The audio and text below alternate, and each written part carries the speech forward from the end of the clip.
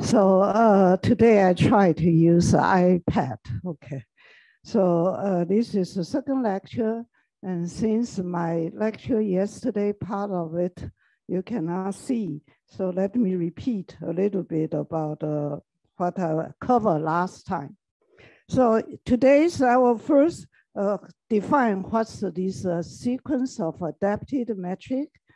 And then I will uh, introduce this uh, second ingredient in the talk, uh, this uh, main result, and that's an inequality of Dutta Javaheri and also modified by Li, Qing, and Shi. Okay, so that's the second topic. And then I will report some uh, perturbation compactness result, and then I will cover some uniqueness result. So let me start with uh, adapted metric. So I covered this uh, last yesterday, but let me repeat. So on this uh, manifold with boundary, so my manifold is of dimension D, but my D is the same as uh, uh, uh, notation, D equal to N plus one. So that means the boundary is of dimension N and the interior is of dimension n plus one. And then my assumption of conformal compact Einstein means that I have this Einstein metric G plus, which is actually a Poincare Einstein metric. That means Ricci of G plus equal to minus N G plus. And then I have uh, this uh, some existence of some defining function on the manifold, and then rho square times G plus now is a compact manifold on a, man, a metric on X closure and whose restriction to the boundary is G hat. Okay, so G hat is a called conformal infinity of this manifold. Okay, so uh, this is a mistyping. So now uh, I used to denote G hat by H. So now this is a, a G hat is a boundary metric. G hat is a boundary metric. I assume it's a CK alpha metric, some smoothness. And then I construct a function V which has the property that uh, we will see that uh, this V is constructed from the boundary metric and which solve this equation, okay, Poisson equation. And I denote it by parameter S. And one result we will use is the following. That is, if the boundary metric G hat has scalar curvature positive, then as a result of a consequence of Jack-Lee's uh, theorem, this equation, Poisson equation, is solvable for all s. Okay, so there is a no point spectrum. So this s times n minus s is solvable, except there is a pole. This is a meromorphic family except when s at the point n. So you solve it with Poisson data. So what does Poisson data means? Poisson data means this equation PDE has two indices, index, index. One is n minus s, one is s. Okay.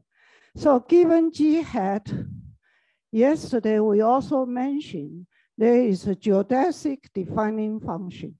So this R is constructed with respect to the G hat.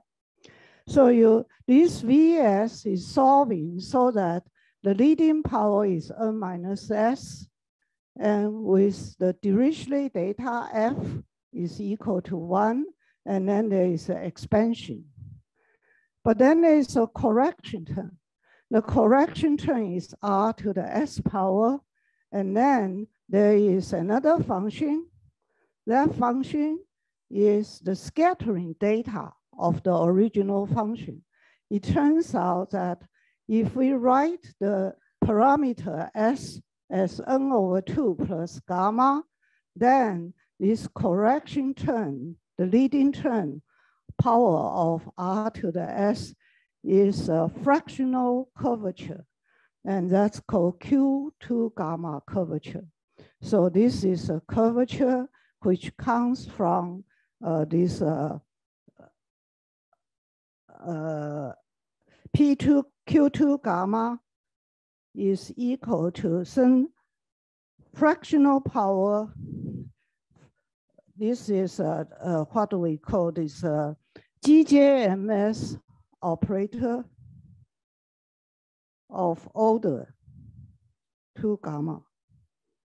So it's uh, this is uh, starting from minus Laplacian on the boundary to the gamma power and plus some correction term. Okay, so P2 gamma at one is equal to Q2 gamma, but this gamma can be a, uh, not an integer. So this is a, a scattering data.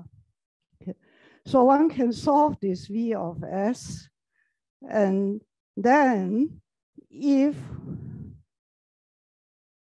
scalar curvature of G hat is positive, then uh, one can solve this for all S, and this Vs is strictly positive.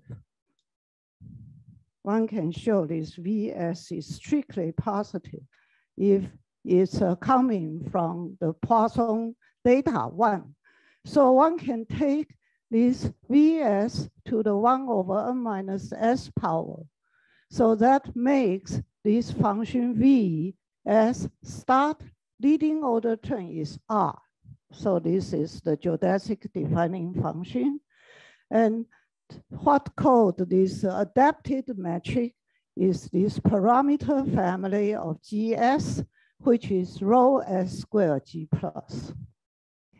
So we have a, for each parameter S, we have adapted metric. And in the particular case, when we take gamma equal to n over 2 plus 1, okay? So now I'm concentrating on myself, myself on the particular index when d is equal to 4, and then the boundary is dimension 3. So at the, in this case, at this uh, gamma equal to this particular index, we recover Jack-Lee metric. So Jack-Lee metric is one of those uh, geodesic, this uh, uh, adapted metric. That's the Lee metric. In this case, this V starts with one over R. So the Jack-Lee metric is actually V to the minus two G plus at this particular index. And uh, say in when n equal to three, then my index S is equal to uh, n over two plus one plus uh, five over two is equal to four when n equal to three. So in this particular, this is the G4 parameter. And yesterday I also mentioned, so we discussed Jack-Lee metric which has scalar curvature strictly positive if the boundary metric has curvature, scalar curvature positive. And later on, I also will use another parameter, and that's the parameter gamma equal to one half. Okay. So when, when gamma equal to one half, then this uh, parameter, the equation V is particularly is equal to rho. So uh, I, will, I will talk more about this index later. And this V uh, starts with R and minus a constant, actually one third times the mean curvature of R square and so on as asymptotic behavior, tortically. And these are V, so V is you can choose it to be equal to rho. And this metric, this G2 metric is scalar, flat. Okay. And uh, I will talk more about this particular metric before. So this is an, another example. So we have one family, which is one half, gamma equal to one half, the other is five over two. But it turns out in this special dimension, when n equal to three, there is another adapted metric, which is particularly interesting.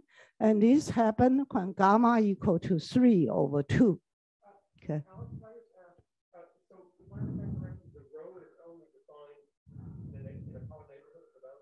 No, no, no, yeah, yeah. VS is solvable on the whole manifold.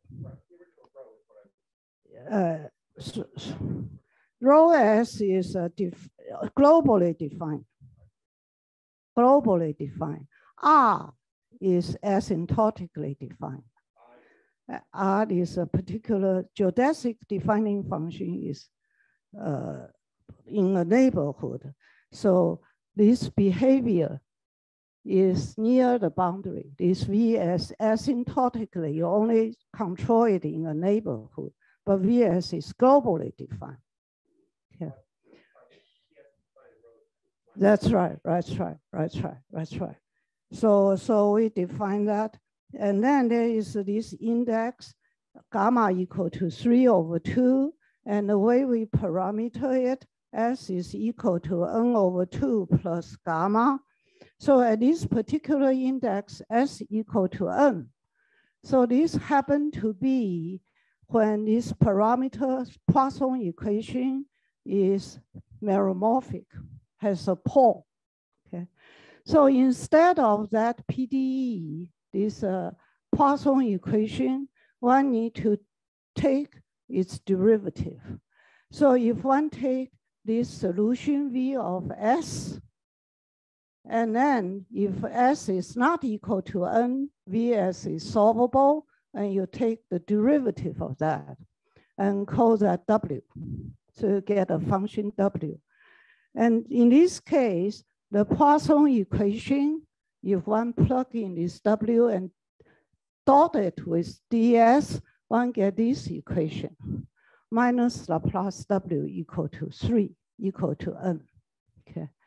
And in this particular index, so in this case, the adapted metric is exponential to WG. Okay.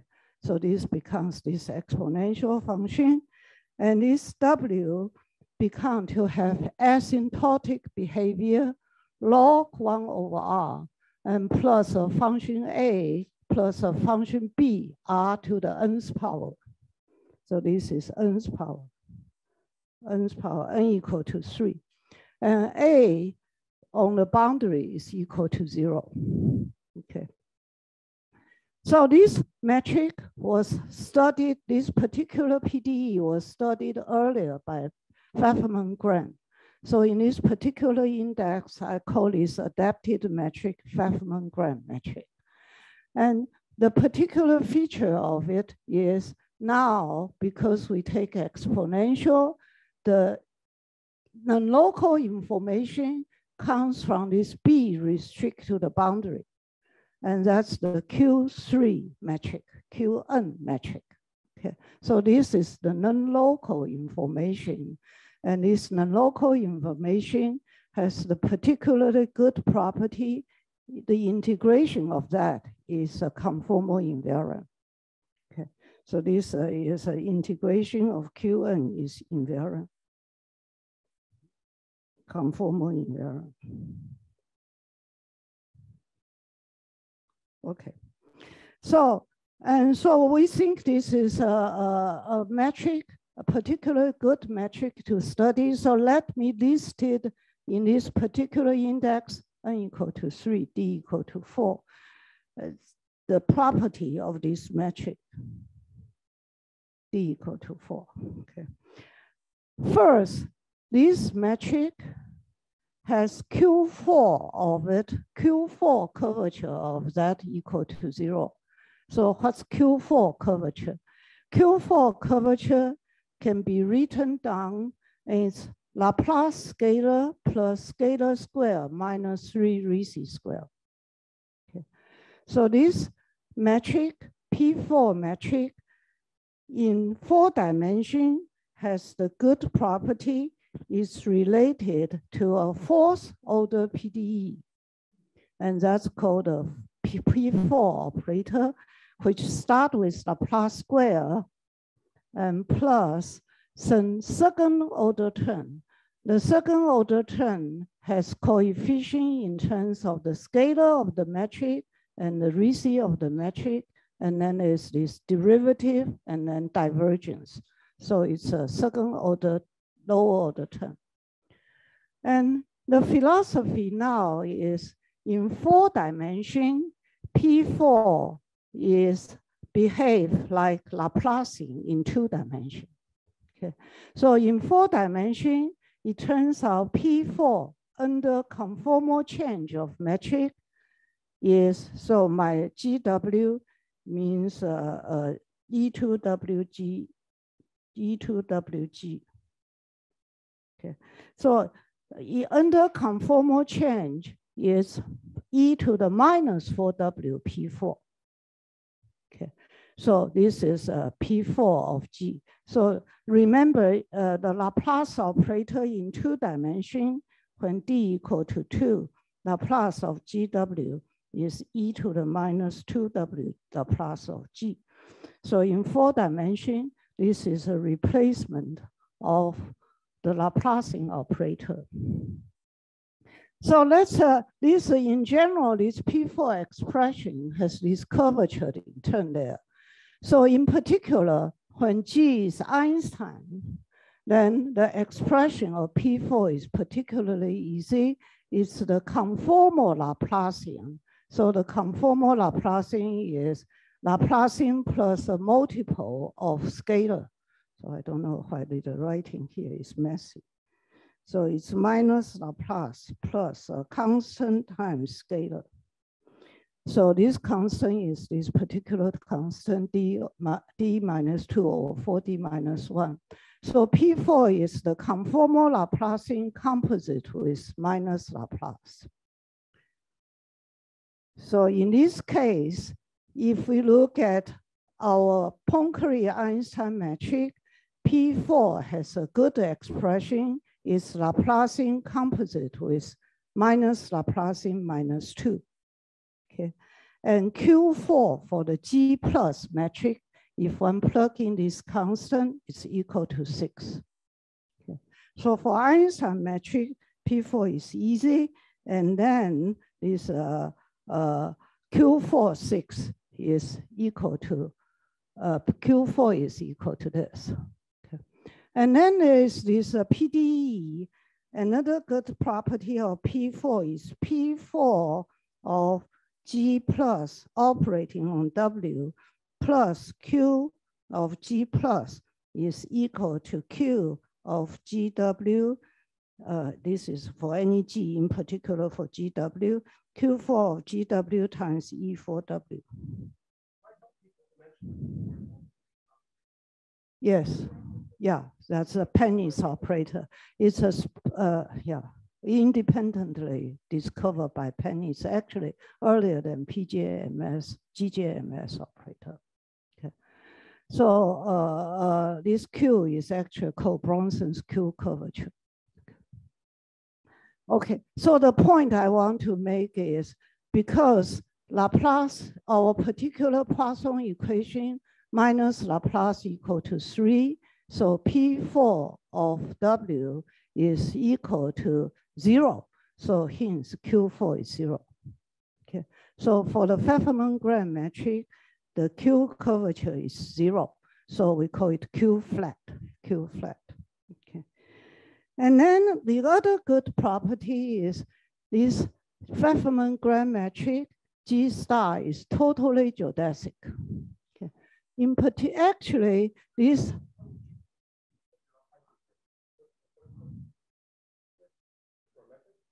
for no, uh, uh, yeah, we on the boundary of X. This is a com, com metric on X closure. So, yeah, the boundary is totally geodesic. Okay. The, yeah, I, I mean the total boundary is uh, totally geodesic. Actually, it's totally geodesic for this uh, parameter of this adapted metric for all n over 2 plus gamma when gamma is greater than 1 half. Gamma equal to 1 half just means to be totally geodesic. It's only umbilic, okay, umbilic. So uh, at, uh, in our early time, we prefer to use a metric which is totally geodesic. So that means when we deal with this, uh, uh, later on deal with this Bach equation, we pretend the boundary is not there. Okay, so it's totally geodesic. A manifold with totally geodesic boundary for, from the PDE point of view is like behave like a manifold without boundary. That's what I'm saying. Uh, no, then you have regularity on the boundary, problem on the boundary. Yes, but the, basically it's in that direction. Okay. Yes, yeah. Okay, so it's totally geodesic. But there is another hidden good property of this uh, metric, and that is uh, if the scalar curvature on the boundary, yes, uh, the, the scalar curvature of this uh, G hat, R hat means scalar curvature of G hat on the boundary. So this is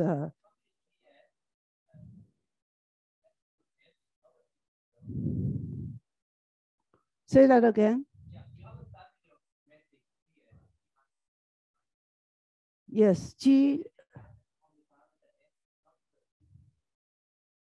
Yeah, yeah, uh, yeah. Uh, we deal with regularity later. Depending on how much regularity you assume on the boundary, you have how much regularity for this parameter family G star in the interior. Yes. Oh, yeah. This S is a continuous parameter up to S equal to N, and then it's a family. So at S equal to N, you need to deal with it, but it's a continuous family. Okay, continuous parameter. Up to, yeah. In, in a case when the scalar curvature is positive on the boundary, Jack Lee's theorem tells us it's parameter a continuous family for all S.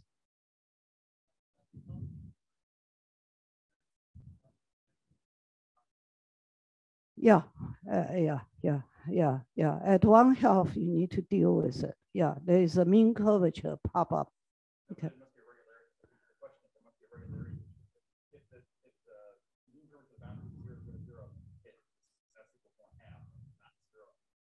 Yeah.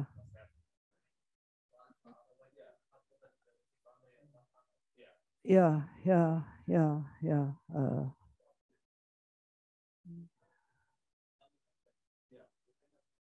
yeah, yeah, yeah, uh, yeah. That problem occurred tomorrow, but today I, I deal with Fefferman-Graham metric. Okay, so and the other hidden good property of it is if the boundary scalar curvature is positive, we know Jack metric has interior scalar curvature positive, but it turns out Fefferman-Graham metric, and actually for all GS metric, when S is n over 2 plus gamma, for gamma bigger than 1, all have scalar curvature positive. Okay, so this is a, a scalar curvature positive. This uh, property uh, was proved uh, earlier uh, by Jeffrey Case and I, and uh, he uses some particularly good structure of this particular parameter of GS. And a hidden property is this is satisfy another PDE, which is a fourth order PDE. Okay, so that means this if S is equal to N over two plus gamma, then its scalar curvature and its traceless Ricci satisfy a second order, fourth order thing. Fourth order means the curvature differentiate four times. So it's a second order in scalar. Okay, so it's a divergence of the gradient of R. R is the scalar curvature, so it's a fourth order PDE. And so if one compute that, it turns out this constant C1s and C2s on this parameter s between n plus 1 to n over 2 plus 1 have a definite sign. Okay, so for example, if we are getting at s equal to n plus 1, that becomes Jack-Lee metric. In that case, C2s is zero. Okay, so that's the Jack-Lee computation earlier. But we are now in a situation when this is bigger than one and less than, uh, so in my particular case, this is, uh, uh, in this parameter, we start with the metric and we continue. And this family is a continuous family. So one use continuity method to say if you start with the index whose scalar curvature is positive, if you stop somewhere, if the scalar curvature is greater than equal to zero, then this PDE tells you the scalar continue to be positive because at the minimum point, you now have a sign of the scalar curvature. Okay, so, so this property comes from this metric, but we know this parameter has positive scalar curvature. And later on in the uh, lecture, I also say that this Fefferman-Graham metric, we choose it for many other reasons. One of the technical reasons is we can deal with epsilon regularity property of this sequence of, of this metric. So by epsilon regularity, the purpose of that is Suppose this metric is say C2, assume G star is C2, then because it's conformal Einstein, we can use the Bach equation to get. Okay, so C2 implies C2 alpha, the epsilon regularity. But uh, uh, I, I, will now talk about why there is an epsilon regularity property of this sequence of, of this Jack-Lee metric. Okay, so uh, that's uh, this uh, uh, adapted metric. So in the statement of the theorem, we will use this particular adapted metric called Fefferman-Graham adapted metric.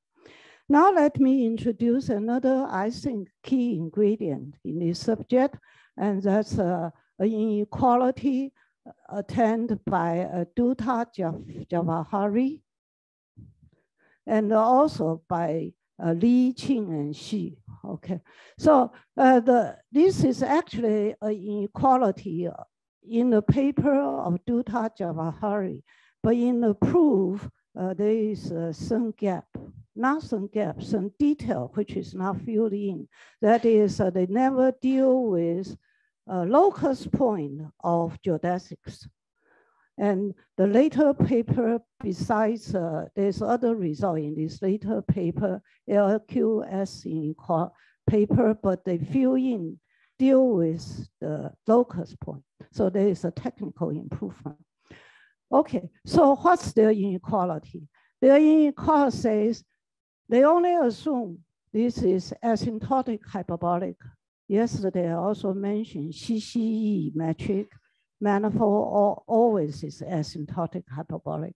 So hyperbolic, and if the boundary Yamabe is positive, I assume it's C3 metric, and then I fix a point in the manifold. And they only assume Ricci is greater than equal to minus NG plus, and then scalar curvature is O e to the minus 2t, where t is the hyperbolic distance to the manifold. So we have the case of X here, sorry, X here and fix arbitrary point P. And then there is this ball T. And this T is the distance of a point in G metric of to this particular point. Okay, So this is the distance pole. And then we know that uh, this metric, this, uh, there is, uh, if you consider this ball, volume of the ball in this metric, Einstein metric, compared to the volume of the ball to the hyperbolic metric, we know it's always less than equal to one. So this is always less than equal to one. And we also know it's a monotonic function in T. And it's greater than equal to the volume of the boundary of the ball comparison.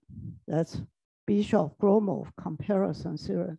The inequality says, assume boundary has a scalar curvature positive, Yamabe positive, the, this volume of the ball has a lower bound. And that lower bound is in terms of the quotient of the Yamabe metric on G hat to the Yamabe metric on the canonical metric of S3.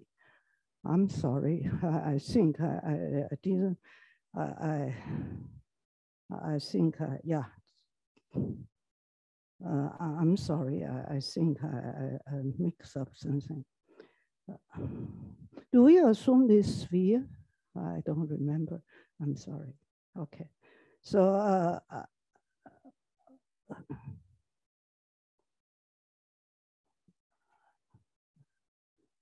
okay.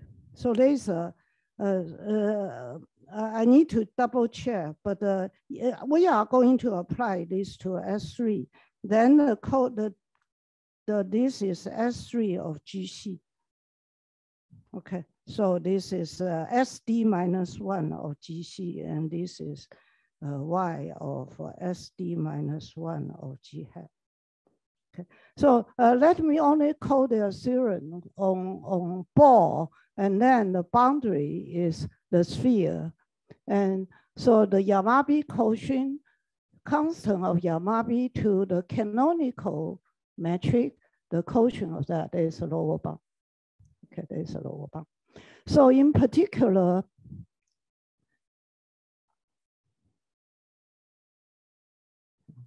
yeah, yeah, uh, yeah. Uh, the this is always the sphere, and that could be arbitrary boundary. Okay. So anyway, this quotient of volume has a bound, has a lower bound if your boundary of the Yamabe metric has a lower bound. So uh, uh, in tomorrow, I will present some sketch of idea of this inequality. Okay. So if one apply this to the ball, your immediate consequence of this inequality is if the boundaries of is the sphere, then you have the left-hand side is greater than equal, equal to one, the right-hand side is less than equal to one.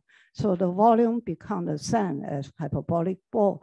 So that's the conformal filling in of the unique one is B4 S3GH okay, a consequence of this inequality. That also uh, sort of answer a little bit about your question. You start with X, your boundary is S sphere, then your filling in, unique filling in is the ball because it's already hyperbolic. Okay, okay. sure. Okay, and so uh, now let me report this uh, perturbation theorem perturbation, one perturbation theorem uh, we have is uh, if we assume, so for simplicity, we, we assume it's S3. Okay. Maybe one can deal with other boundary X, but suppose S3. And then if you have a sequence of boundary metric G hat, which is a conformal infinity of a sequence of metric there, which is CK alpha. You only need, uh, there's a little bit detail. because uh, the reason we worry about the detail is the original existence theorem is for C2 alpha, and we only can deal with it with CK alpha for K bigger than two, okay? So uh, say, for example, C3, okay? And then under the, then there exists a delta. If this uh, Yamabe constant is close enough to the boundary data, or if the Weyl L2 known, remember the Weyl L2 known in this dimension is a conformal invariant. So that means with respect to GJ plus metric and with respect to your GJ, the star metric is the same. Okay, so this condition is only putting on GJ plus. So the Weyl L2 known is small.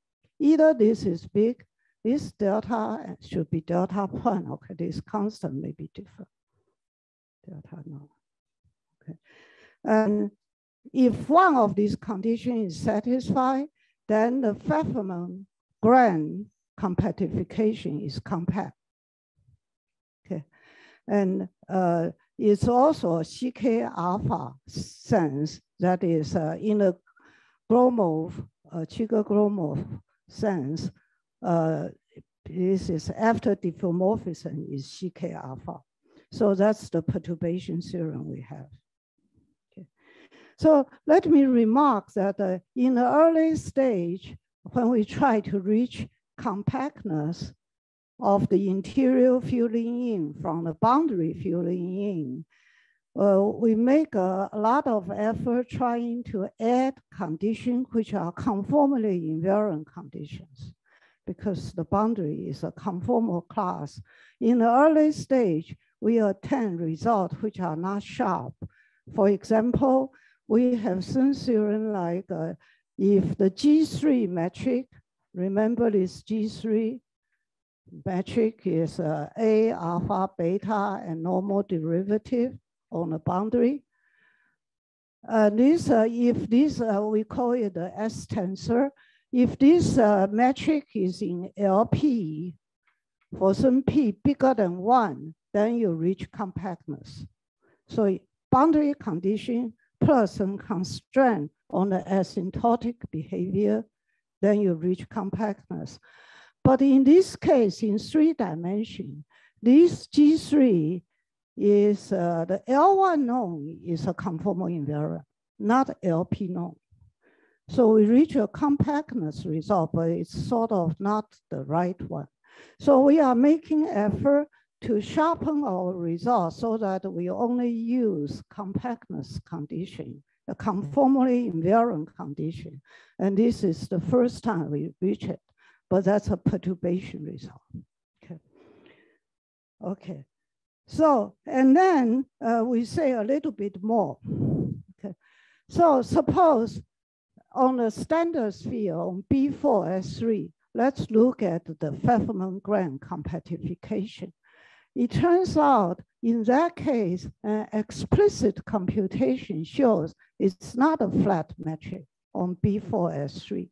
So if you want a Q4 flat metric, of course, the flat metric has Q4 equal to zero, but there's another one, and that's this Fefferman-Graham one. And this is exponential one minus x squared times G flat, which has the, uh, compared to the standard flat metric, it's totally geodesic boundary. Okay, so if you have the original one, then it's not. Okay, so if we look at in the model case, we denote this by Fefferman-Graham. And then for this theorem, we also know that our metric GI star with Yamabe constant tends to that of the Yamabe constant of the sphere on the boundary can up to this diffeomorphism be bring to a CK alpha neighborhood of the standard metric. So uh, the compactness is rich and you have this CK alpha closeness. So the, this uh, later on will lead to uniqueness of uh, the metric on the boundary. So let me put, uh, so I'm going to uh, prove this theorem. And let me uh, first say that uh, I have put two conditions either A2 point, that's the Yamabe constant close to that of the sphere, or this is not n, this is all the Weyl L2 condition. And it's not clear this A2 point imply A2 double point or the other way. At the beginning, we do not know. But the consequence of this compactness theorem, and we would reach these two conditions are equivalent conditions, equivalent condition. But that's a byproduct. We do not see it directly. So that's the first remark. And the second remark is, you notice we choose this particular metric and uh, a Fefferman-Graham metric. And last year there is a paper by Fang Wang, and she pointed out once your compactness is reached for one S, and if this S is n over 2 plus gamma for some gamma bigger than 1, or if your compactness is reached for n over 2 plus 1 half, then all other GS are compact family. And for S prime equal to n over 2 plus gamma for all gamma bigger than 0. So that means if we reach compactness for Fefferman-Graham metric, say in that case, our gamma equal to 3 over 2, then you have compactness for all other family. So it just depends what parameter you are going, what adapted metric you are going to choose more convenient to use to reach compactness. And once you reach there, it's all equivalent. Okay, it's all equivalent. Okay, and as we will see tomorrow, we will choose this particular index for other reason I will explain. Okay, I will explain. Okay. Okay, and the other remark is that uh, uh, this perturbation result turns out to be true for all d bigger than equal to 4 with a Weyl L2 norm uh, replaced by Weyl d over 2 norm. And the proof of this, uh, this is uh, uh in a paper last year by myself and uh, Yuxin Ge, Qingjie, and Jin, who's a graduate student of Qing. And so this proof of, uh, to generalize to high dimension actually has two parts. For D even and D odd, somehow the method is different. Okay, the asymptotic expansion is different, and then one use a, a different tool. In particular, when D is equal to e even, we still have this obstruction tensor, this Bach tensor, which helps us to gain the, epsilon regularity. Epsilon, but for DR, we have used other methods. but I will not cover that. So in the rest of the talk, I will begin to uh, cover uh, proof of perturbation theorem. So let me take a, a three minutes break. Okay.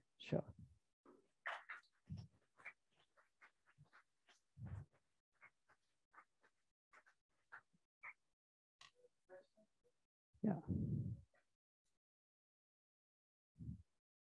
Yes.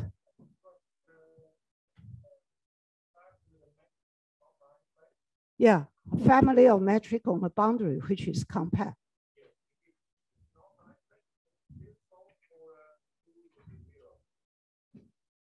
Say that.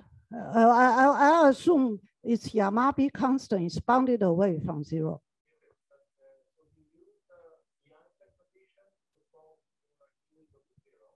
Yes.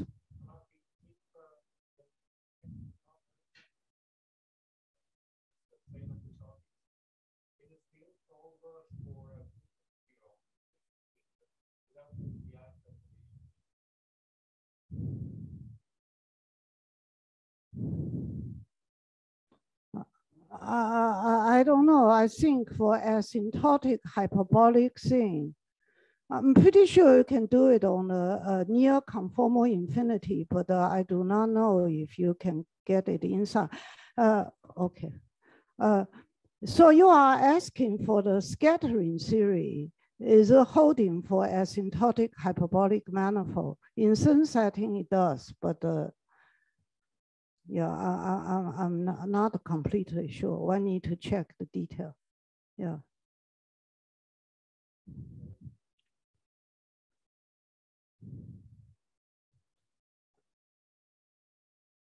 Okay, sure. Yes, yes, yeah. Okay.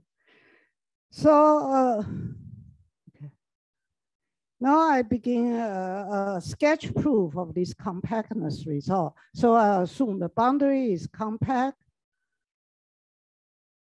And then I think that uh, the Yamabe constant on the boundary is very close to that of the standard sphere, then I say this uh, family of Fefferman-Graham metric is already compact. So let me sketch a proof. Okay, so uh, that's the theorem. Uh, the main step, it turns out the main step is to show this family compactified family has its curvature bound. Okay, so either in curvature is bounded or the gradient, it turns out for technical reason, we need this uh, gradient of this is bounded, uniformly bounded. Assume the boundary metric is sufficiently smooth to start with. Okay, and then uh, the only way to show this is uh, to prove by contradiction. So uh, assume not. Then you call it sup norm kj square, which go to infinity. And then you know there is some point which gets its uh, this kj square. So you, you blow up around that point. And then we dilate the function by kj. So the purpose of the dilation now is this, now you have this C1 norm of the curvature, this C1 means C1 norm of the curvature at the point Pj is equal to one. And then you want to pass to limit. Okay. And now, after this dilation, uh, this uh, bar has curvature bounded, so there's a Gromov-Hausdorff limit. I call it a G infinity bar, which is uh, on X infinity. Okay, so the uh, this is uh, the this is happening on X infinity.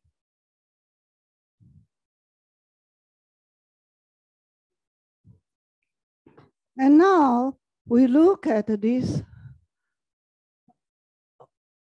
this metric GJ is a conformal change of this Einstein metric. And that conformal change, we call it rho j. So the bar is the same as rho j bar square gj plus. And this rho j is bar is the dilation of the original conformal factor g rho j. And then remember this uh, Fefferman-Graham metric has scalar curvature. And that translates to gradient of Gj of rho j is less than equal to one. This uh, uh, Gj is this Fefferman-Graham metric, has curvature bound. And this relation is dilation invariant. So for rho j bar and Gj bar, so uh, this is uh, uh, is also less than equal to one. So that means this function rho j bar also converges on compact, on compacta. So this rho j bar has a limit. I call it rho infinity. And now you look backwards. So that means this has a limit, that has a limit. So this sequence of uh, this uh, uh, Einstein metric also has a limit and that's G infinity plus. Now G infinity. Yes, yes, yeah, yeah, yeah, compact on X infinity because X infinity is now not, not compact. And now, now this uh, GJ plus is, uh, has a limit, which is also Einstein. And uh, we know it's Ricci. If it's smooth, it's Ricci. It's also minus N G plus. Now, uh, now we want to say that uh, uh, we want to reach a contradiction. Okay, and what's the contradiction which is going for? Here I should first say something. Uh, there is a some statement I should make first, and that is remember our assumption. Our assumption is G, J, this is compact on boundary, say on S3. So the dilation of that, sand dilation would converge to a flat metric.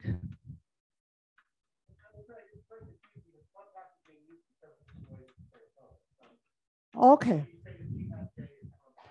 So this is, uh, uh, uh, this is a boundary metric on S3. And it's a compact metric, compact sequence of metric. That's assumption, my assumption. So if I dilate it, then it becomes uh, on larger and larger interval. And I'm saying the conformal infinity of this is R3.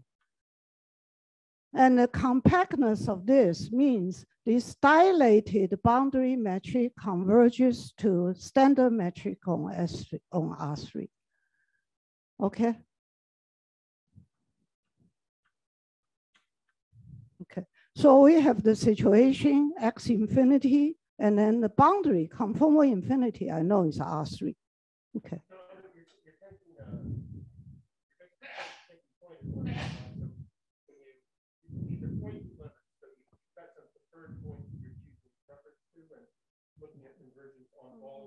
Yes. That's right. That's right. That's right. That's right. That's right. I'm saying it converges to a metric on R3, which is the flat metric in that sense. Okay. Yes. Okay. So. And now uh, we want to reach a compact. So our scheme now is, our goal now is to show this G infinity plus sitting on this uh, R3 and the universal being the universal cover being the upper half space is the hyperbolic metric. Okay. And then after that, we are going to show this G infinity plus is the flat metric on the upper half space. And what's the contradiction? The contradiction will be this metric at a curvature at a point equal to one. And then we want to say this limit metric also has curvature at this, uh, uh, this uh, PJ point go. We need to discuss where does this blow up point PJ goes. And then we want to show at that blow up limit is G infinity at that P infinity point curvature is also equal to one. So that means we need to show a little bit why uh, the convergence is more than C1. Okay, so you have a function which is one, the limit metric, why the limit at that point is equal to one, you need a, a bit more convergence. You need C1 alpha. And that's the epsilon regularity. So let's see where does, uh, so the first proposition is the epsilon regularity. And if we either look at its uh, Fefferman-Graham metric or look at its uh, dilated metric, and we want to show it begin to gain. Once it has Sun C alpha CK, it has CK alpha. That's what we mean. Okay. And then here we use the property this metric is conformal to Einstein. And conformal to Einstein metric satisfy Bach flat condition. So what's Bach flat? Bach flat is, uh, this is a, a Bach metric is the critical point of the Weyl tensor, Weyl L2 norm, and it satisfies Bach flat condition. So Bij is the second derivative of Weyl plus this uh, uh, Ricci uh, conjugated with Weyl. This is equal to zero. Okay, and this condition turns out to be a conformally invariant condition. That is uh, under conformal change. If one metric is Bach flat, the other is also Bach flat. So for Einstein metric, the Bach tensor is equal to zero. Why? Because uh, this is because the derivative of this uh, uh, del Weyl is uh, this gradient Weyl, this uh, contracted with this L index is called Cotton tensor, but this Cotton tensor also can be expressed completely in terms of Ricci and scalar. Okay, so it's this. So using this relation, one can see that uh, for Einstein metric, Bach is flat. So for metric conformal to Einstein, it's Bach is flat. Bach is zero. And in the early work of Tian Viaclovsky, and maybe even earlier than then, it's already pointed out that this Bach flat condition is elliptic PDE when scalar curvature is a constant. So that means if one rewrite this Bach tensor condition, then it's actually this Schouten tensor, and then there is this uh, Rm conjugated with A term, but then there's this term. This term is this covariant derivative. This is I and J. Gradient I, gradient J. Gradient I, gradient J term. Okay. And so when scalar is equal to zero, that term is zero, then this Bach equation helps you to say the Schouten tensor satisfy elliptic condition and you can begin to get. Okay, so now the next observation is for Q flat metric, even scalar curvature is not a constant, we can handle this term, gradient I, gradient J R term.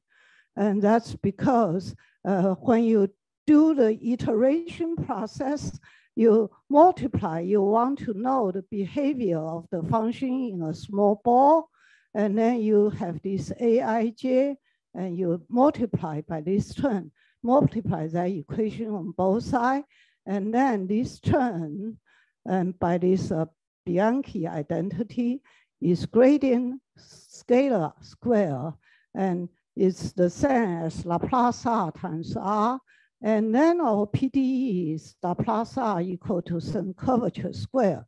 So that means that uh, you cross this gradient Aij term, gradient Aij term is uh, you multiply that equation by Aij and you integrate. So uh, mm, it's actually bounded by A cube. And that a cube is a square and a fourth to the one half. And now remember that we already control the Yamabe constant. Yamabe constant. So for the gradient a square, we have uh, bounded by some Yamabe constant times a fourth to the one half. So on this side, we have this uh, great, great Yamabe constant times a4 to the one half. So that means uh, when uh, the L2 norm is small, you begin to get. Okay, so and that's the scheme. And in this case, we have totally geodesic boundary, so we don't worry about the boundary term. Okay, so the epsilon regularity theorem turns out to be have the following statement. You can begin to gain for all case power of the derivative and then there is this, uh, suppose you start with some ball where the A square is small, you begin to gain. And then there is the G third power term on the boundary. that term is still there. So if you scale for gj to gj bar such that this term is uniform, then you gain regularity. The curvature, once it has C1 bound, depending on how K you choose, it has C1 alpha. Okay, and that's the epsilon regularity property. Okay, so we know that uh, uh, we have epsilon regularity. And now we worry, remember, we, we have this curvature, we prove by contradiction, we have this curvature PJ, uh, the blow-up point at this curve. We need to discuss, discuss, discuss where does this point uh, distribution of those points. So there are two possibilities. One is called a boundary blow up. So that means this, suppose this sequence of blow up points stay away from the S conformal infinity. It's a less, I'm sorry, uh, it doesn't go to infinity. PJ to, it stays in an annulus of this thing. PJOR here, and fixed distance C on boundary. So in that case, this PJ may gradually tends to a boundary point. Okay, so and then in this case we have this, and so I already say we already know this x infinity. The boundaries are three. Okay, so in this particular case, we begin to use our second assumption that this, uh, for example, the Yamabe constant tends to GC, all the Weyl L2 norm tends to zero to conclude that this limiting metric is, is hyperbolic. The Weyl L2 norm tends to zero, or, or you, or it's the hyperbolic space because the volume of the ball is the same as the volume of the hyperbolic metric by this DJ inequality. And then here I skip some detail. You begin to pass into universal cover. And that universal cover is R4 plus, and you work on universal cover. You identify this metric as the hyperbolic metric. And now our test is to show your original Fefferman-Graham metric, in this limit case, is the flat metric. So this is equal to rho infinity square, I write as equal to 2w infinity square g infinity plus. So our test is to show this e to the 2w infinity is actually is y, the distance. So here we need some kind of a Liouville theorem. So the Liouville theorem says, if in this case, I consider w infinity minus log y, I call it u. I want to say U is zero, okay, U is zero. So why does that happen? Remember that this metric is Q flat, Q4 equal to zero. The W satisfies some fourth order flat condition, and so is log Y. So if you look at the difference, that Q4 condition becomes its bi-Laplace equation on upper half space. And then you look at its boundary behavior. Okay, there's some detail which shows U and gradient U and Laplacian U all equal to zero on R3. And then at this moment you think U must be zero, but it's not. If without an additional assumption, for example, U equal to Y to the Q power satisfy this first and the third condition. Okay, so it turns out the thing to get to Liouville theorem is the scalar curvature of the metric is also positive. So when the scalar curvature of the metric is positive, that's translate to this scalar curvature minus Laplace u minus gradient u positive. This, this all are with respect to the flat metric. So the Liouville theorem says in this case, U is identically zero. Okay, so this is fourth order, there's three order constraint, not enough, but we have an interior blow up, yes.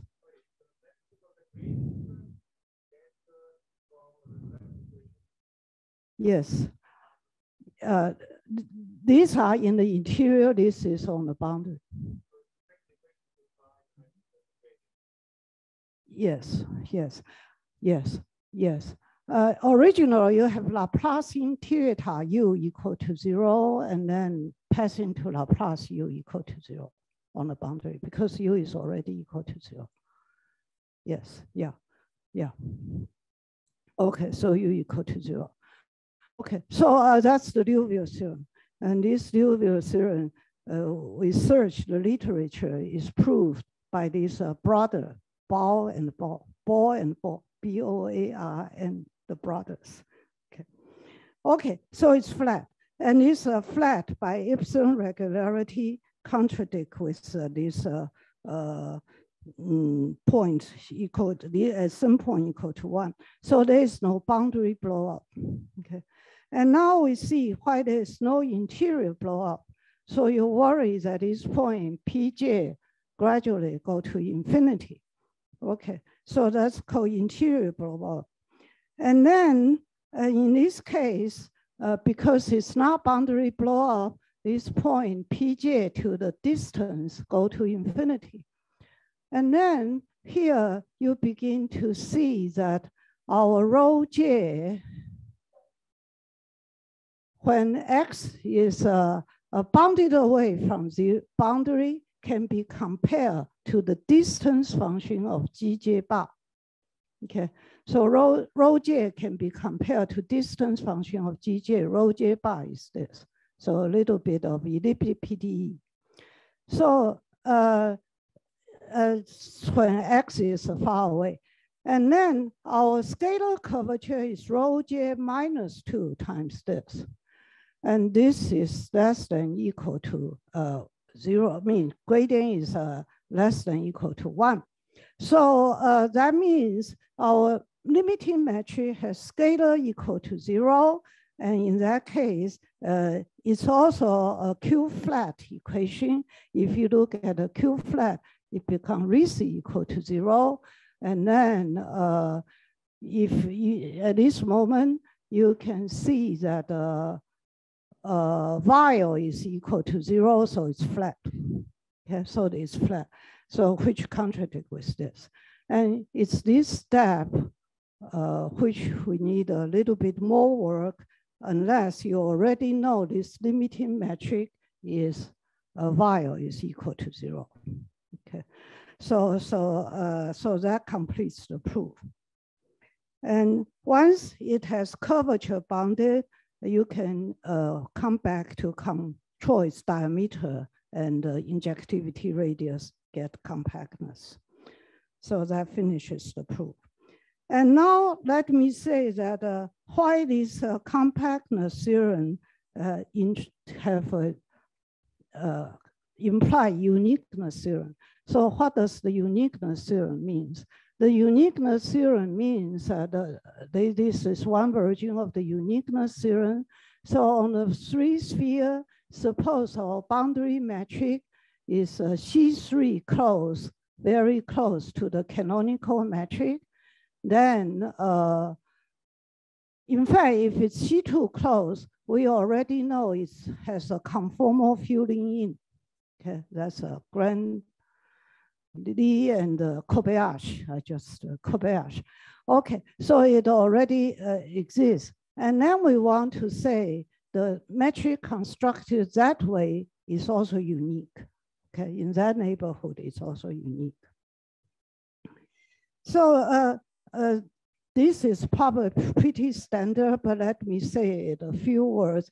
So to see that this metric G plus G hat interior construction is also unique. First, there is one constructed by Graham and Lee, but the way they construct it is this metric filling in of this G hat is in a neighborhood of the hyperbolic metric. So they use perturbation result. So their metric they constructed is in a neighborhood of GH plus by some kind of implicit function theorem.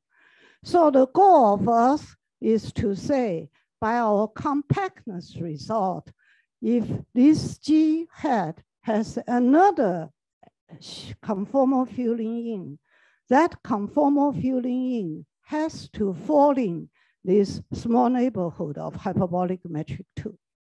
Okay, so that's the basic strategy.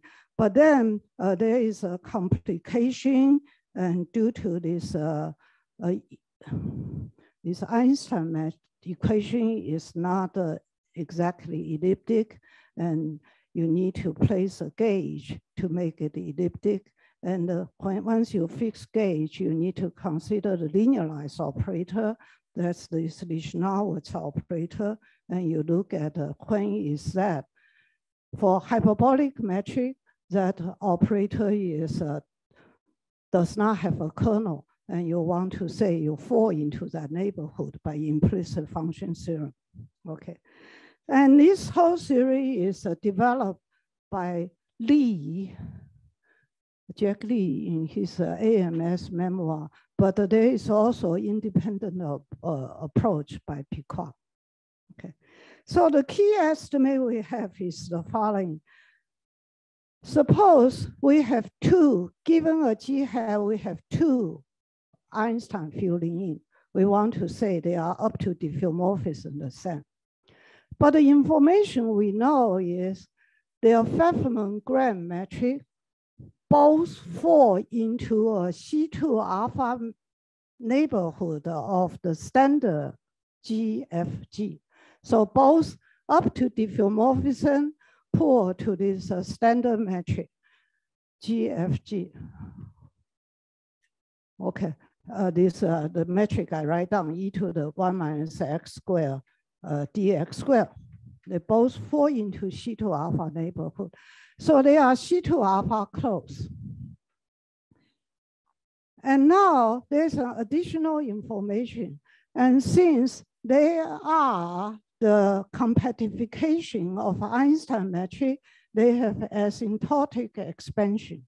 They have the same boundary, okay? So, and that asymptotic expansion uh, recall that uh, the asymptotic expansion, the first two terms are local term. It's only the third order term is a local term, you don't know. So that means they agree up to order OR3. Okay, so OR3. So that means that uh, uh, although they are C2 alpha close, their C0 norm is less than R3, and this R3 makes you to be close to epsilon R delta for any delta between three and two. Okay, for any delta between three and two. And so that means this C2 alpha converges has a weight. That weight is R to the delta power. And that delta is for any number bigger than two and between three.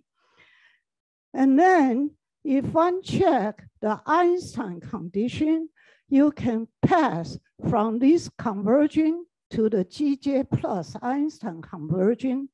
And because the weight happened to cancel, this thing also converge in C2 alpha with respect to hyperbolic metric, the same weight. And if one check the theorem of Lee lemma 3.8, this is the range where you can apply implicit function theorem. And so apply implicit, implicit function theorem, you say one is uh, diffeomorphic, isomorphism pull to the other, so you have uniqueness. Okay, so that's proof the uniqueness theorem. I think uh, that's what I plan to cover. If I have time, I can go to the next what is my time now? Five minutes. Maybe I leave, uh, either I can continue to cover, but tomorrow's lecture, I, I may need more than 90 minutes so I can do something. Do okay, sure, yes, yeah, okay, sure. So I stop here and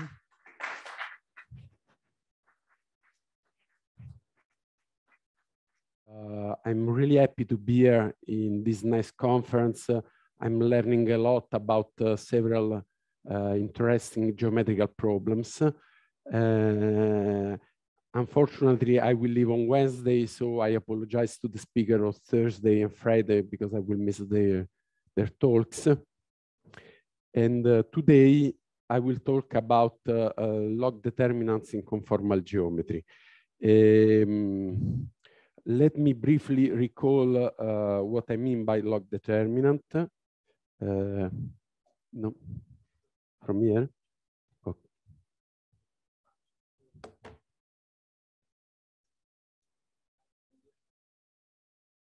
No, come per andare in... Ah, dovrebbero funzionare? Ah no, questi. Ah, okay. Uh, so let me briefly recall what is uh, the log determinant on a surface. Uh, in this case, we take the Laplace-Beltrami operator and its eigenvalues. And in this case, uh, uh, the idea is to define the log determinant as the, the, as the infinite sum of the log of these eigenvalues. Uh, since the, the eigenvalues uh, blows up, uh, in general, this formula doesn't make sense. But then uh, one define this zeta function, which makes sense when the real part of S is bigger than one. Then we extend this function up to S equals zero. And then we simply uh, define this log determinant, which really is a regularized log determinant, uh, as uh, minus the first derivatives of, of, this zeta function at zero. Uh, this way uh, of regularizing uh, somehow has also some physical interest because it's a way of reproducing a renormalization procedure in some physical problems. Uh, so um, somehow this type of uh, of uh, the, the, theory of determinant uh, has some physical interpretation. Uh, but let me focus on uh, the geometrical meaning of, of this theory um, we, we have that uh, when uh, we change conformally the metric from G to G uh, the log determinant changes accordingly to this formula. Uh, and um, this is based on the conformal invariance of the Laplace-Beltrami operator. And um, a, a, key fact is, the, uh, is uh, that the critical points of uh, the log determinant on a given conformal class with a fixed volume uh, reproduce exactly uh, that have constant Gaussian curvature. Uh, in general, since you have a minus, one can simply consider the maximizer of this log determinant. So this means that the maximizer of the log determinant are precisely uh, special metrics that have constant Gaussian curvature. And we will see that something similar happens also in higher dimension. Uh, this fact uh, has been used to study the uh, compactness of isospectral domains and surfaces uh, in, in a series of papers.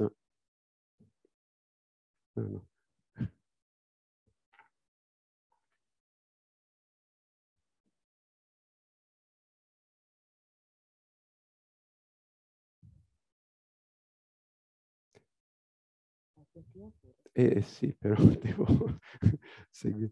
Ok. Eh, so now let us switch to a four-dimensional manifold. In this case, uh, we take exactly like the Laplacian in two dimension, we consider a conformally covariant operator. And um, in the case that the operator has no kernel, uh, under a change of uh, a conformal change of the metric, the log determinant uh, changes accordingly to this formula, which says that essentially the, log, the, the, the, the, conformal change of the log determinant is an universal formula with some coefficients depending on the specific operator we are considering in terms of three universal uh, functional, uh, I, double I, and triple I. Um, the typical example one can consider as, an, as the operator A, uh, the conformal Laplacian, the Paneitz operator, or the, uh, the square of the Dirac operator. Um, the, uh, the, the, first and the third operators, namely the conformal Laplacian, the square of the Dirac operator, are uh, good for the discussion I will make in next slides. essentially, what is important for these two operators is the fact that uh, the ratio between gamma 2 and gamma 3 for these operators uh, are bigger or equal than 6. And uh, we will see this is very important. Uh, apart from the specific value, really, uh, this is something that I want to emphasize for next slides, is the ratio, which is important. Uh, in the case of the Paneitz operator, we will see uh, gamma 2 and gamma 3 uh, have opposite sign. so this is the bad situation, and we will see that something strange happens in this situation. So uh, what is the uh, shape, the form of this uh, of these three functional, three universal functional I, double I, and triple I?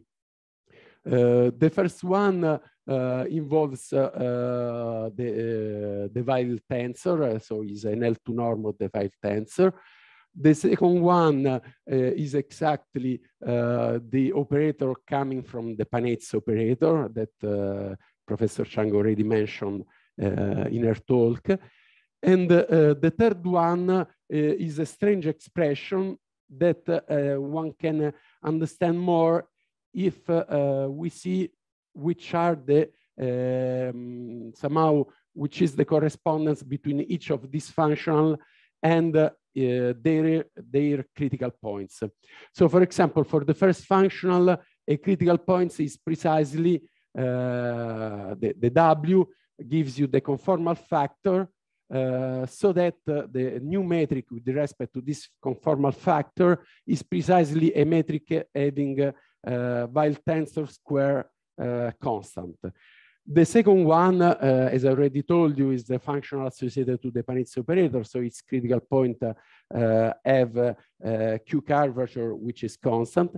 And the third one corresponds to having uh, the Laplacian of the uh, scalar curvature equal to zero in this new metric.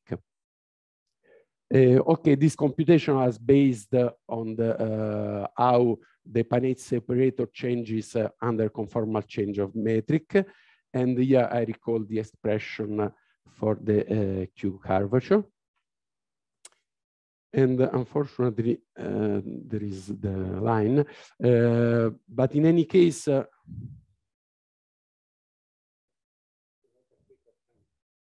no.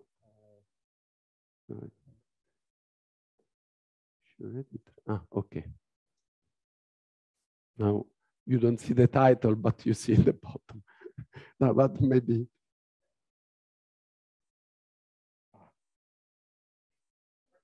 Uh, maybe if you can put it on the right, uh, there is a way. I don't think so. It doesn't want to go outside uh, of the borders. Okay, maybe when uh, the title is important, I will move it okay, on the bottom.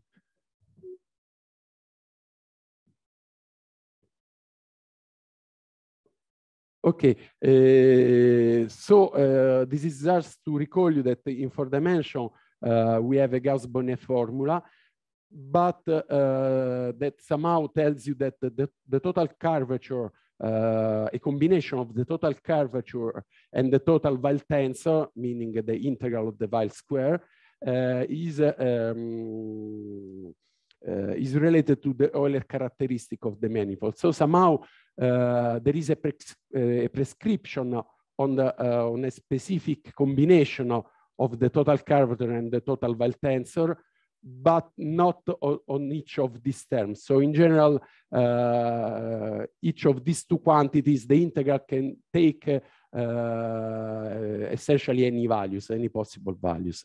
And somehow this makes a large difference with respect to the two-dimensional case where the, uh, we have a, a, prescri a, prescription of the total curvature. And we will see that uh, this causes some troubles.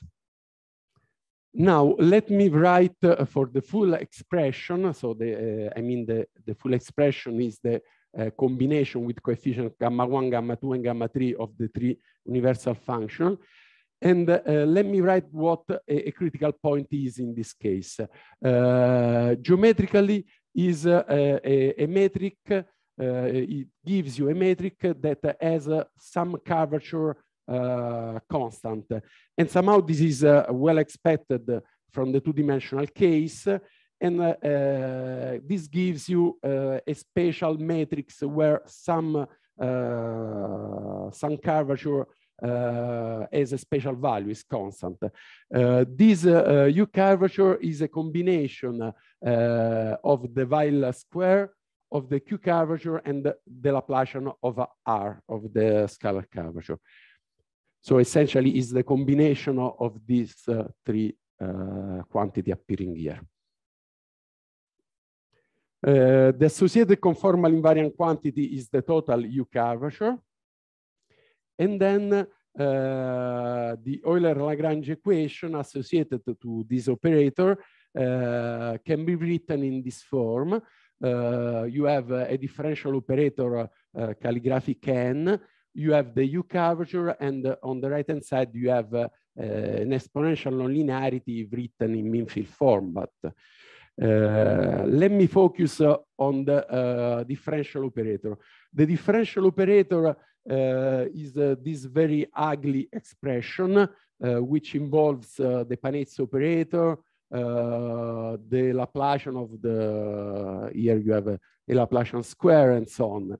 But just to uh, understand a bit uh, how uh, the operator looks like, let, uh, let's see which are the main uh, part in this differential operator. You have from the Paneitz operator and from this Laplacian, you immediately see a Laplacian square but also uh, here you have the divergence of the gradient square the gradient and this is precisely the four Laplacian uh, of a function W. So these are um, the two main uh, parts, and this explain um, the difficulty in the problem because the operator uh, is a, a, fourth order operator because uh, here you have uh, four derivatives. Uh, is of mixed order because uh, uh, you have something involving four derivatives and uh, second derivatives. And it's quasi-linear because the, the four Laplacian is a quasi-linear operator. Uh, and uh, no one of these terms can be neglected. Uh, so they, they scale in the same way, they are important and they have to, to be considered all together. So, uh, what is known about the problem? Uh, there is a, a, beautiful paper by Alice Chang and Paul Yang, uh, where essentially uh, they can show the, the, the, existence of extremals uh, in general because the, the gamma are negative. Uh, you don't consider minimizer but maximizer. So really the existence of extremals is existence of maximizers. Under these uh, condition that the, uh, the total U curvature is below some uh, critical threshold. And the meaning of this critical threshold is exactly the first threshold where you see blow-up phenomena to appear. So this, this inequality somehow prevents you to have blow-up. And this is why you can establish the existence of a maximizer. And uh, then in the case when uh, you don't have, uh, uh essentially the case in, which you have just the Paneitz operator, uh, Uh, which uh, uh, corresponds to the case where gamma 2 is uh, minus 1, you just need to impose the, the, their condition simply because um, a condition the total Q curvature, and the total Q curvature has to be less than 8 pi square. But then um, in the case of uh, in, which the operator A is precisely the conformal Laplacian. In this case, the gamma 2 is minus 4. Uh, in this case, this number becomes uh, uh 32 pi square. And uh, Matt Gursky in uh, this paper showed that in a positive Yamabe class, the strict inequality providing the existence of uh, maximizer is always true except on the standard sphere with the uh, round metric. So somehow uh, this uh, uh, gives you a full answer in the case of uh, the, the conformal Laplacian. But uh, unfortunately, and this is uh, related to the fact that uh, in the Gauss-Bonnet formula, you have a, a, prescription, the sum of two, two, of two terms. Uh, in general, you have that uh, um, the, the, the, the strict or even the large inequality can fail. Uh, so somehow we want to go uh, beyond this uh, situation and um, to look maybe for uh, critical points of saddle type. And in the case of uh, the Paneitz operator, this has been done by Andrea Malchiodi and Djadli uh, in this beautiful paper. Um, and the tool is uh, uh first you, to have uh, a compactness theory for the equation uh, considered, then some improved Moser-Trudinger inequalities, and based on, on these, Andrea and Zindine have developed a min-max scheme to provide a saddle point. Uh, the idea is to follow uh, the same strategy for the more general operator involving all the three universal terms. And uh, now we, uh, we see that uh, the, the main condition is that the ratio is big or equal than six. And uh, in next slides, I'll try to explain why is important. So uh, the first part, of the first theorem I state is a compactness result. So in the case of a sequence of solution which may, which, uh, which do blow up, in that case, you, you can prove that the average goes to minus infinity and uh, the right-hand side, the exponential part, concentrates as a sum of Dirac masses at several points in the, on the manifold once you have a, a, precise description on how you lose uh, compactness, then you can try and somehow this part is, uh, um, I would say, less interesting the first part because uh, follow exactly the same strategy as in the paper by uh, Malchiodi and Djadli. Um, once you have this, you can uh, develop improved Moser-Trudinger inequalities and a min-max scheme to provide an existence result of essentially a saddle uh, point, of a saddle critical point. Uh, once you have that the total Q curvature is not a multiple of, uh, of, uh, of this value. So it's not a multiple of, of 8 pi square times minus gamma 2. N is the uh, differential operator, the ugly differential operator I wrote here. The Laplace 4 is, uh, can I write here? So in general, you have the, the P Laplace operator. Okay, maybe I, so this is the divergence of the gradient to power P minus two times the gradient. So here you have a gradient square times the gradient. So this is precisely uh, that operator with p equal 4.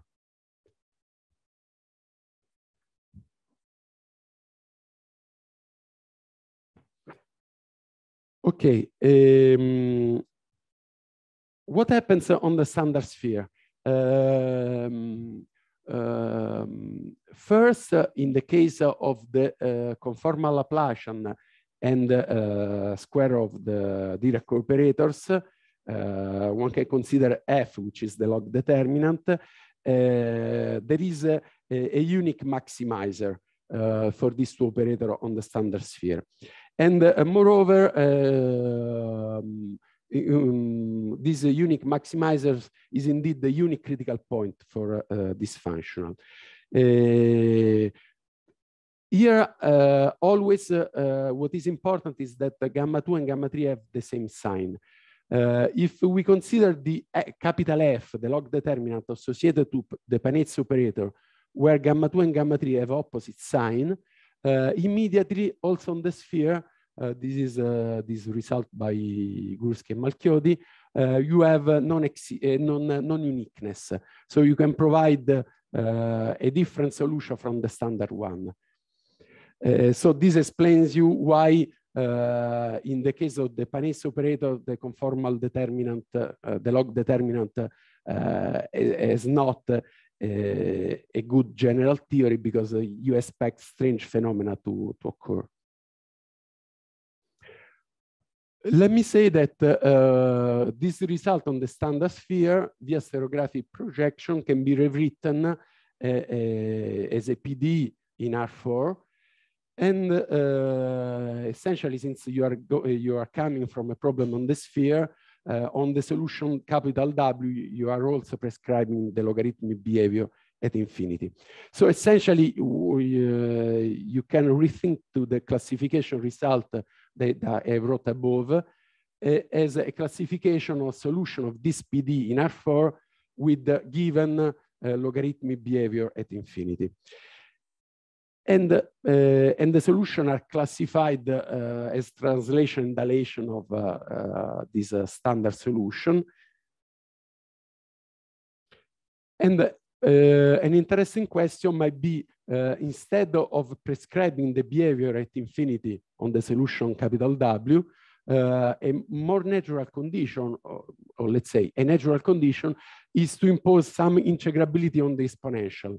And then to show that uh, once you have uh, a finite mass condition like this, then you have precisely logarithmic behavior at infinity. Um, okay. Um, let me consider a, a, a related problem where I keep uh, of the original uh, operator n just the four Laplacian. So uh, I have the four Laplacian in dimension four, and in general, I can consider it also in, in dimension n. And then in this case, uh, the, uh, the operator becomes the n Laplacian, and one can address uh, somehow, one can address classification issues for the uh, exponential equation in dimension n under always the finite mass condition. Uh, somehow uh, this operator, uh, this problem is simpler than the one, than the geometric one, but somehow keeps some of the difficulties because it is still quasi-linear like the calligraphic n that I wrote before. In this case, also uh, solutions are known. There are explicit solutions that are translation and dilation of this uh, uh, specific function. And uh, what is important in all this issue is that typically you have uh, uh, that all these solutions have the same total mass. so you have a quantization of the total mass. And a few years ago, I proved that any solution of this PD uh, P, capital P, uh, of this problem in Rn have precisely the form of W of a translation and dilation of the capital W. in particular, we have that a quantization result for uh, uh, for the total mass and somehow this is important because when you consider a blow-up analysis by looking the solution very close to the blow-up point you almost see these limiting problems and once you have that the limiting mass is quantized you can expect that also uh, the original problem has a quantization in the uh, blow-up masses. And somehow this gives you uh, strong information on the blow-up mechanism. Okay, this has already been proven in a radial setting, but uh, here the point is to show it in a general way. Um, few words about uh, the, the, this, uh, this problem. So I'm considering, uh, let me write here the equation maybe to, to keep it. So is the n Laplacian in dimension n. And I require a finite mass condition.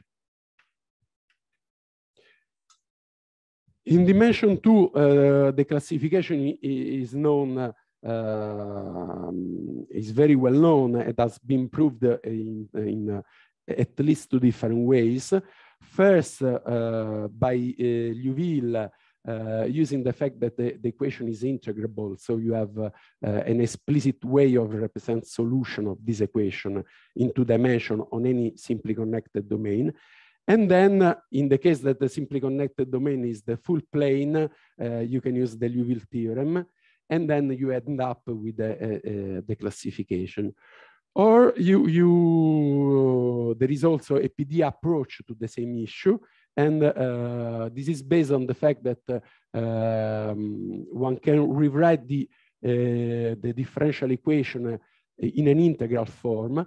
The integral form has the fact that the, the, logarithmic behavior at infinity is for free. That in the quasi-linear case, we will see is exactly the real difficulty to show the logarithmic behavior. So once you have the logarithmic behavior in terms of the total mass of the solution, uh, plus the fact that uh, by an isoperimetric argument, you know that the total mass uh, has to be at least 4 pi, then you can carry out a, a, simple moving plane approach to show the radiality and then the classification. In the quasi-linear case, when n is bigger than 2, uh, there are several difficulties. First, Uh, there is no integral representation because uh, uh somehow uh, you lose, usually you represent by integrating against the green function. But in the quasi-linear case, you have a green function, but if you integrate against the green function, you don't get anything because you cannot pass the n Laplacian from W to the green function and then uh, you don't get for free the logarithmic behavior at infinity. Uh, then in general, uh, you, you can lack the uh, comparison maximum principle on thin strips. So in general, uh, moving plane methods are difficult. And moreover, the equation is not invariant under Kelvin transform that is uh, usually is a, a, very useful tool in these, in these issues.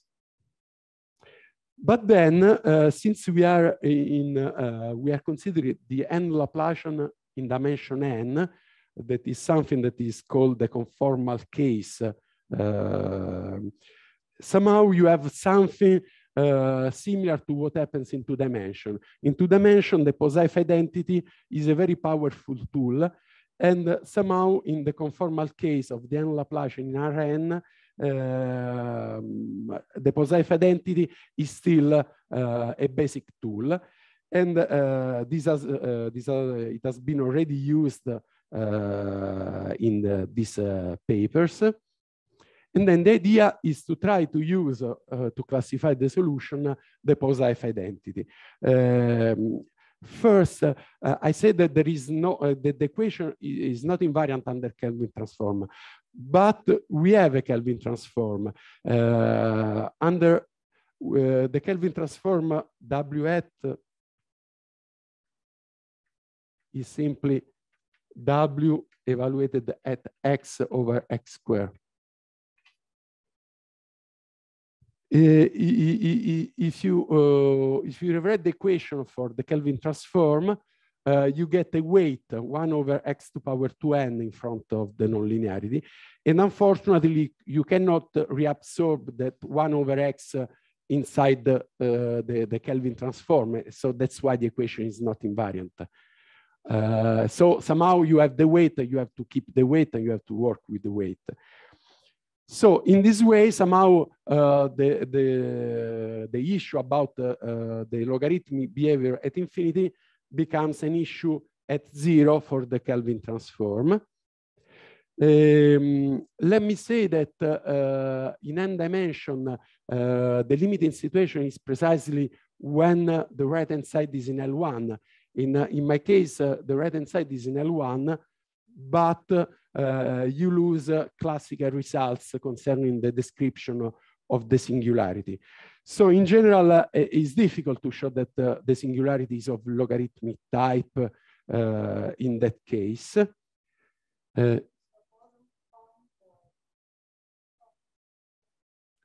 no, this comes from this condition.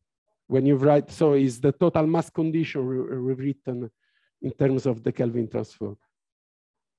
So the right-hand side is an L1, but uh, it's not enough to say that uh, it has logarithmic behavior at zero. This is what we would like to prove.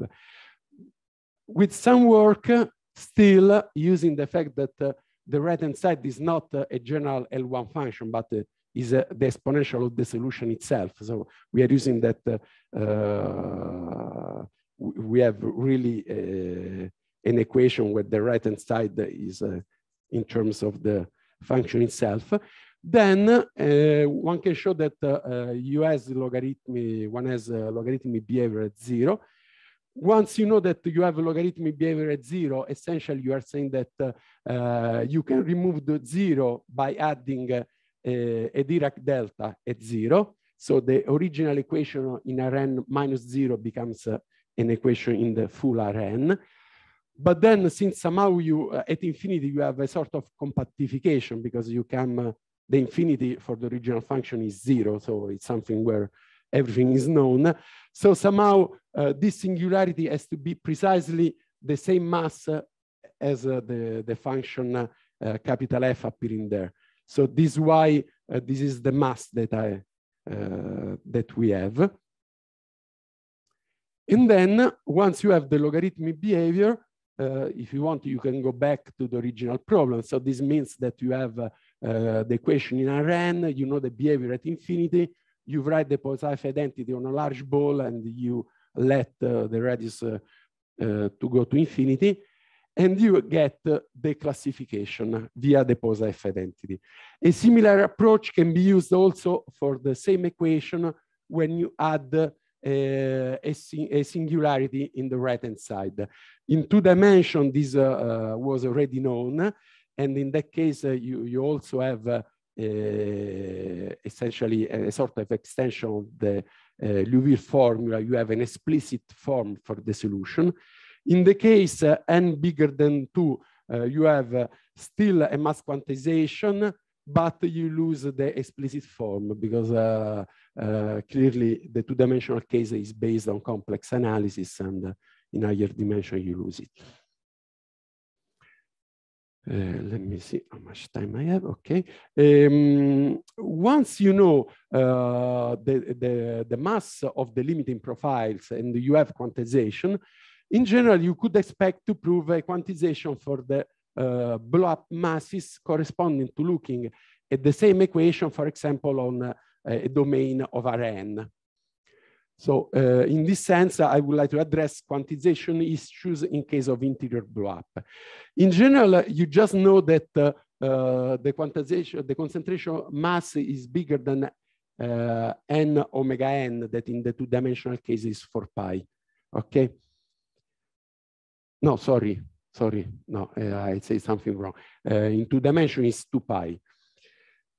But then uh, if you can use, uh, if you have somehow, if you consider an equation where you put some potential and you have a good convergence of the potential, you can expect that the total mass is at least the mass of the limiting profile. So you use uh, uh, the blob scaling to show this inequality that in the two-dimensional case now is exactly that concentration mass is at least 4 pi. Uh, 4 pi once you have that uh, the total mass, uh, the, um, the blow-up mass is at least 4 pi, you can ask, you can imagine that each blow-up point carries uh, a 4 pi mass coming uh, from the, the mass of the limiting problems. And if you can show that uh, in the intermediate region between uh, the several blow-up points, there is no contribution to the mass, you can expect to have that uh, uh, the concentration mass not only is a multiple of, of 4 pi, uh, not only is bigger or equal than 4 pi, but is a multiple of, of 4 pi. And this is uh, uh, what has been show, shown in the two-dimensional case by Li and Shafrir. They show that uh, the mass is a multiple of uh, 4 pi using uh, an Harnack inequality of sup plus inf type obtained by Shafrir. Um, recently, with uh, Marcello Lucia, we were able to extend uh, the, uh, the sup plus inf inequality uh, to, uh, to this equation posed on a domain of Rn. And essentially, you have that the, uh, given a compact set, you have that the maximum of the compact set plus uh, a multiple of the infimum on the full set is always controlled by above. Uh, here, uh, in the two-dimensional case, it is known that uh, the optimal constant n minus one is exactly achieved, but we are not able to reach the optimal constant. And once you have uh, this sup plus inf inequality, then you can use it to show that you have, uh, in the case of an interior blow-up, you have exactly what you expect. You have that uh, the concentration mass is an integer multiple of the total mass of the limiting problem. And so this extent uh, the, uh, the, um, the result by Li Shafrir to, uh, to n dimension. Now let's go back uh, to the original problem. So the original problem, uh, I say that is important uh, the ratio between gamma 2 and gamma 3. So now I'll try to explain why is important. so let's consider the linear theory for the operator n. Uh, clearly, n is not linear as an operator, but I mean that I'm solving n equal a given function. And uh, since in general, on the right-hand side, we just know that the right-hand side is in L1, we have to develop a linear theory when the right-hand side is in L1. So recall that uh, at main order, uh, the operator calligraphic n is this one. Now, let's, uh, let's try to do some estimates for example, let us test uh, the equation against uh, some function on of W minus its average. Uh, okay, the average is because uh, you are on a close um, on a closed manifold. But in general, uh, so essentially we are testing against W. And we try to make some energy estimates. Uh, if you write uh, the full expression, still uh, you have an ugly expression because the original calligraphic n uh, is so. But then uh, let's uh, consider for the moment the case that phi is the identity. So we are considering really a test function like w minus its average. In this case, you skip all the term with the second derivatives, and you are left with something uh, let's say the first term is alpha square where alpha is this number here you get something with which is 12 uh, gamma 3 and so this is uh, the 12 gamma 3 and then you have a cross term that in general bothers you when you try to, to make energy estimate. But then this is simply a matter of uh, completing the square. So in order to have the, the, the, first and the last term control the cross term, you need that uh, 2 uh, times alpha times beta has to, has to uh, be bigger than the intermediate one. And if you read this, this, this becomes immediately a condition on the ratio gamma 2 over gamma 3. And I refer to this case uh, as the coercive case because in this case, if uh, probably this is a mistake uh, here, I'm saying uh, W minus is its average. If the W22 norm is going to plus infinity, since somehow you don't have the intermediate term, so you have that uh, one of these two terms is going to plus infinity. So you have that uh, uh NW tested against W is going to plus infinity. So you are in the coercive case. And this is good for many estimates for example, one can consider uh, uh, this uh, instead of phi identity, one can consider this function. What is the property of this function? Phi is bounded, and when you take k very large, the second derivative is much uh, is much less than the first derivative. So somehow in each of the term, you can neglect the presence of the second derivatives.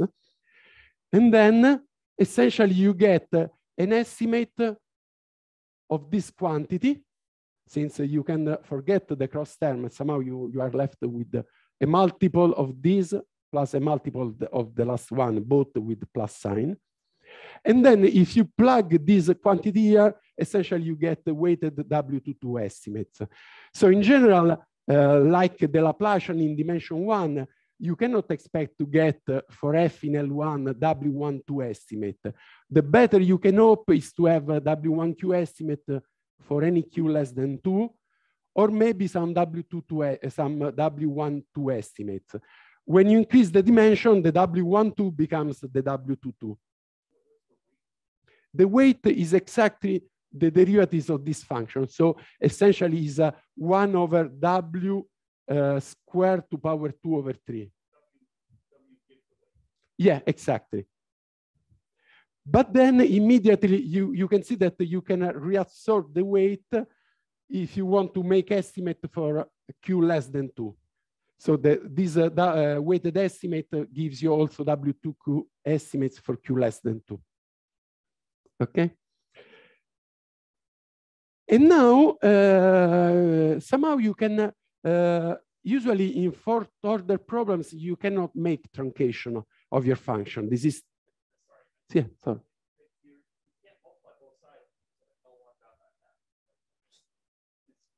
No, you are using that when you multiply against phi, you have uh, that phi is bounded and f is uniformly bounded in L1.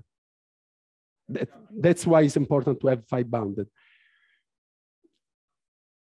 okay.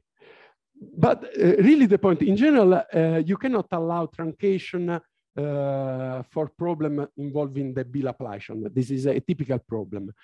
Here, uh, essentially, I want to take a, a, function which is more or less uh, the identity function. Then I don't truncate uh, with constant value, but I take something that goes to a constant value. So it's almost a, a, a truncation of the function. And uh, you can do uh, this uh, by taking k very large in such a way that uh, the second derivatives always can be neglected with respect to the first derivatives. And this tells you that the problem, uh, really the presence of this additional term coming from the four Laplacian makes the problem completely different from the Laplacian square. So this problem is much better because you, you can use truncation. And once you, you can use truncation, you can obtain estimate of this type, which are essentially uh, Caccioppoli type estimates. And this Caccioppoli type estimate uh, can be used to obtain immediately, immediately, not completely immediately, but uh, to obtain BMO estimates on the solution. So you can control uh, W minus its average on any ball.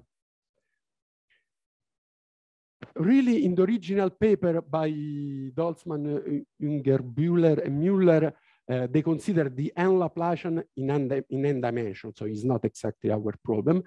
And in their case, they can also establish uh, some weak uh, Lebesgue estimate for the gradient. Uh, here we are not interested to this type of estimate, so uh, I, I pose this one like uh, open question. Probably uh, this should be true, but somehow we were not interested in. Uh, and why is it so important to have BMO, BMO estimates? Because at some point we would like uh, to scale the problem and to have some uh, estimate on the original solution that passes to the scaling. So we need some invariant estimates and the BMO estimates has this crucial property, okay? Clearly this would be true also for the weak Lebesgue estimates, but Sorry?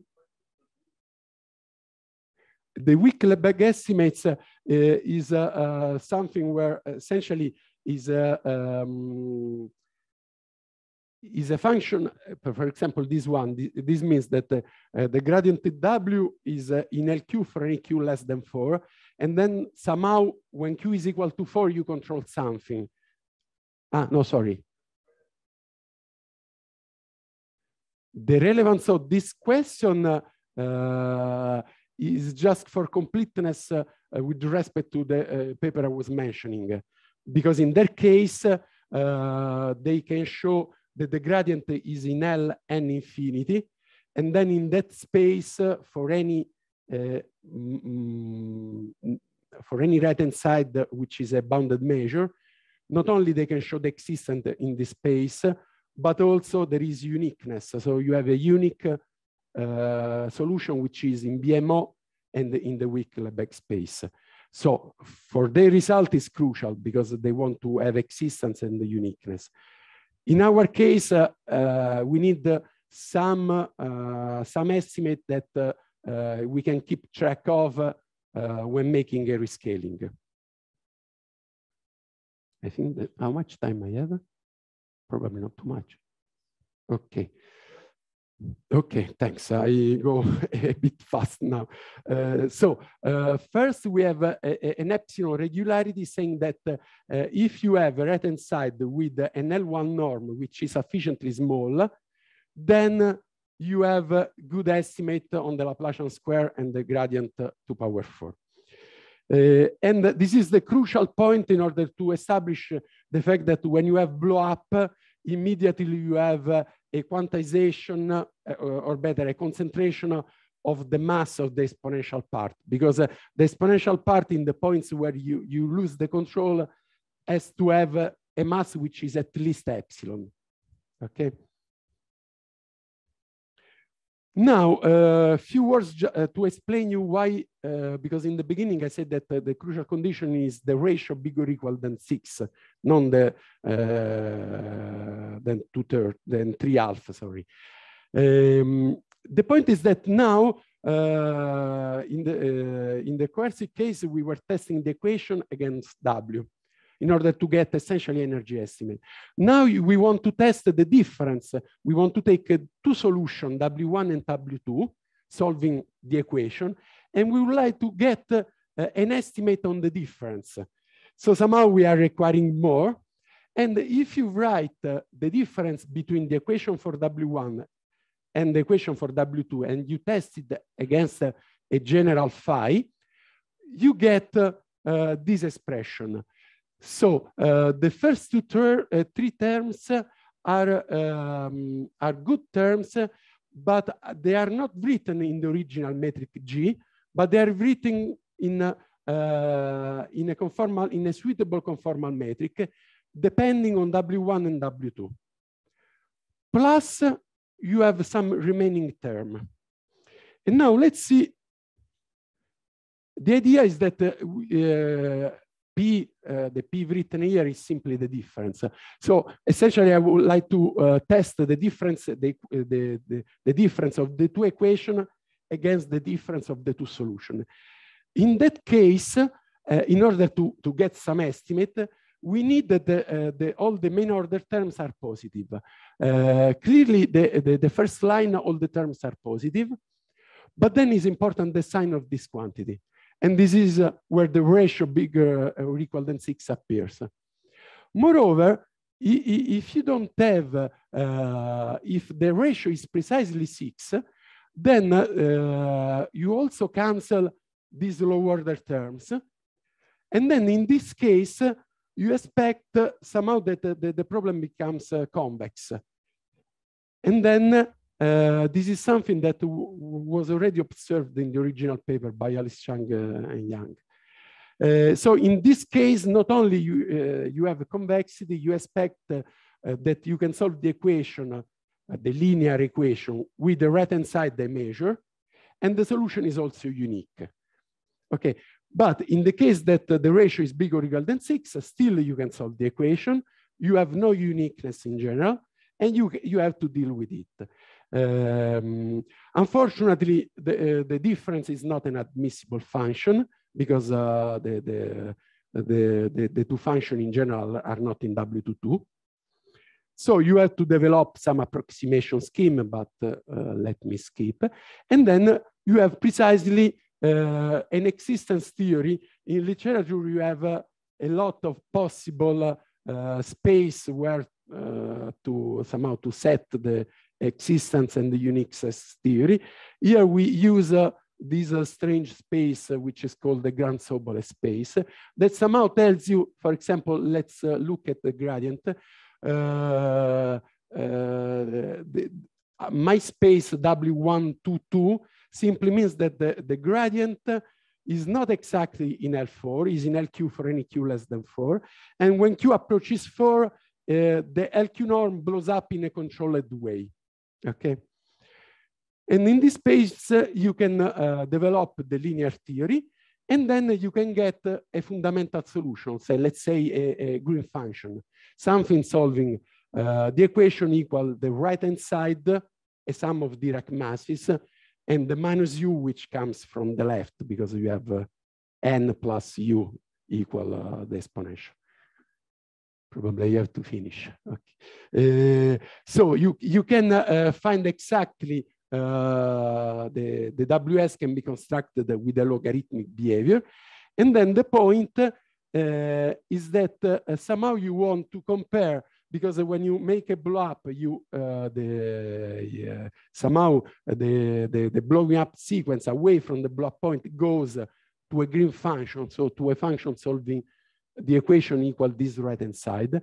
And you would like to show that the difference between the function that you get and the fundamental solution that has precisely the logarithmic behavior uh, that is uh, somehow what you would like to prove, you would like to show that the difference is controlled.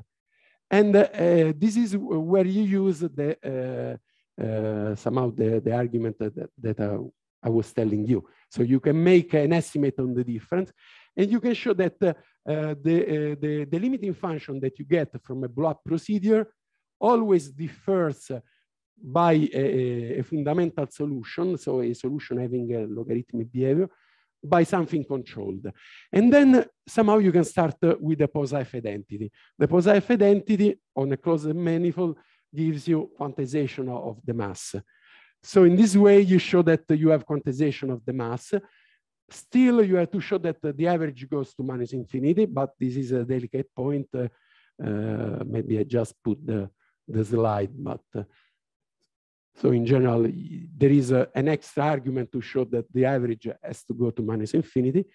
And then in this way, you get the compactness part. So the first result I show you.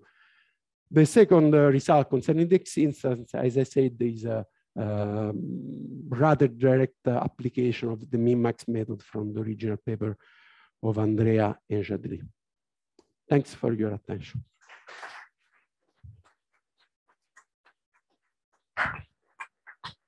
Thank you, Paolo. So are there any questions?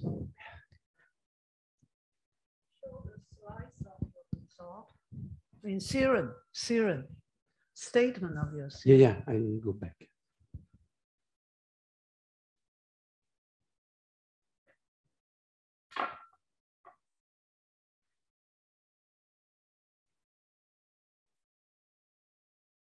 Here are the results. I see. So you are describing the proof of theorem one or theorem two? No, of theorem one. Oh, theorem one. This is, uh, I was trying to convince you that this condition is really crucial in order to make estimate. And then uh, if you take a, a, a, sequence or solution that is making blow up. So this U is a constant. U is the, uh, the Q curvature of the original metric. Okay, okay. So it's given.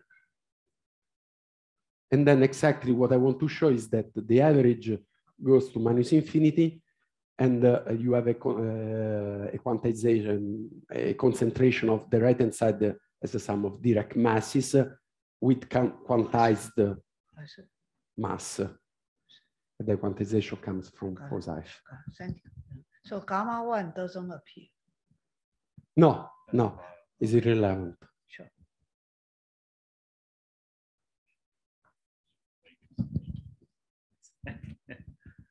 Uh, well, let me ask, I'll ask you a more complicated question later, but the simple question is, so this is, you're describing here what happens if you have blow up. But uh, do you believe that blow up can actually happen in general? I mean, do you think there's any possibility of like building multi-peak solutions that show that this can actually happen or? I, I, I I imagine that the answer is yes. Uh, in principle, uh, you can have that uh, when you approach, uh, when this integral, uh, or better, the, the mu n approaches some, uh, the critical value where you lose compactness, uh, in principle, you should be able to construct a blow-up solution. Uh, clearly, you have an idea of the main order term. You have uh, this, uh, the corresponding standard bubble in this model. Right, right. So you have an, an, an ansatz, but typically all these theories uh, works well with the linear equation uh, because somehow you correct the ansatz uh, with a term that solves some linear equation, some linearization. Here the linearization uh, clearly, clearly is not so helpful because the problem is quasi-linear. So one should understand how to use uh, uh, perturbative approach that in general works well with the, the linear situation in this context. But in principle, I guess it is doable. So, but, but for Should be. Yamabe, you can't do that, right? So what, what's, For Yamabe, yeah, I mean, yeah. say, I, I think it would be standard uh, to add uh, some kind of artificial parameter.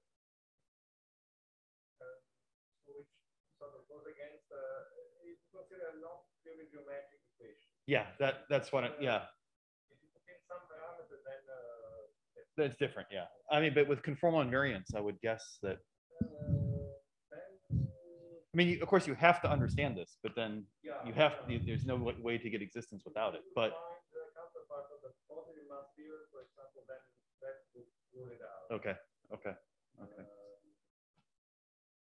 No, for the geometric equation, clearly I don't know the answer. If Yeah. you put an additional parameter, That's basically. You can what I was play with it. I didn't know if there was something special about the structure that, you know, but But- still is not completely trivial because the problem No, no, is yeah. quasi-linear. uh, yeah, yeah. So, so far, uh, I never saw uh, this type of results in a quasi-linear context, but it's an interesting question. Okay, thank you. Other questions? you have a kind of how the solutions how the solutions depend on the parameter gamma 2 over gamma 3 Uh, so you mean when uh, you approach six? uh, no everyone so you have for each values of gamma 2 and gamma 3 you have a solution so is it possible to Yeah, but the gamma 2 and gamma 3 somehow are prescribed by uh, the operator A you are fixing uh, so since the you- you beginning. change the, does the solution vary continuously or do you have some If you change, uh, uh, I don't know, I would say that uh, uh, somehow the, the solution set remains compact as long as you are away from uh, uh, the critical ratio. When you approach six, maybe something strong could happen, something strange could happen.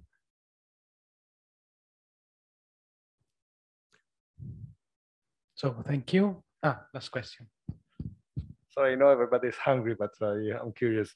Uh, so in, in that equation, two dimensions, if you add, uh, say, parameter alpha times the Dirac delta, then solutions are classified, uh, and sometimes they're, yes, sometimes they're radial, sometimes they're not. Is there any result of this kind uh, in Uh, no, because uh, uh, as I said in two dimension, and you know perfectly, uh, the Prajapat, uh, the result by Prajapat and Tarantello essentially uses uh, the integrability of the Liouville equation uh, instead of, of working on a simply connected domain on uh, a puncture domain. And so you have an explicit formula. Uh, then uh, you consider it on the full plane and then you get the classification. But for this result, the classification in two dimension, there is a no PD counterpart of that result. Uh, so even in two dimension, there is no classification without using complex analysis. And so it's not clear uh, what to do even in dimension two and in higher dimension is even more complicated. So probably you can just get the asymptotics, uh, the Yeah. asymptotics of the solution that, that you should be able to do. Yeah, uh, yeah, I guess so. Uh, you have uh, uh, essentially you have the asymptotics, but uh, and uh, also um, yeah, you can get the asymptotics. Uh, but the point is that because typically uh, in two dimension, when alpha is a multiple of four pi, there are also no radial solution appearing uh, for this equation in the full plane. Uh, when alpha is not a, a- multiple of 4 pi, all the solution are radial. But it's very difficult uh, to see this different in the higher dimensional case because uh, even in the two-dimensional case, really you use uh, the explicit form that you have in hands, and that, that is based on complex analysis. Thanks. Okay, so let's thank the speaker again. Thanks to you. Okay, welcome to this afternoon session. And we're going to begin with a lecture by Dario Monticelli from the Politecnico of Milan. And his title is Rigidity of Critical Metrics for Some Quadratic Curvature Functionals.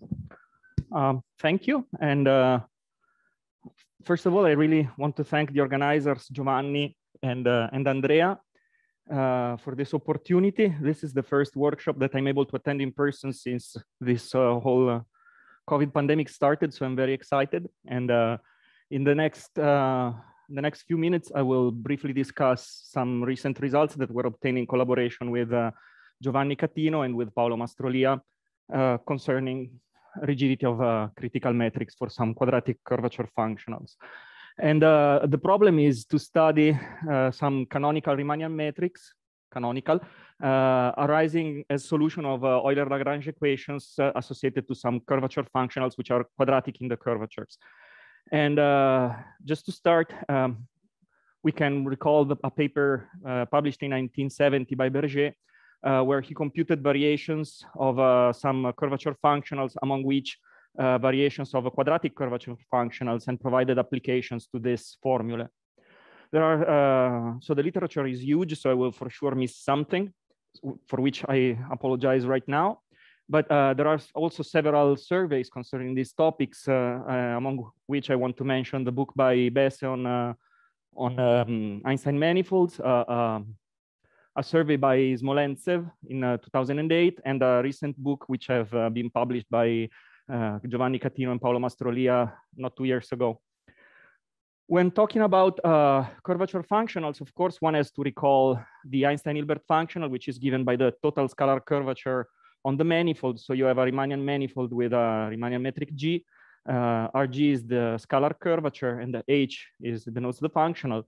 It is well known that when the manifold is compact, uh, Einstein metric arise, um, Einstein metrics arise as uh, critical points of H uh, were restricted to the space of a smooth ma uh, matrix on, a, on the manifold having total volume equal to one. Or alternatively, one can uh, modify the functional, uh, the functional renormalizing it with, uh, with the right power of the volume. Uh, just to fix the notation, Mn will be an n-dimensional manifold without boundary of dimension two or more. Uh, Rim will be the Riemann curvature tensor, uh, W the Weyl tensor, Rich the Ricci tensor, and R the scalar curvature associated with the Riemannian metric G. And with this notation, uh, a basis for the space of quadratic curvature functionals uh, is given by, for instance, these three functionals, W squared, R squared, and uh, S squared, which are uh, respectively the total integral of the square of the Weyl, or the, of the, of the square of the norm of the Weyl tensor, the total integral of the square of the norm of the Ricci tensor, and the total integral of the scalar curvature squared. Uh, of course, if, any, if uh, in low dimensions, the situation is uh, simpler. In dimension two, for instance, you only have S squared as all the uh, information on the curvature is encoded in the Gauss curvature. In dimension three, the Weyl tensor vanishes, and so you have only two of the functionals, R squared and S squared. Uh, dimension four is peculiar. You can see it in several ways, but uh, for instance, when M is compact by the Gauss-Bonnet formula, you can recover, you can so basically recover uh, W squared from the other two uh, since, uh, except for another, a constant which depends on the topology. So they have the same critical metrics. And uh, in dimension four or higher, another interesting functional, quadratic functional is the one given by the total integral of the square of the norm uh, of the Riemann curvature tensor, but you can recover it uh, as a linear combination of the other three, of course. Uh, so just to declare what we are doing and what we are not, uh, in our in our in our study, we we focused our attention on functionals which do not depend on Weyl squared, uh, and specifically in dimension three, for t in a suitable range that we will see in a, in a while, we consider the functional f squared t, which is a linear combination of r squared and uh, s squared, uh, t being the parameter of the linear combination when you normalize to one the coefficient of, uh, of r squared. While in all dimensions larger or equal than two, we consider the functional uh, s squared, uh, which if you want, you can see it as a formally as corresponding to the functional f squared t when uh, t is, is plus infinity, quote unquote. Uh, now it's standard. You can use variations with compact support and check the Euler-Lagrange equations satisfied by critical metrics. And for uh, the functional f squared t, uh, in local coordinates, the Euler-Lagrange equation reads as follows. So it's a system basically in the components um, of uh, differential equations uh, having uh, derivatives of the Ricci tensor, the full Riemann tensor, derivatives of the scalar curvature. So it's, it's quite involved. Uh, but if you trace it, you get a, a, nicer equation. So you have a constant times the uh, Laplacian of the scalar curvature equals to a term, uh, which has the square of the norm of the Ricci tensor and the square of the norm of the scalar curvature time a coefficient that vanishes in dimension, precisely in dimension four. Um, just for later reference, uh, when t is larger or equal than minus one over n, this term is non-negative. Uh, critical metrics for the functional S squared satisfy um, their proper Euler-Lagrange equation, which looks simpler than the one for the functional F squared. So you have R times the Ricci tensor minus the Hessian of the scalar curvature is equal to R squared times the metric times a coefficient. And if you trace it, you get a nice differential equation for the scalar curvature. You have that the Laplacian of the scalar curvature is r squared times a constant, which again vanishes when n is equal to four. And you can see also from here that the dimension equal to four is special. In fact, a large part, a large part, I mean, a good part of the literature concerns critical metrics for specific values of t and, uh, and n, uh, n equal to four being really relevant. Uh, let's briefly discuss the compact case. So here you have the two functionals that we're considering, ft squared and s squared. Uh, if the dimension is not four, the functionals are uh, not scale invariant. Uh, so it is natural when studying them to restrict, uh, to, to, look for critical metrics uh, restricted to the space of smooth metrics having unit volume on the manifold or equivalently, as we already said for the Einstein-Hilbert functional, you can renormalize the functional using suitable powers of the, of the volume. Uh, Ricci flat metrics are critical for, uh, for f squared t and are global minima when t is larger than minus one over n, while uh, scalar flat metrics are of course minima and, and, so in particular they are critical points for uh, s squared. Uh, every Einstein manifold is critical for this functional for f squared for every value of t when restricted to the space of a metrics having unit volume. Uh, and uh, while in dimension four, every Bach flat matrix is critical for the particular value t equals minus one third.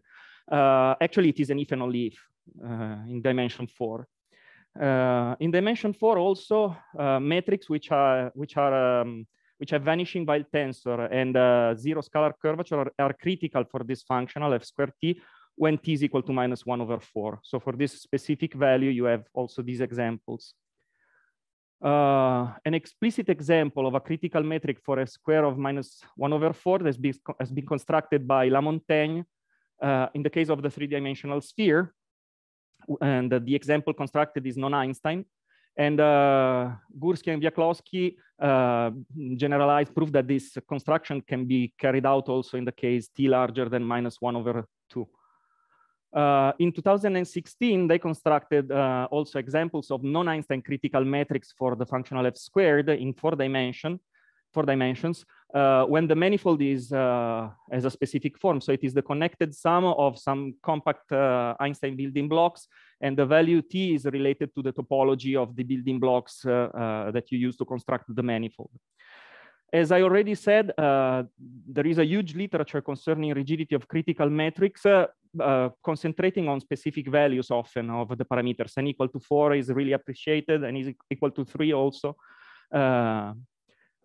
and conditions usually are of pointwise or integral type uh, and are conditions on positivity or negativity of certain curvature or either pointwise or, uh, or uh, as a total integral. And uh, I'm citing here some of the of uh, some papers, but uh, so work of Lamontagne in 1994, a work by Anderson in 1997, and a subsequent work in 2001, from which we draw upon to, to prove our results uh, work by Gursky and Viaclovsky in 2001, where they studied, if I remember correctly, the case n is equal to three, the sigma two curvature, which corresponds to the value t equals minus three over eight in dimension three.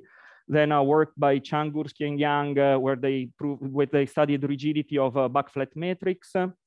recent works by LeBrun, uh, a work by Catino, here he studied minimizers of, uh, of, uh, of, of some of quadra the quadratic functionals like one of the two I can't remember which is about uh, the total uh, integral of the square of the norm of the Riemann, the full Riemann tensor, for instance. And uh, a result by Catino in 2014, uh, from which also we will draw upon to prove our results, and a work, recent work by Brozos Vázquez, Garcia Rio, and Caeiro Oliveira. And again, I, I mean, the literature is huge. I apologize for any reference that I for sure will have missed.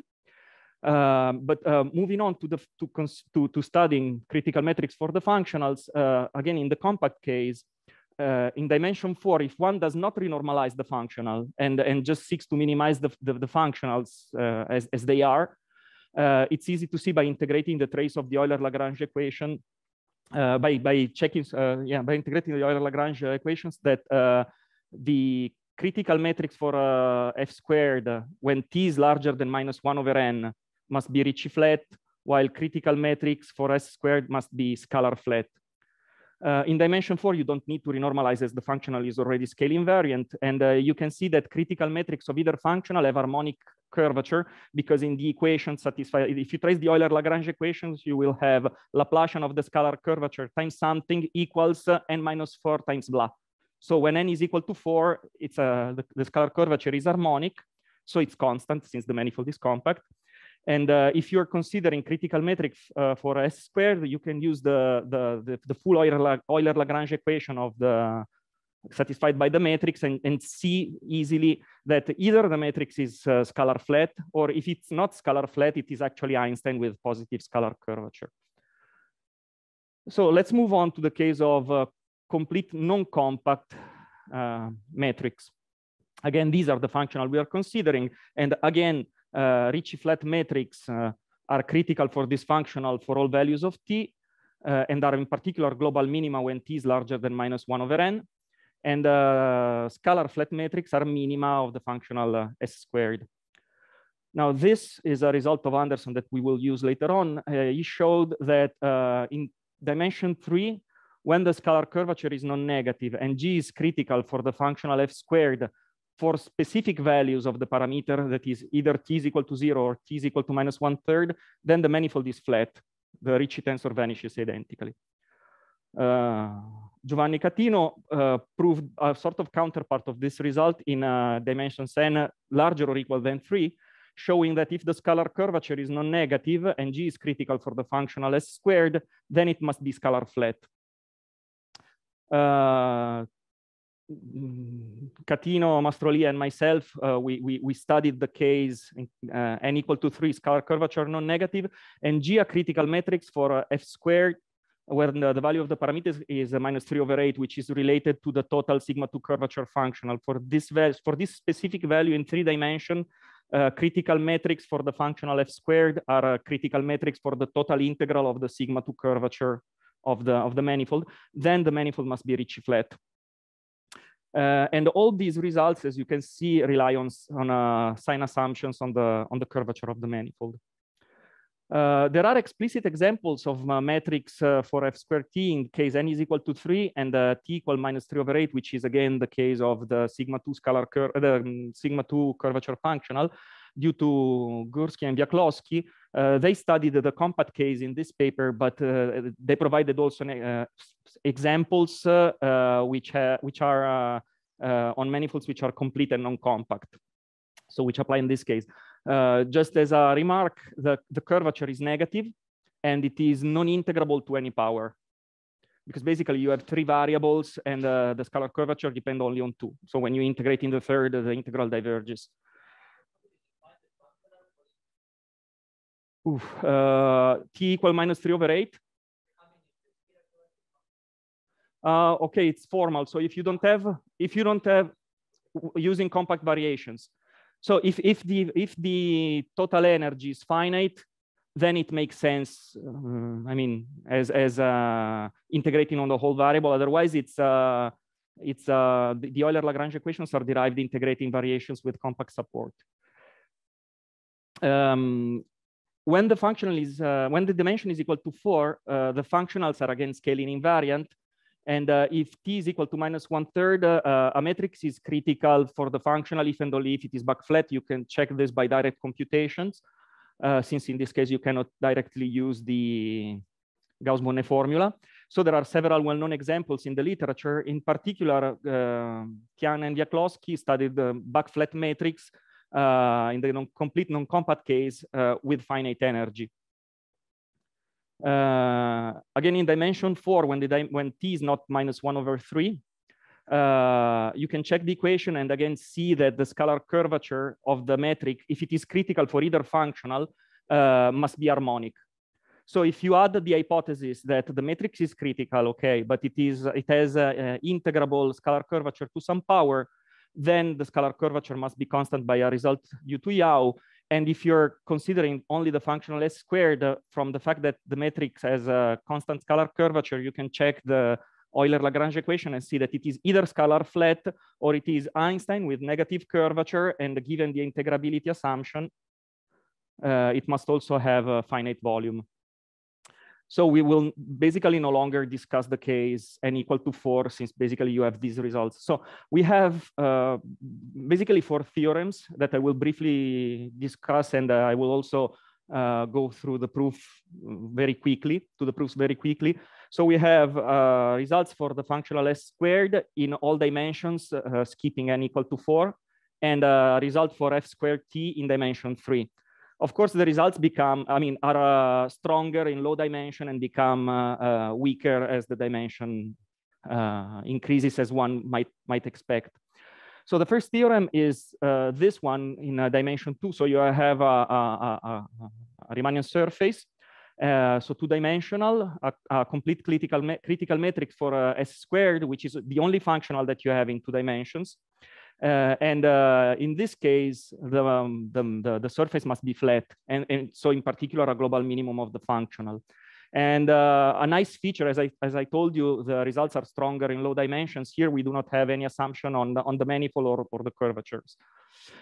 The idea of the proof is that uh, basically to check the Euler-Lagrange equation, which for S squared is fairly reasonable, and uh, in two dimension, it reads as, as you see written here. So the Hessian of the scalar curvature is proportional to the, to the background metric.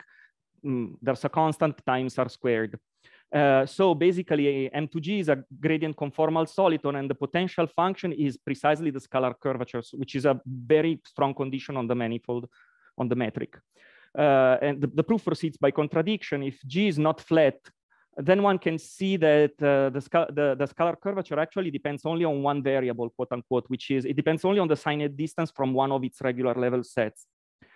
And uh, this one-dimensional function, uh, if you check the Euler-Lagrange equation in the direction orthogonal to the to this um, regular level set, uh, you see that R must satisfy this ordinary differential equation, which is fairly easy to study uh, on a on a maximal domain S lower star S, S upper star you can basically do a quite standard qualitative study of this ordinary differential equation, and, and you can see that all solutions basically fall into two families.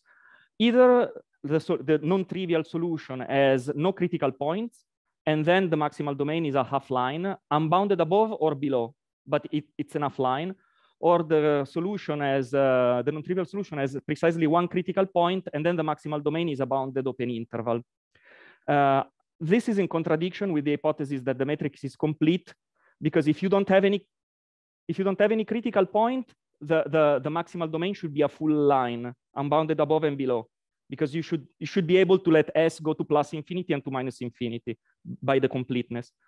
While if you have uh, a, a, solution which has only one critical point, the maximal domain should be a half line, and there are no solutions with this property. So uh, you reach a contradiction, and thus the scalar curvature should be identical equal to zero to from the start. So basically, it's an ODE argument that gives you that gives you the result. Uh, so moving on to dimension three, uh, if you have, so the, the only result that we have for critical matrix for the functional f squared.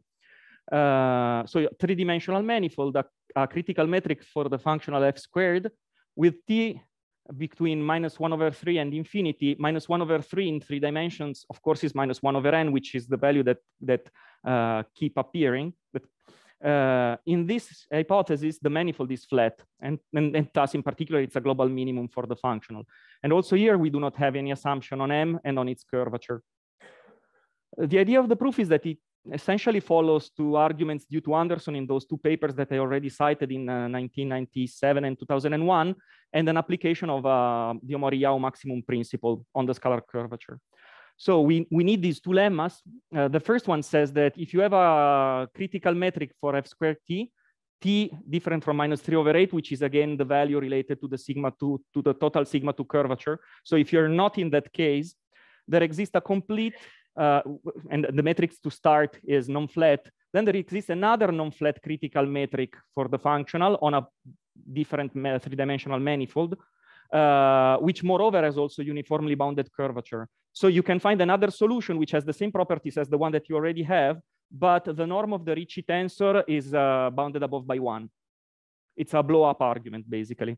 And uh, this lemma was basically proved by Anderson in 2001 uh, in the case t equal zero, and it draws upon uh, a previous regularity result in, uh, the, in the other paper in 1997. Yeah.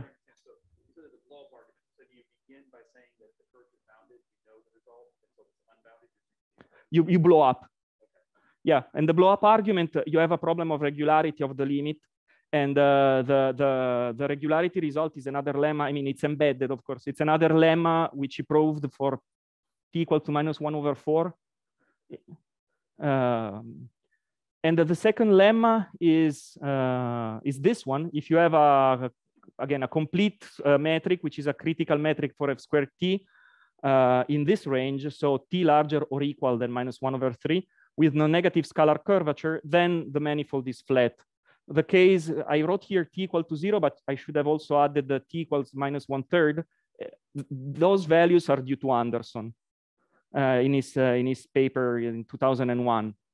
Uh, but you can check that the proof can be adapted for the, the, other values of t. So for t different from minus 3 over 8 for the first uh, lemma and the t larger or equal uh, then minus one third for the second lemma. With, uh, with, this, uh, with these two lemmas in hand, you can prove the theorem fairly easily. Uh, so assume by contradiction that you have a solution which is non-flat and uh, t is in the correct range. Then by the first uh, by the first lemma, you can construct another critical metric which has uniformly bounded geometry if you check the trace of the Euler-Lagrange equation for this new metric, for the scalar curvature of this new metric G, you find a nice differential inequality. Uh, the Laplace of the scalar curvature is controlled by a constant times the square of the scalar curvature of this new metric. And uh, in this range, the, the, the constant happened to have the right signs. So this is positive, this is negative. And, uh, and so you can use the Omori-Yau maximum principle to show that the infimum of the scalar curvature should be zero but then the scalar curvature is non-negative and the second lemma kicks in. You have now a solution with non-negative scalar curvature, which must be flat. But the, the, the, the, the, the, the, metric G bar was non-flat from the first lemma, and so you reach a contradiction and, and, uh, and you conclude the proof.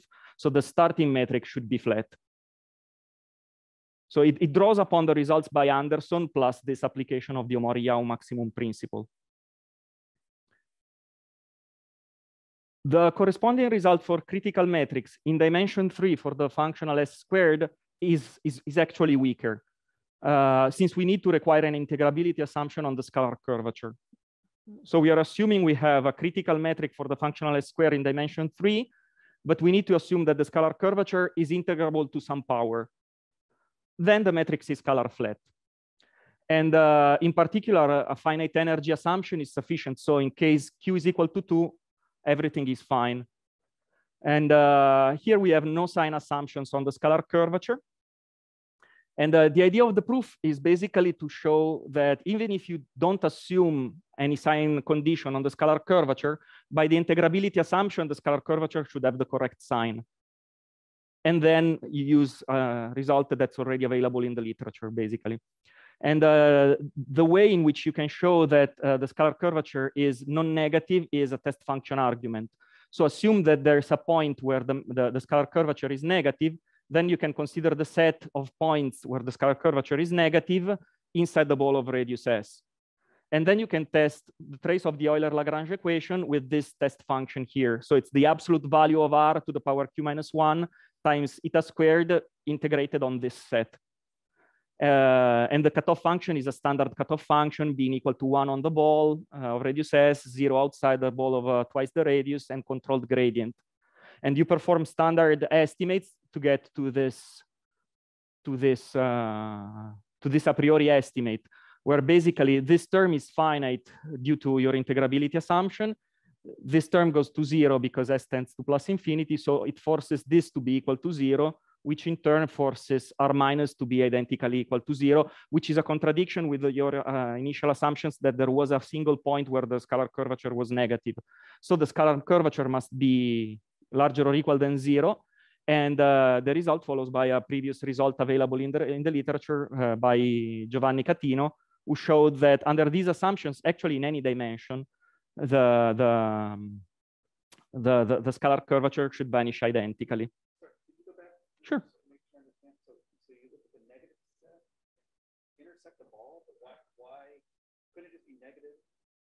seem to be. So I guess I'm more confused, but you need to be taking a huge ball, right? Oh, it, it's, uh, it, it, you may have point, I mean, in principle, you can have that the scalar curvature is negative on some parts of the manifold which run to minus infinity, I mean, to, to, to infinity, which are, I mean, um, this set alone could be unbounded. Right, but in the negative, couldn't it be negative in a small ball? yeah, it could, it could, it could. How are you using that and you're integrating with a large, large ball? Where, where does the sign come in? Um, uh, So somewhere in your argument, you must be using the sign. Here, because you're, you're integrating against,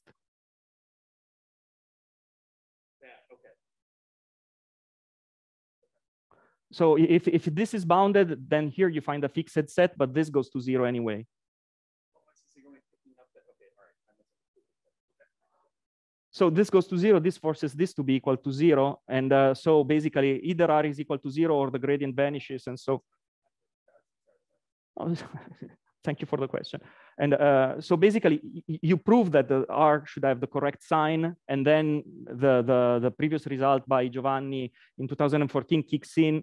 Uh, it, basically, it's another test function argument, but uh, it shows that the scalar curvature vanishes identically. And so you have a global minimum of the functional one might wonder why you need to, to, to have this integrability. I mean, from the argument, it is clear that you need this to be finite. So, but, but uh, one could wonder, why don't you use the Anderson's technique also in this case? And uh, the point is, if you try to perform the same argument to reach a contradiction and you perform the blow up argument, so mm, basically what you, what, you, what you can find is a blown up manifold, which is non-flat, uh, bounded geometry, uh, critical for the functional, but you don't obtain a manifold which is flat, but only scalar flat. And, and, and so you don't have a contradiction between these two properties. It is non-flat and scalar flat, while in the Anderson's argument for the other functional, it was non-flat and Ricci flat, which gives a contradiction. This doesn't happen in this case. So it would be nice to remove the integrability assumption. For, for instance, in the theorem by, by Giovanni, when R is non-negative, uh, and critical and the matrix is critical, it, it, it, it has scalar curvature that vanishes uh, without any integrability assumption. So if you have a sign assumption, you can uh, you can avoid having integrability assumptions. So it would be nice to remove the integrability assumption even in this case, but we were not able. So uh, this is the result in dimension uh, three. In a dimension higher than, uh, than, well, dimension four is special, we already discussed it. In dimensions five or higher, the result is weaker still. So we have uh, um, a result for critical metrics for the functional S squared under several assumptions though. So you have an integrability assumption. Not all Qs fit the theorem. So there exists a critical exponent Q star and you want your, your scalar curvature to be integrable to some power between one and Q star. And moreover, you need the scalar curvature to be bounded from below. Under these assumptions, then it is scalar flat and thus a global minimum of the functional. And um, in particular, a finite energy assumption, assumption is sufficient because this exponent is larger than two. So the case Q equal to two, which is finite energy, is included in this theorem. And also you have no assumptions on the sign of the scalar curvature. You do have several uh, assumptions which one might want to remove, which is boundedness from below and a suitable integrability assumption. Uh, here, the proof is a little bit uh, more involved than the preceding cases. And it is articulated in, say, just to, to, to, to give a scheme in, in four steps, basically. The first step is a test function to show that the scalar curvature must actually have a sign under these, these assumptions. And the, similar to the argument uh, that we perform in dimension three for critical metrics of a squared, here there's a term that changes sign, so you can prove that the scalar curvature in this case is actually non-positive. So it's smaller or equal than zero. By checking the, the, the trace of the Euler-Lagrange equation on the scalar curvature, you can see that it satisfies the maximum principle. So by the strong maximum principle, if it is non-positive, it's either identical equal to zero, and then we're done because it's what we're trying to prove, or it is strictly negative on M. And in this case, you, you, you, I mean, we go, we go on and we perform our proof. So from now on, suppose that the scalar curvature is negative and define f to be minus logarithm of the absolute value of the scalar curvature. Okay, now this is a little bit annoying, but uh, this is the one Bakry-Emery-Ricci tensor with potential function f. It's defined in this way. So it's the Ricci tensor plus the Hessian of the potential function minus uh, df tensor df. It's defined in this way. And if you check the um, Euler-Lagrange equation satisfied by the, by the metric G, and you perform all the computations and all the transformations, you can see that this tensor is equal to a minus a constant times e to the minus f.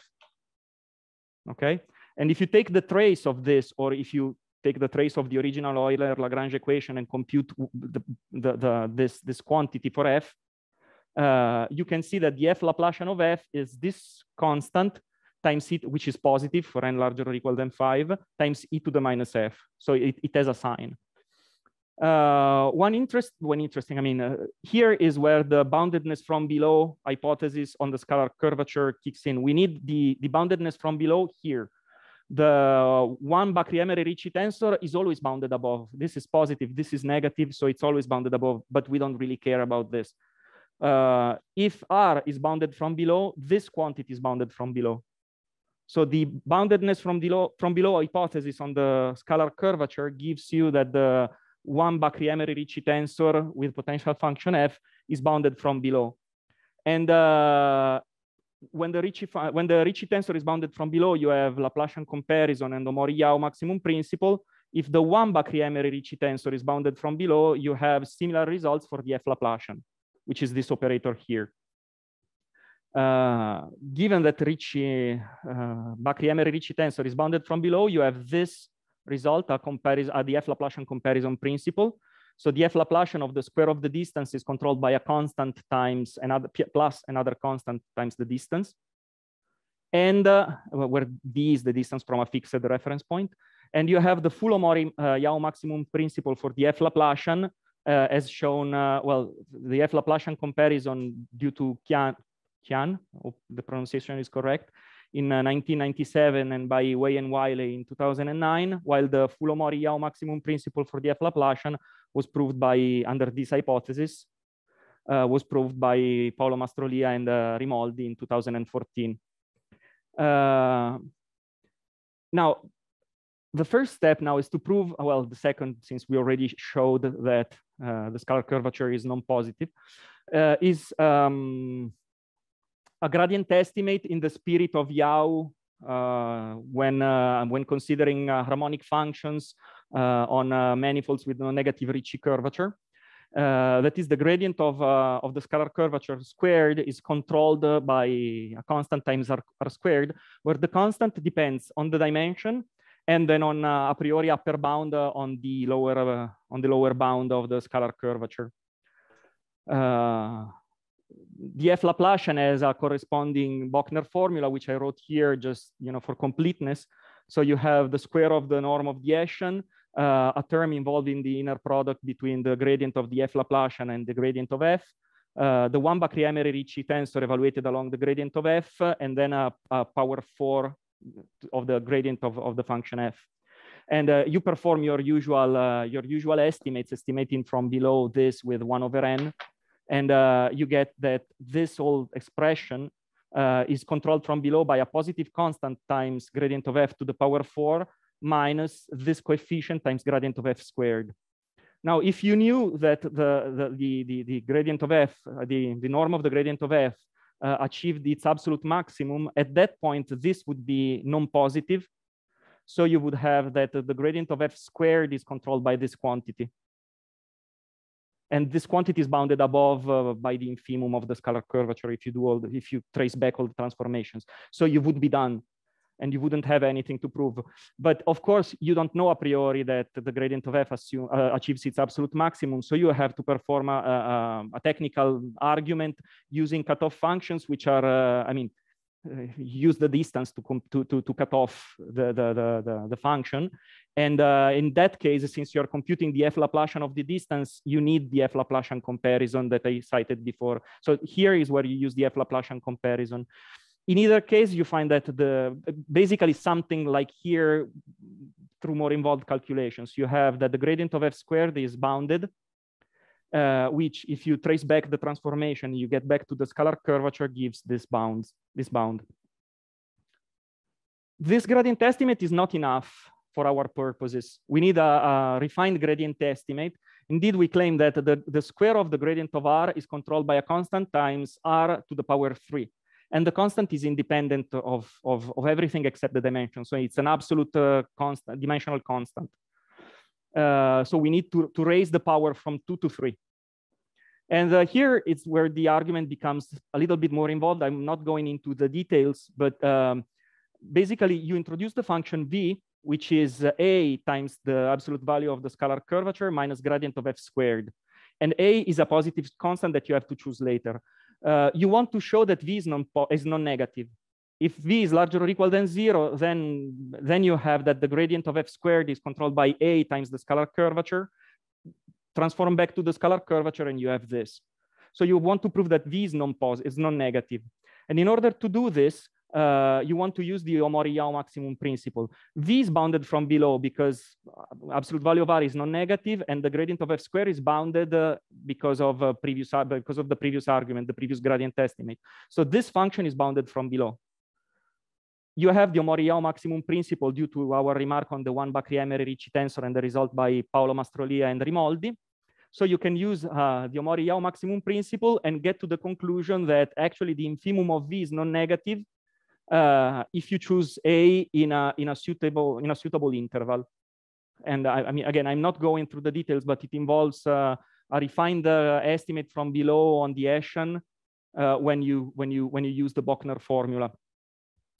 Uh, so you get that V is non-positive, V is a larger equal than zero, which gives you that the square of the gradient of f is controlled by a universal constant times the absolute value of r.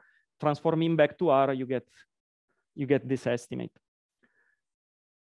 Uh, from this, uh, uh, you have an a priori estimate on the behavior at infinity of, of the scalar curvature. So if the scalar curvature is negative, uh, it must be say bounded away from zero by this function. So it, it, it, it it's smaller than a some constant uh, over divided by the distance from a fixed reference point to the power two at infinity. Uh, and this follows just integrating the, the refined gradient estimate along a geodesic. You perform the integral and, and you get with uh, and you get and you get to this estimate fairly, I mean, in, in a standard way. Now uh, I'm getting to the conclusion. Uh, the conclusion follows from a test function, from um, again a test function argument, which is where your integrability assumption kicks in, since we we, we never used it uh, until now. So you, you consider the trace of the Euler-Lagrange equation, which is a differential equation on the scalar curvature. It's basically Laplacian of the curvature equals constant times r squared. So you, you, you test the equation against uh, the absolute value of the scalar curvature to the power q minus 2 times a, a, cutoff function eta squared, which is a standard cutoff being equal to 1 on a ball of radius s, 0 outside a ball of twice the radius and with controlled gradient. You perform your usual calculations with your uh, favorite Young inequality and you get to this a priori estimate. So you have a universal constant, q minus 2, where q is the integrability exponent. Uh, Cn is the constant coming from the refined gradient estimate. And uh, here you have something which is bounded on S times the integral on, a, on an annulus of uh, the same power of the scalar curvature. And this is true for, for all S. Uh, and in order to get to that estimate, you need to use both the refined gradient estimate and the, the decay estimate at infinity for the scalar curvature. So it's quite sharp. You have to, to, to use both the results. Uh, as I said, Cn is the constant from the refined gradient estimate. Now, let me get back. So if, you, if r to the right power is integrable, this goes to zero. And if this is positive, it forces r to be identical equal to zero. The argument is fairly simple uh, you, have, you just have to solve this equation in Q and, and you find the explicit expression of the critical exponent Q star, which happens to be larger than two. It's basically, uh, well, basically it's this one. I will get to this in a second, but uh, you get this, this, this estimate. So R should be identical equal to zero. It's a contradiction with our assumption that R was negative. So the scalar curvature was zero to start from the start. And this concludes the proof. Uh, now, as I said, this uh, is the, the value that we found. It's two plus something, which um, it, it's positive if you check. Um, quite likely it's not optimal, but it's, uh, it's this bad due to the refined gradient estimate. The smaller CN is, the, the larger this, this, this thing is. But uh, the, the, the argument showing the refined gradient estimate is fairly involved. Um, so it's, it's, it's, it's almost for sure non-optimal giving rise to this horrendous number. And, uh, and, and, and with this, I, I, I, I can conclude. So thank you for the attention.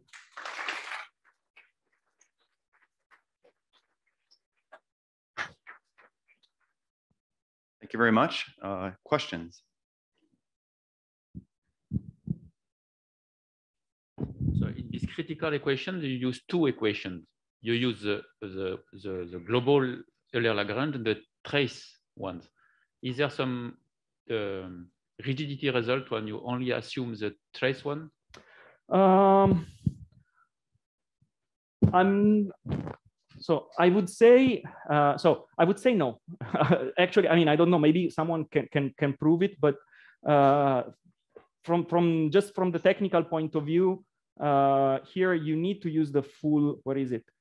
Here you need to use the full equation in order to, to, to ensure that the one Bakry-Emery-Ricci tensor is bounded from below. Otherwise, you don't have the Laplacian comparison and the Omori-Yau maximum principle. So this is where you use the full equation. You use it only, yeah, the Bochner formula. But I mean, oh yeah, sure, of course. You use it also in the Bochner formula when computing. So uh, you need it very heavily. And uh, also in lower dimensions, uh, you use it all the times. For instance, in dimension two, you check the full equation in the direction orthogonal to, to, to start the ODE argument. I'm not sure whether you can do it just with the traced equation, but mm, we weren't able with this, with this approach at all. So I would say no, but. Other questions? Oh, sorry.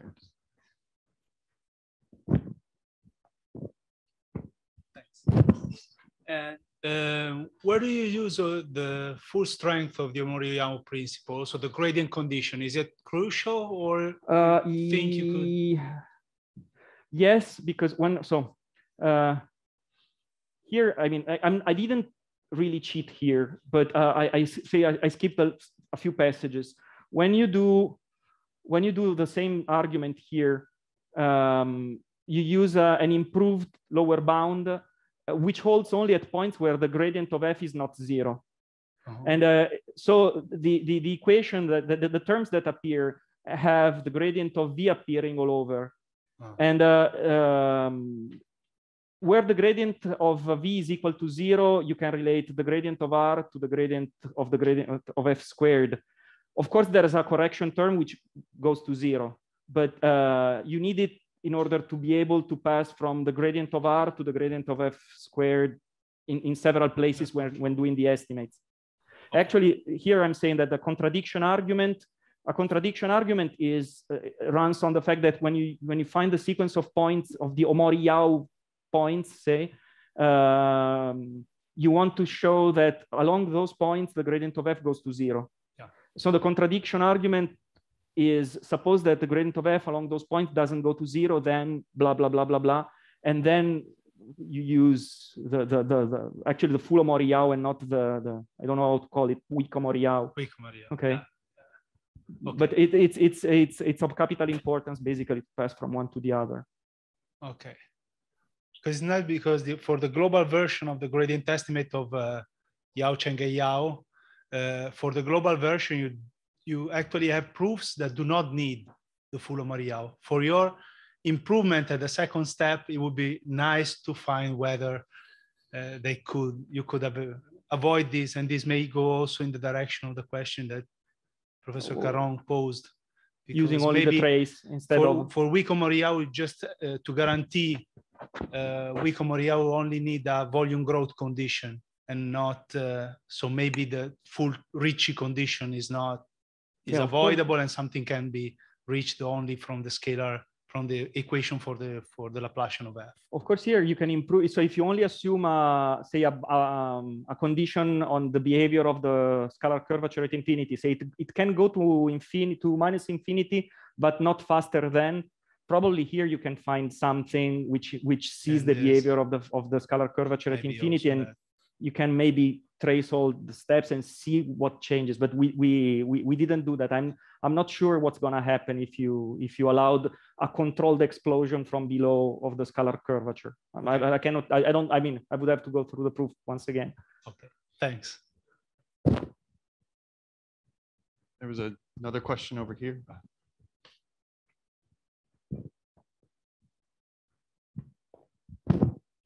Thank you for your talk. Uh, if you if you strengthen the assumption about the scalar curvature bounded from below to some other curvatures bounded from below, like sectional or Ricci, do you think the other assumptions may relax, or uh, the argument is somewhat blind to this uh, strengthening? Uh, Because maybe maybe there you could use the standard Bochner formula for D Laplacian in that case. I don't, I don't know if this helps or not. I'm not sure. I don't, I don't know what, I, don't, I don't know what to say. I don't, know, I don't know the answer. Uh,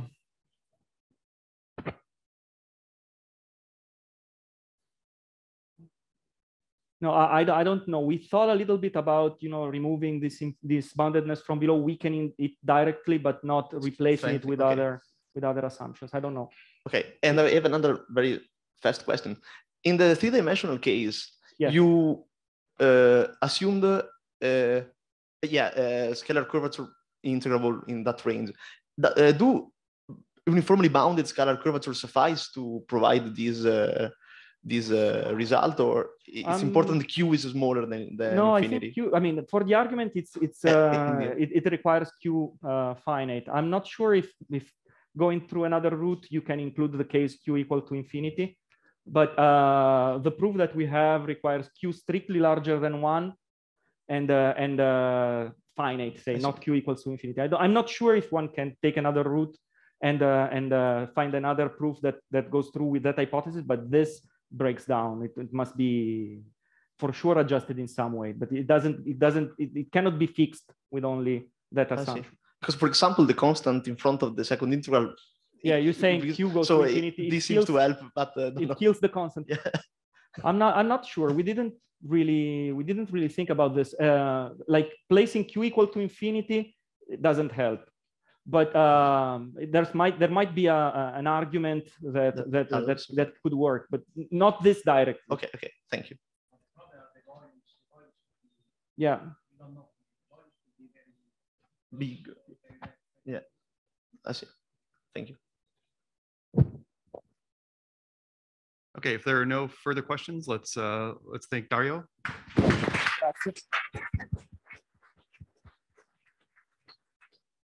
So let's uh, let's go ahead and get started with our our next lecture.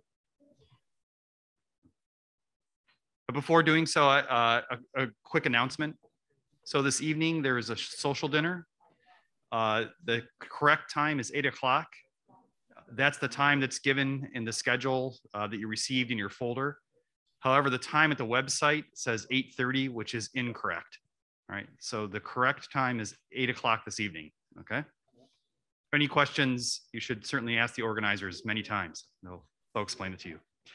Okay, so uh, for our next talk, it's a great pleasure to welcome uh, online, at least, uh, good friend Paul Yang from Princeton, who will speak on the CR3 sphere. Okay, so I would like to thank Andrea and Giovanni for the invitation to the conference. Unfortunately, I had some difficulty, so I cannot travel. So I still take this chance to present uh, our recent work about the CR3 sphere. So let me uh, first uh, outline what I plan to talk about.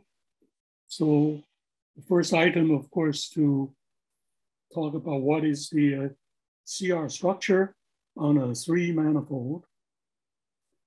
And then I was briefly talk about global invariants, and these are analog of the Yamabe equation and the Q curvature equation for conformal geometry on four manifolds. So that you can be, if you don't know CR geometry, you can at least have some rough idea what's going on. So I want to recall conformal four manifolds, the, these equations, as well as the connection to the Gauss-Bonnet formula. Now, the, in CR geometry, an important question is the embeddability of the underlying CR structure. And then we introduce a twist. In addition to embeddability, we want to talk about what is universal embeddability. Uh, the whole idea is trying to circumvent a difficult example called the Rossi sphere. Okay?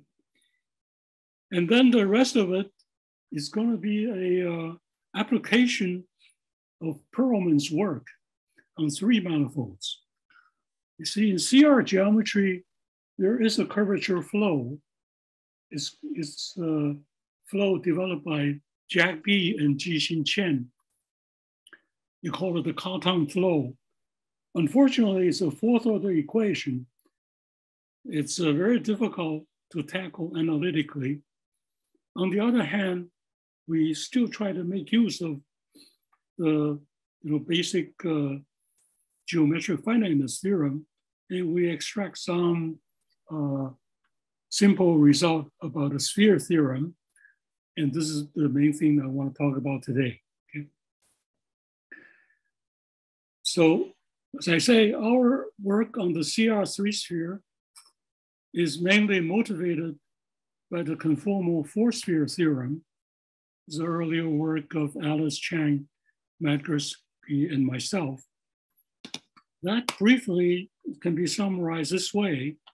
Namely, if you look at a four manifold, uh, compact with non-negative Yamabe constant, and then you look at the, the two key components in the Gauss-Bonnet integral, The first one is the total Q curvature, and the other one is the L2 of the Weyl.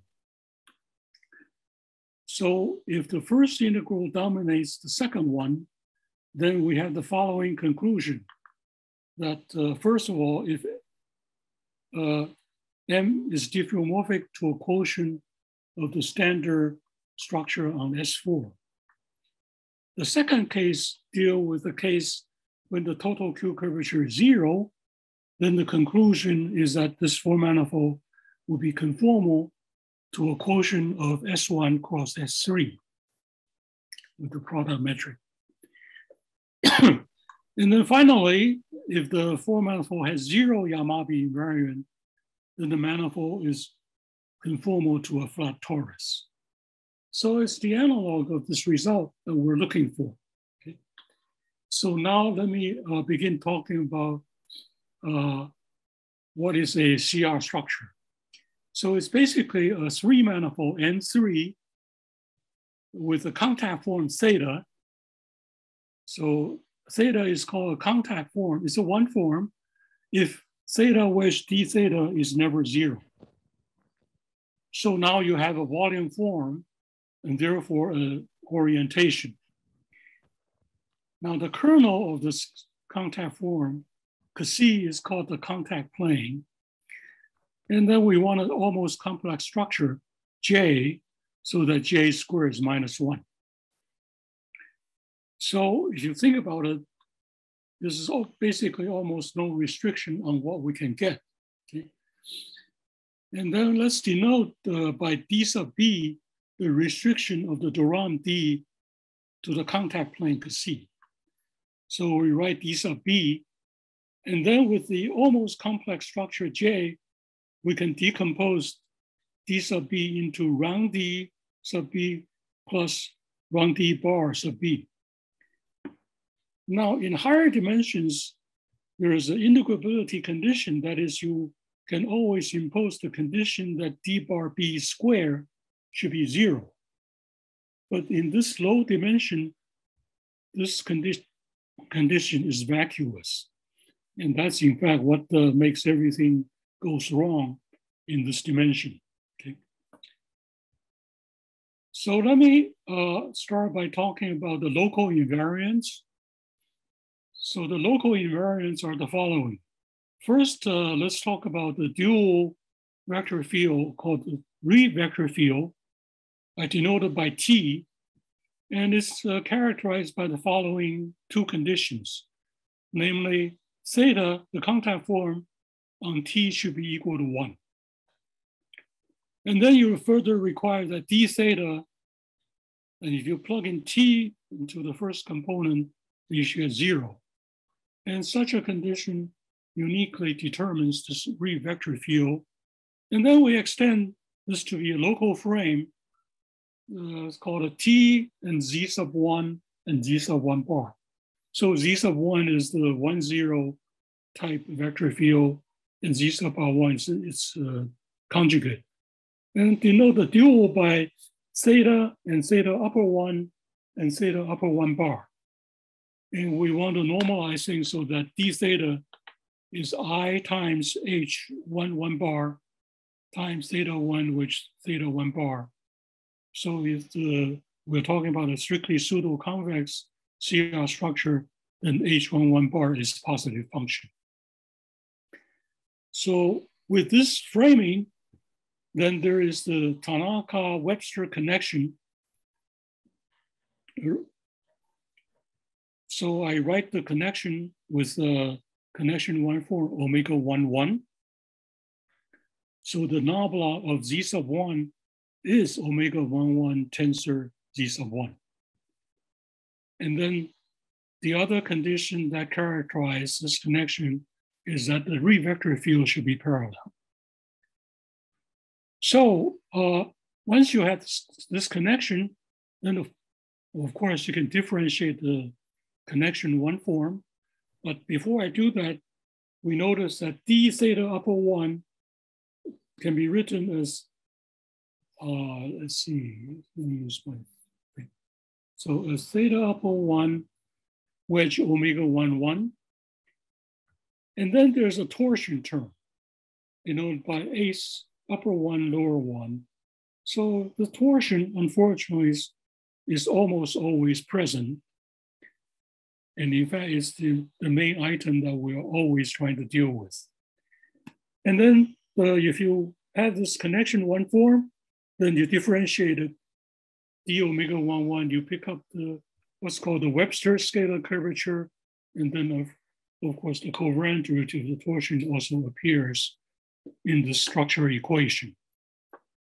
So the important thing here is the following. These are the only local invariants of the CR structure in this dimension. Okay, let's see. Uh, did I miss anything? Yeah. Okay.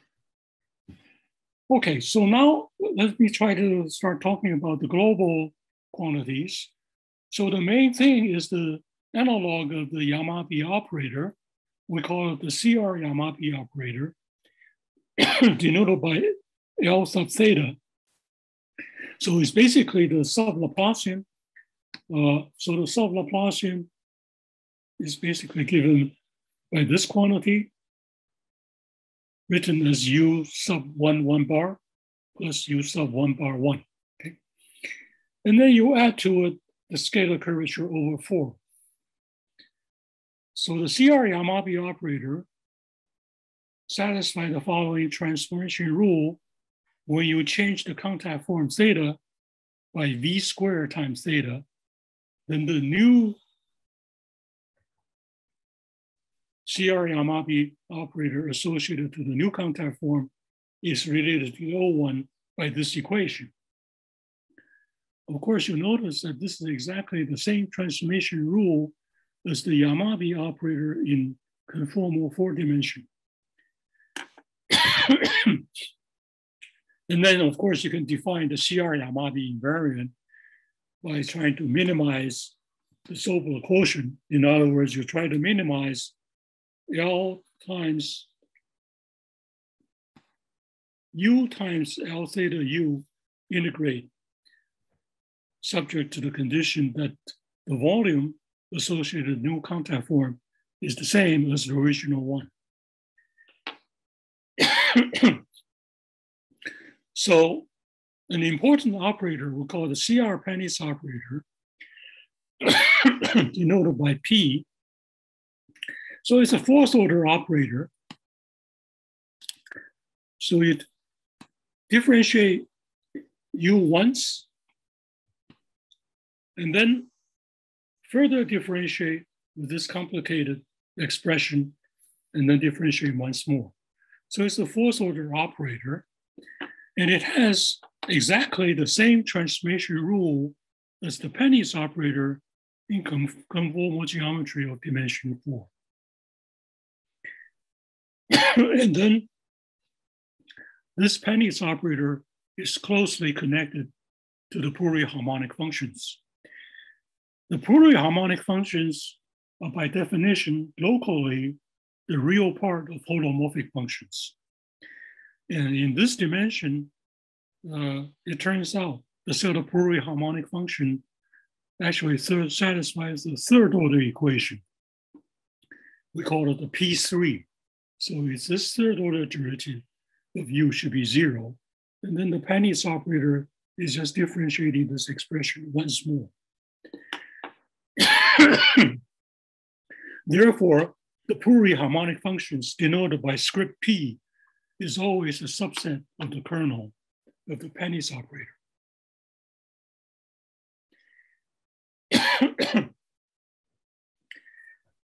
so the Oh, let me see. I forgot something. Yeah. Okay. No, no, that's okay. And then uh, the Paneitz operator actually defines the fourth order curvature invariant. But as you'll see later on, that curvature invariant is always trivial. So what's needed is really an analog of the fourth order Paneitz operator for the CR structure. And this is called a P prime operator. So this is something that uh, uh, Jeffrey Case and I uh, figured out it's really uh, after the idea of Tom Branson. We call it the P prime operator. So it's got this complicated expression. So it's basically the sub sublaplace square and then plus further correction term and further correction term involving this quantity W1. So the W1 by definition is the first derivative of the scalar curvature minus i times the first derivative of the torsion.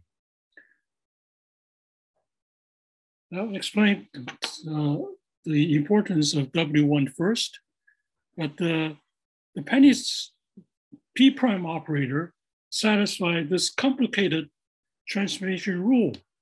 That is, in conformal geometry, you will not have this extra term, but in CR geometry, we have this extra term. And this is the original fourth order Paneitz operator. And this term uh, causes uh, some difficulty with manipulations. Okay? But uh, now, what is this uh, W? Well, W1 is, of course, closely related to the Q curvature, namely its divergence is basically the fourth order Q curvature, and the Q curvature transforms by this rule, okay, which is not difficult to compute. But the earlier work of Charlie Fefferman, when he began to look at CR structures, he introduced the following equation. Nowadays, we call Fefferman's equation. That is, if the manifold is a boundary of a strictly pseudo-convex domain in complex two-dimensional space, then you look for a suitable defining function for the domain. And defining function is u. The level set of u is going to be the boundary.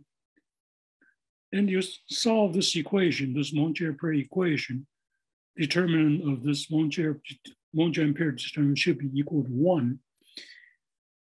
And then uh, the observation here is the following. If you have such a defining function u, then you take uh, d bar b of log of u, and take it as a good contact form, then this contact form would have q curvature equal to zero.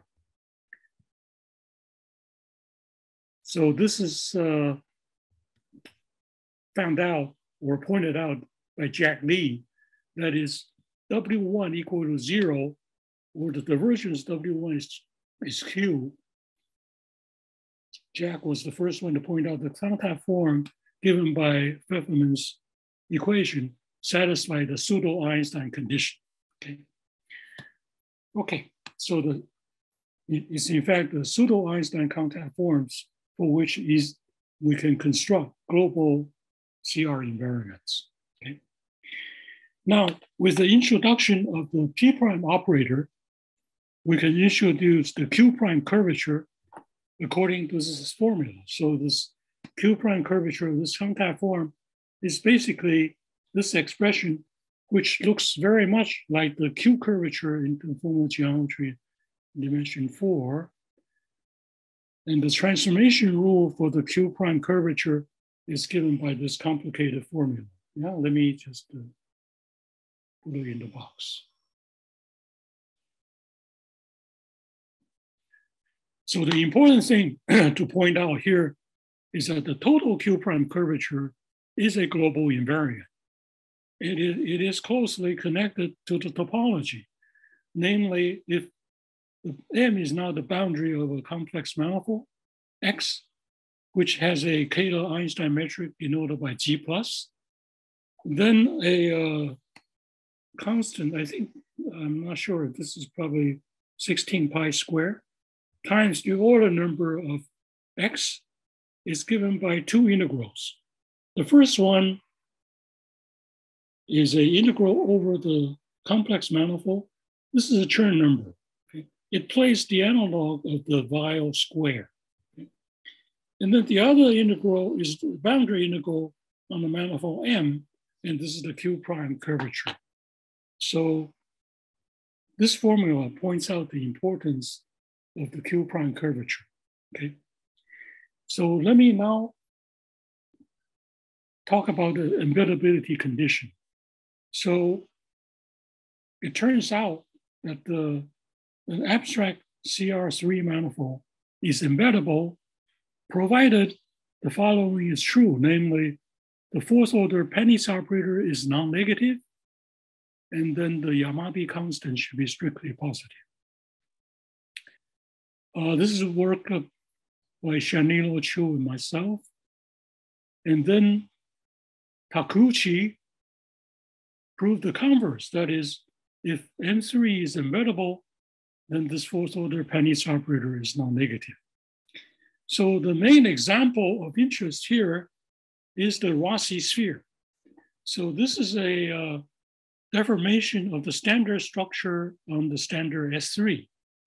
So if we take Z1 and Z1 bar to be the standard vector field on this S3, we make the following change. That is, you take Z1 upper T to be Z original Z1 plus T times Z1 bar, where T is a real parameter strictly less than one, okay, or greater than minus one, okay? This, extract, this structure is known to be non-embeddable. However, its Z2 quotient, that is RP3, with this CR structure turns out to be embedded in R3, uh, sorry, in, in complex three-dimensional space. And its scalar curvature is computed this way, namely it's two times this quantity and it's strictly positive. As you can see, as t tends to plus or minus one, it tends to infinity. And the q prime curvature is computed by this quadrant, okay? So notice that the q prime curvature is non-negative if the quantity t squared is, is smaller than this number, which is roughly one over 14. And then if t squared exceed this number, then the q prime curvature becomes negative. Okay, so this is the main example to keep in mind. So basically, to circumvent this example, uh, we invented this term, namely we say the three manifold is universally embeddable if every finite cover is embeddable. So the quotient of the Rossi sphere is not universally embeddable, and we want to rule it out from consideration for now. So I want to remark that the Rossi sphere is actually one of the homogeneous CR structures studied by A.D. Cartan. And there's a recent write-up by Bor and Jacobowitz basically because Cartan's paper is difficult to understand. And it this work uh, explain quite a bit what Cartan did. Okay. so now I want to talk about the, the result, okay? So when we avoid this type of example, the Jeffrey Case and I have the following conclusion. That is, if the three manifold CR structure is universally embeddable, and if the total Q prime curvature is strictly positive, and the Yamabe invariant is strictly positive, then we can say the three manifold or the CR structure, not the CR structure, just the contact structure. So N3 with the contact form is contact diffeomorphic to, to the standard S3 module of finite group. On the other hand, if the three manifold or M3 theta J is embeddable, and both these invariants vanish, that is total Q prime curvature is zero, and the Yamabe invariant zero, then M3 is contact diffeomorphic to a compact quotient of the Heisenberg. Okay. As I say, uh, the proof is mainly based on Perelman's geometrization. It's basically a topological argument. So let me outline the argument. Okay. So first of all, uh, it is well known that all three manifolds have residually finite fundamental group. So the residual finiteness is a technical condition, but for us, it simply means the following. Namely, if the fundamental group is infinite and is residually finite, then for each integer n, there is a finite connected covering of m of degree at least n. In other words, if the pi 1 is infinite, then you have an increasingly large sequence of covering of m. Okay? Now, once we assume that is the CR structure is universally embeddable with positive Yamabe invariant and the total Q prime curvature positive, then in fact we prove that any finite cover of M has degree strictly, oh, sorry, has degree less than or equal to 16 pi square over the total Q prime curvature. So this is really a consequence of the work that uh, Andrea Malchiodi, uh, Cheng, myself uh, worked on previously, namely, under these assumptions, we have the existence of the minimizer of the Sobolev quotient for embeddable CR structure M3 with positive Yamabe invariant and Q prime curvature greater than zero. Then using the transformation rule for Q prime, you plug in the Yamabe contact form, you can easily see that the total Q prime curvature is less than or equal to 16 pi square. In fact, you will get the equality if and only if it's standard three sphere. So with these uh, two observations, then we conclude that if M3 uh, structure is compact and universally embeddable with positive Yamabe invariant, then we have a finite fundamental group. So now we appeal to Perelman's work. We have the geometrization. That means that the M3, in fact, is uh, first of all diffeomorphic to a finite quotient of S3. And then we use the work of Eliashberg, who classified this contact structure on S3 into two types. The first one is the standard one, and the other one uh, is basically called un, not tight. And the not what the standard one, only the standard one can can bound a uh, complex manifold. So we have the conclusion that it, the, the contact structure is the standard one. Okay? So this proves the assertion one. Assertion two is entirely trivial. Namely, if you plug in uh, the contact form with zero scalar curvature, then look at the Q prime curvature. So Q prime curvature integral is this quantity. And since the scalar curvature is zero, you pick up the obvious sign, okay? Therefore, the conclusion is if the Q prime curvature integrate to zero, then the torsion must be equal to zero. Then you go to its universal cover, which has zero scalar curvature and vanishing torsion. So according to Sid Webster, it must be the same as the Heisenberg. Okay, okay so I'm actually going a little bit too fast, but that's okay. So I want to tell you about an alternate argument to step two. That is the hard work involving the positive mass theorem.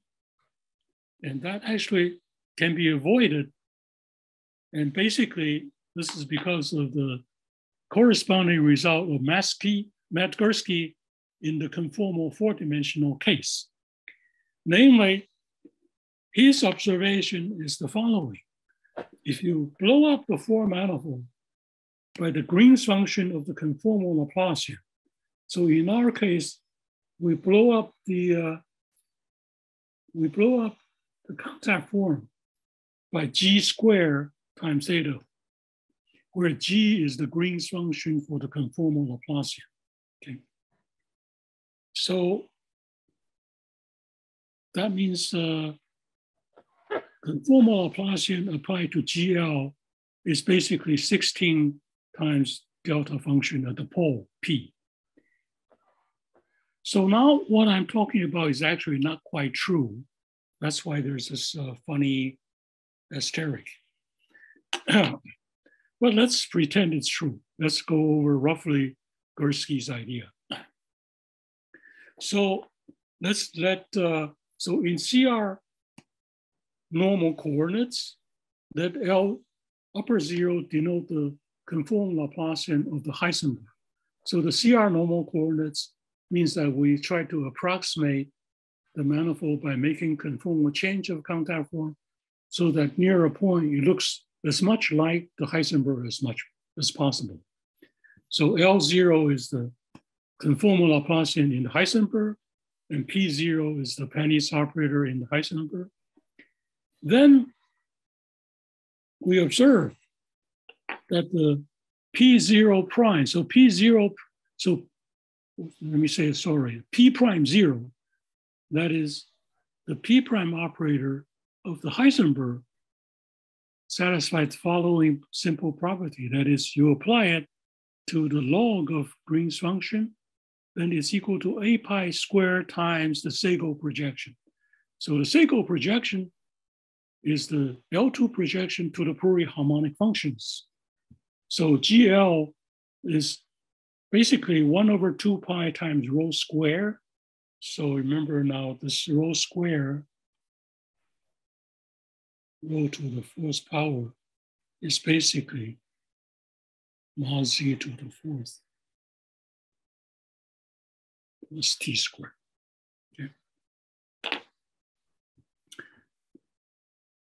So it requires uh, analytic work to show that the Green's function is actually up to this leading order term a bounded function. So the hard work involves the CR normal coordinates, okay? And then uh, we calculate P prime applied to log GL. So we have that uh, the leading term is A pi squared times the Szegő projection plus these correction terms, and then plus p prime log of this quantity. Okay, there's another bounded function here. Okay, so we conclude that p prime log gl is basically a pi square Szegő projection plus a bounded function. That is, we need to check that all of these function, all the remaining part is a bounded function. And in addition, the fourth order P Paneitz operator applied to log GL square is actually a pi square times delta function minus Szegő projection, okay, plus another bounded function. And finally, we check that the P3, the operator that defines pluriharmonic function applied to log GL is vanishing to order rho. So notice that the Q prime curvature associated to the, the new contact form is minus four times the torsion A hat square. Okay? Then the transformation rule gives us this long and complicated formula. But what you observe from it is the following. You integrate this expression then you get the conclusion that the zero is equal to 16 pi squared minus total Q prime curvature minus this positive term, and then this non-negative term. Here we're use, using the observation that the Paneitz operator is non-negative.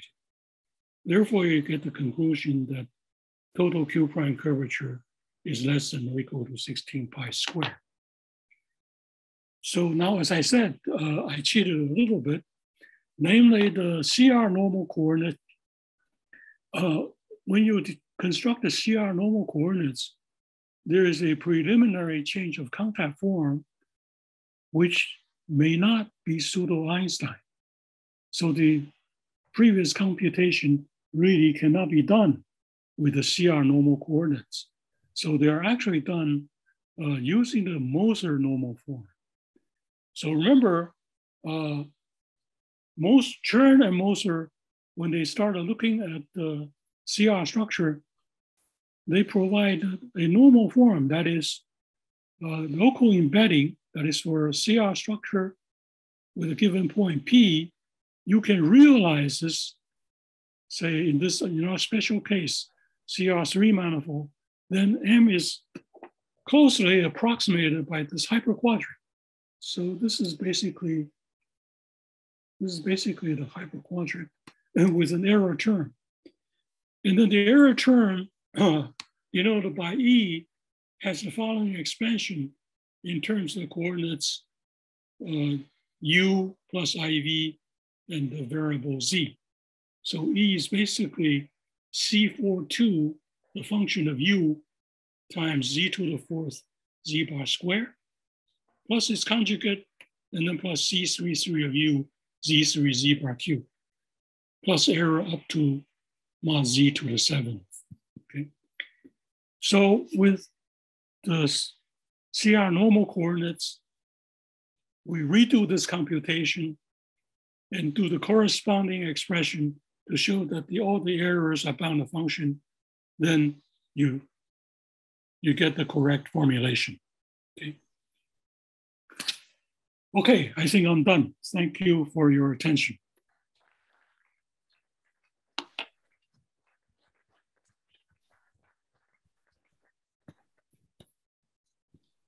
Thank you, Paul. Are there questions?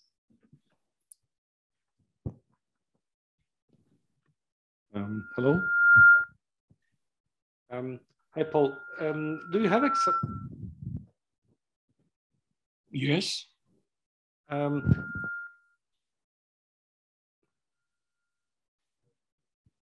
okay. Um, do we have do you have examples uh, of three manifolds uh, for which the integral of q prime is uh, very large? So maybe as large uh, as one wants.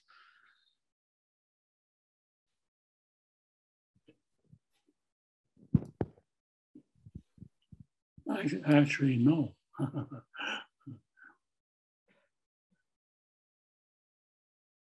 not not in the positive conformal class. So. Yes. No. so no. I, I mean, yeah, probably negative conformal class. So in uh, yeah, in, in the Riemannian case, you typically take products uh, of negatively curved uh, surfaces. Yeah. And, then, uh, then the, if you're willing to accept negative, then of course there are many examples. So let me just, uh, so the previous uh, is, uh, is rigorous, but let me just speculate a little bit on what should be done when we want to confront this family of Rossi examples. So if you remember the calculation, uh,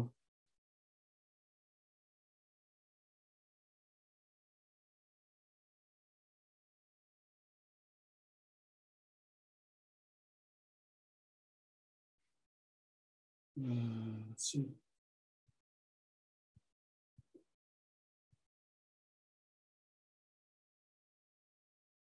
So if you remember the calculation for the Rossi example, the, the total Q prime curvature is always negative. I mean, the less than or equal to 16 pi square. So our speculation is that uh, when you minimize or when you are able to solve the analog of the sigma 2 equation, and then you follow the, so instead of the, you know, instead of the Ricci flow, you follow the flow devised by uh, Jack Lee and Jih-Hsin Cheng. uh, it it is already known that under the flow, the total Q prime curvature actually increases. Yes. Mhm. So if you can show without proving the convergence that the total Q prime curvature, you know, especially when you get close to the standard three sphere should be less than that of 16 pi squared, then you have a global argument. So what I'm suggesting is basically the following. That is, one should be able to solve the CR uh, sigma 2 equation. In fact, there's work going on uh, by several people.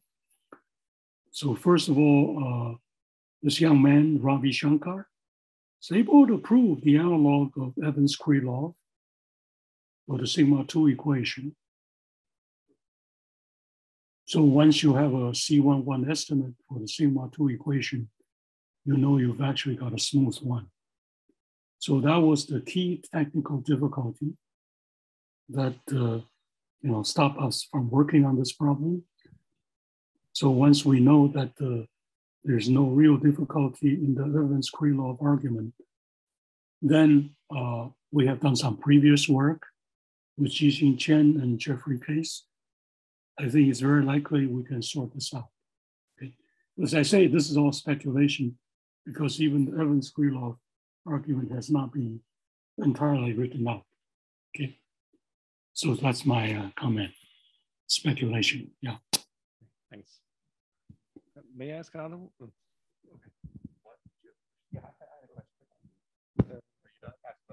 Oh, okay. Uh, sorry. Thanks. Uh, yes. Um, um, uh, sorry. Um, I wanted to ask also whether uh, non-tight structures on a tree may carry positive uh, scalar curvature. Pardon? If you take non-tight uh, structures on a tree, do they carry positive uh, scalar curvature? Oh, I haven't studied that at all. Uh, you should probably ask Jeffrey Case. Okay. I think he thinks that uh, may be possible, but uh, but I haven't asked him for for precise information. Yeah. Okay, thanks. Hi, Paul. Claude here. Oh, hi, Claude. How are you? Oh, just great. Um, I, I was wondering about, uh, so th there was some point I, I didn't understand. So when you're trying to eliminate the over-twisted uh, contact structures, um, you use a global embeddability statement. But I'm just wondering where that comes from be, be, with the hypotheses you've got since the things that aren't even locally embeddable are, are, are dense. Uh, how is it you, you know that the, the thing is, is globally embeddable just given this uh, Webster scalar curvature hypothesis? We're assuming it's universally embeddable. Oh, So- okay. So that was an explicit assumption. That was the that was the point I did not understand. Yeah, sorry, sorry about that. Yeah. Yeah. I mean, as I say. Because it's, that's a very strong probably- assumption. Yeah. Yeah, we've tried to circumvent this difficulty. That's Yeah. No, no, no. I, I was just that, that it was like where where does that ra- rabbit come out of the hat? How how'd you? now I understand. It was it was just assumed. Um, uh, the other thing is a really minor comment. It's just about uh, the exposition because you probably will use the same notes for other talks. When you when when you are are talking about the, uh, the the four manifold case and and your results with uh, with Matt and and Alice, um, y- you put the quotient in the wrong place. So uh, you know, ac- actually, S4 doesn't have any orientable quotients. On the other hand, the the torus has you know, 50 odd quotients, right? So you have lots of flat manifolds that are different from the the torus. Knowing it's That's flat right. doesn't tell you it's a torus. It it's, just tells you it's finitely covered by a torus. That's right. Thank you. Thank that's you. just a that's tho- those are peanut shells from the peanut gallery. All right. Okay, any other questions? Okay, then let's uh, let's thank Paul for his lecture.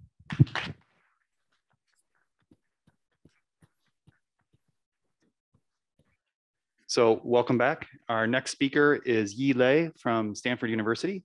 and she will speak on uh, O2 symmetry of 3D steady gradient Ricci solitons.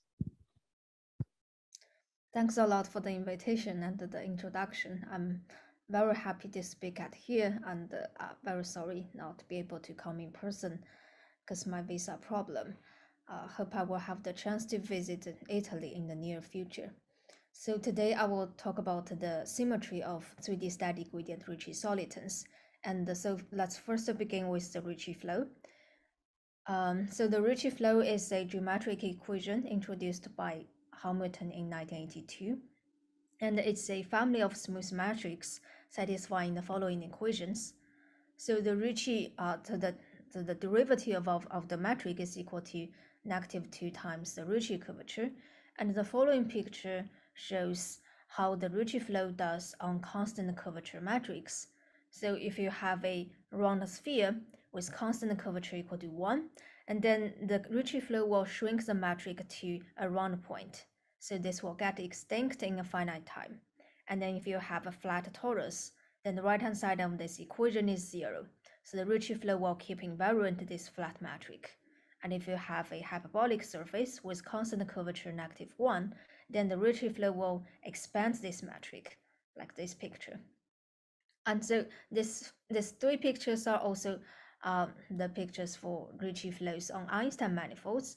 The Einstein manifolds are uh, the Riemannian matrix satisfying that the Ricci equals to a multiple of the metric tensor. And depending on if the Einstein constant, this multiple is positive, zero, or negative, now um, this Ricci flow shrinks, keeps invariant, or expands this uh, matrix. And so these Einstein manifolds can be generalized to another concept, which is called the Ricci soliton. So um, the Ricci soliton is a Riemannian manifold satisfying the following equation. So Ricci minus one half of the uh, sorry, the, the, the screen is not moving. Oh, okay. Comes. Okay, so um, it satisfies the following soliton equations. So Ricci minus one half of the Lie derivative is equal to a multiple of the metric. And so um, here that uh, this is uh, the additional term comparing to the Einstein matrix. And so in particular, if the vector field x is a gradient of some smooth function f, then we're going to call this uh, um, soliton to be gradient Ricci soliton. And in this case, the Lie derivative of the gradient of is equal to 2 times the Hessian. So this additional term becomes to the Hessian of f. And so this is the um, gradient Ricci soliton equation. And based on the intuition from last slide, this soliton is gonna uh, called is gonna to be called shrinking, steady, or expanding, depending on if this lambda is positive, uh, equal to zero or negative. Okay, and uh, today we're going to focus on the second case of the steady gradient Ricci soliton. And so uh, the steady gradient Ricci soliton has the following equation. Um, Ricci equals to the Hessian square of f. Okay, so um, as we said that the soliton would generate self-similar Ricci flows, and the, in particular, the steady gradient soliton will solve uh, will generate isometric Ricci flows. So the time slices of the this Ricci flow is iso is isometric to each other with respect to different times. And in particular, this Ricci flow can be written out explicitly in the following way. So um, we can compute directly that the GT, which is the pullback of the soliton metric under these diffeomorphisms generated by gradient of F, and this GT satisfies the Ricci flow equations. And so we'll say that this is the Ricci flow associated to the steady gradient Ricci soliton. And uh, in particular, this Ricci flow is defined for all times. So that's a eternal Ricci flow that we're talking about. Okay, so um, next let's look at some classical examples of steady gradient Ricci solitons. And first example is uh, the cigar soliton, which is also the first examples of all the solitons. Um, this is constructed by Hamilton on R2. So this is a rotationally symmetric metric, and uh, this is the potential function. So you can check directly that this satisfies the Ricci, uh, the, the, the steady soliton equation. Okay, so um, the following picture is a, a picture of the cigar soliton. So this is the critical is a critical point of the potential function, which is also the rotational center. And uh, um, so you see that this cigar looks like a flat cylinder at infinity. And more precisely, what this means is that if you take a sequence of points going to infinity, say pi, uh, pi plus 1 going to infinity, and then you consider the pointed manifold mg pointed at pi, and then you can take a smooth limit of this sequence of manifolds, and this converges to r cross s1, this flat cylinder. Okay, um, and uh, so if you fix the base point, but this time you take a number, a sequence of numbers, lambda i goes to infinity, and then look at this rescaled manifold, m lambda i inverse. So you scale down this metric by this lambda i, the sequence, and point it at a fixed base point. So you can choose the rotational center, and then this sequence of manifolds converges to a half line. Okay, because um, so as you take this lambda larger and larger, and this uh, uh, this cigar gets thinner and thinner, and uh, this convergence is true in the Gromov-Hausdorff sense. Okay, so um, so we're going to call this uh, um, the first limit to be the asymptotic limit of this cigar soliton uh, and the second limit to be the asymptotical. Okay, so um, that's the um, cigar soliton, and uh, um, that we said that the cigar soliton generate a self-similar Ricci flow with isometric time slices, and uh, so uh, now let me draw a picture of the Ricci flow.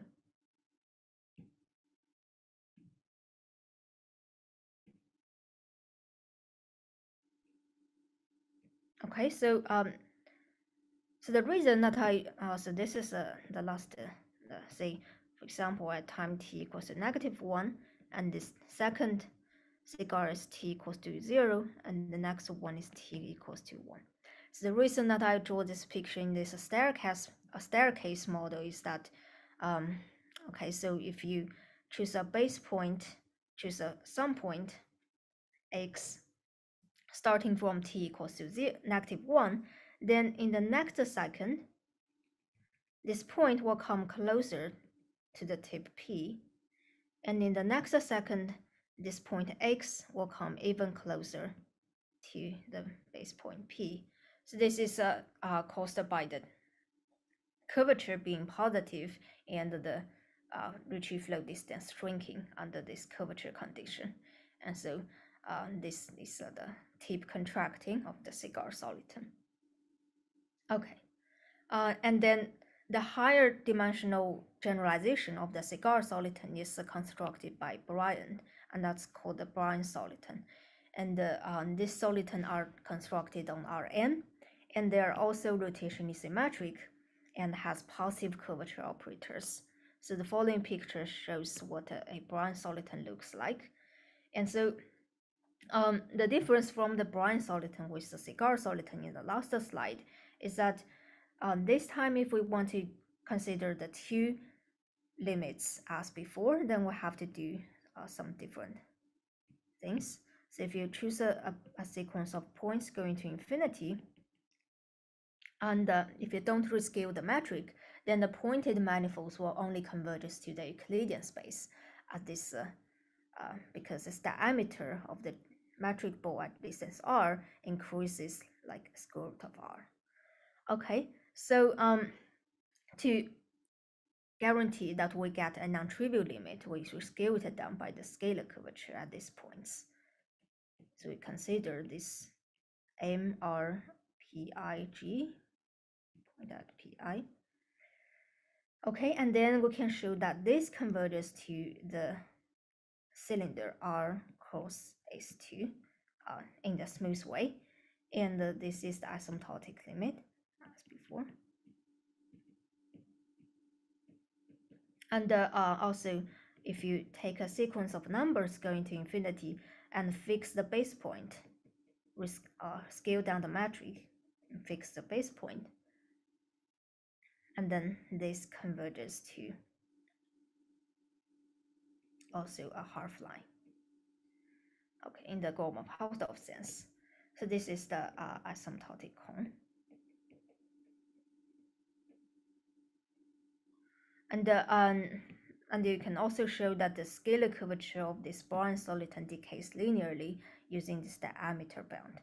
Okay, so um, that's the Bryant soliton also generate a self-similar Ricci flow, which um, looks like the cigars, which looks like the uh, picture in the last slide. Okay. So um, now let's look at um, the static gradient solitons in dimension three generated by these two examples. So the first example that can uh, we can see from um, the previous slide is the product of R cross cigar and the, the 3D Bryant soliton. Okay, so this, uh, these two are static gradient solitons in dimension three.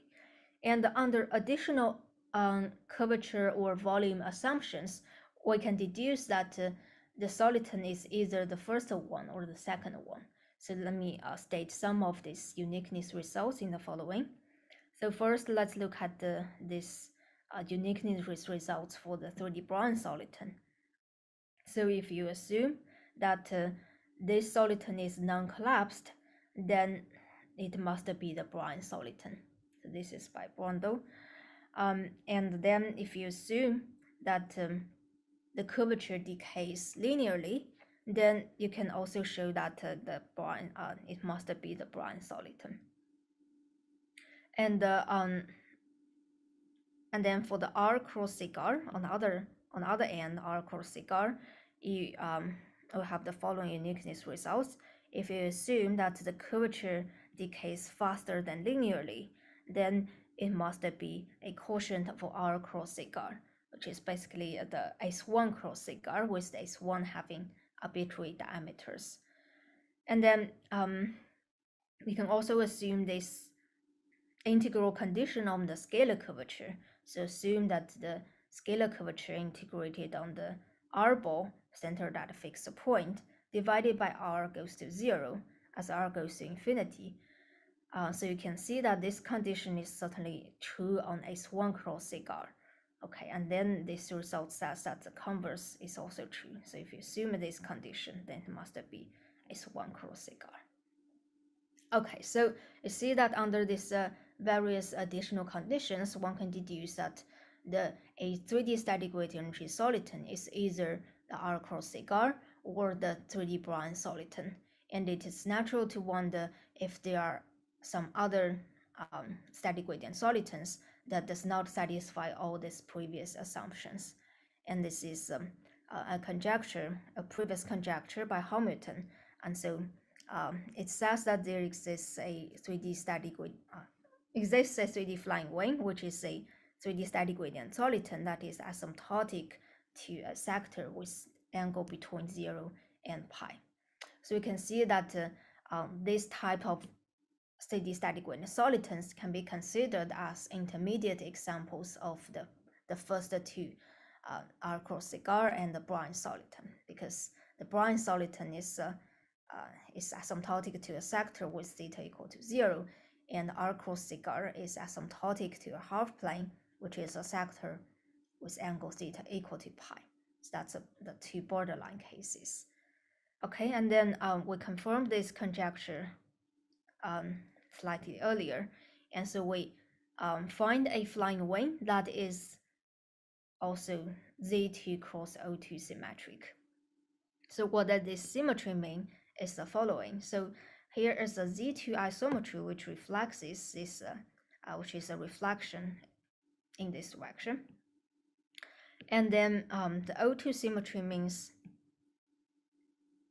that away from a complete geodesic, the metric can be written down as a warped product metric.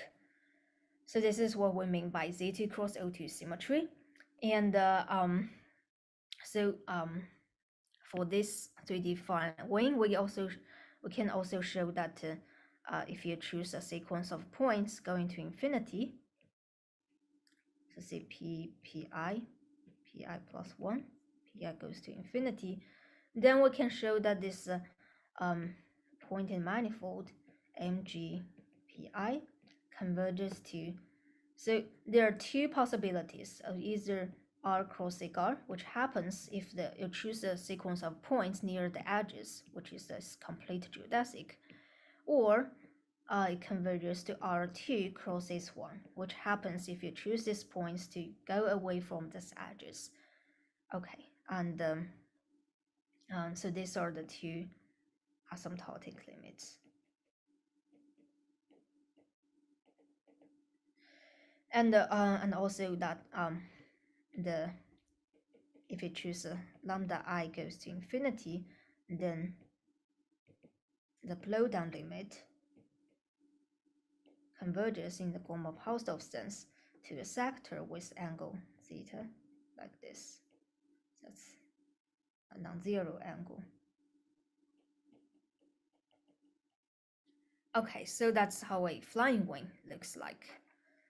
Um, and so now let's put these solutions, put these solitons in one diagram and uh, compare their asymptotic cones.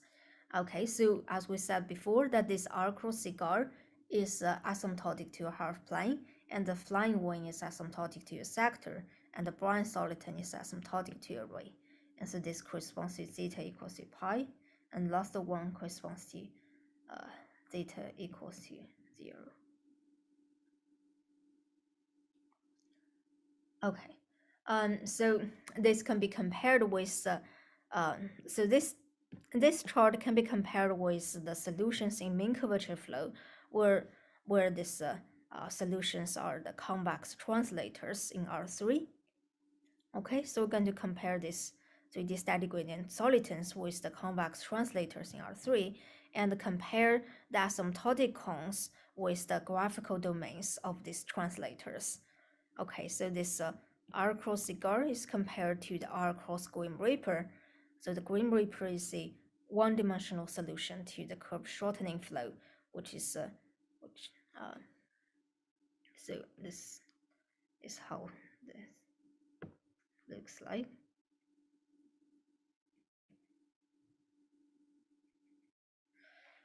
And uh, um, and the flying wings are also a notion used in mean curvature flow, and that's uh, translators, which looks like this. A two-dimensional surface looks like this. And uh, um, the bowl soliton is the rotation asymmetric. So it also, so it's the analog of the Bryant soliton in Ricci flow, but it's two-dimensional and it opens up like a paraboloid. It's here. Okay, and so um, these are the graphical domains of the convex translators. And um, if you consider the asymptotic cones of the convex translators, and then this is a one-to-one correspondence.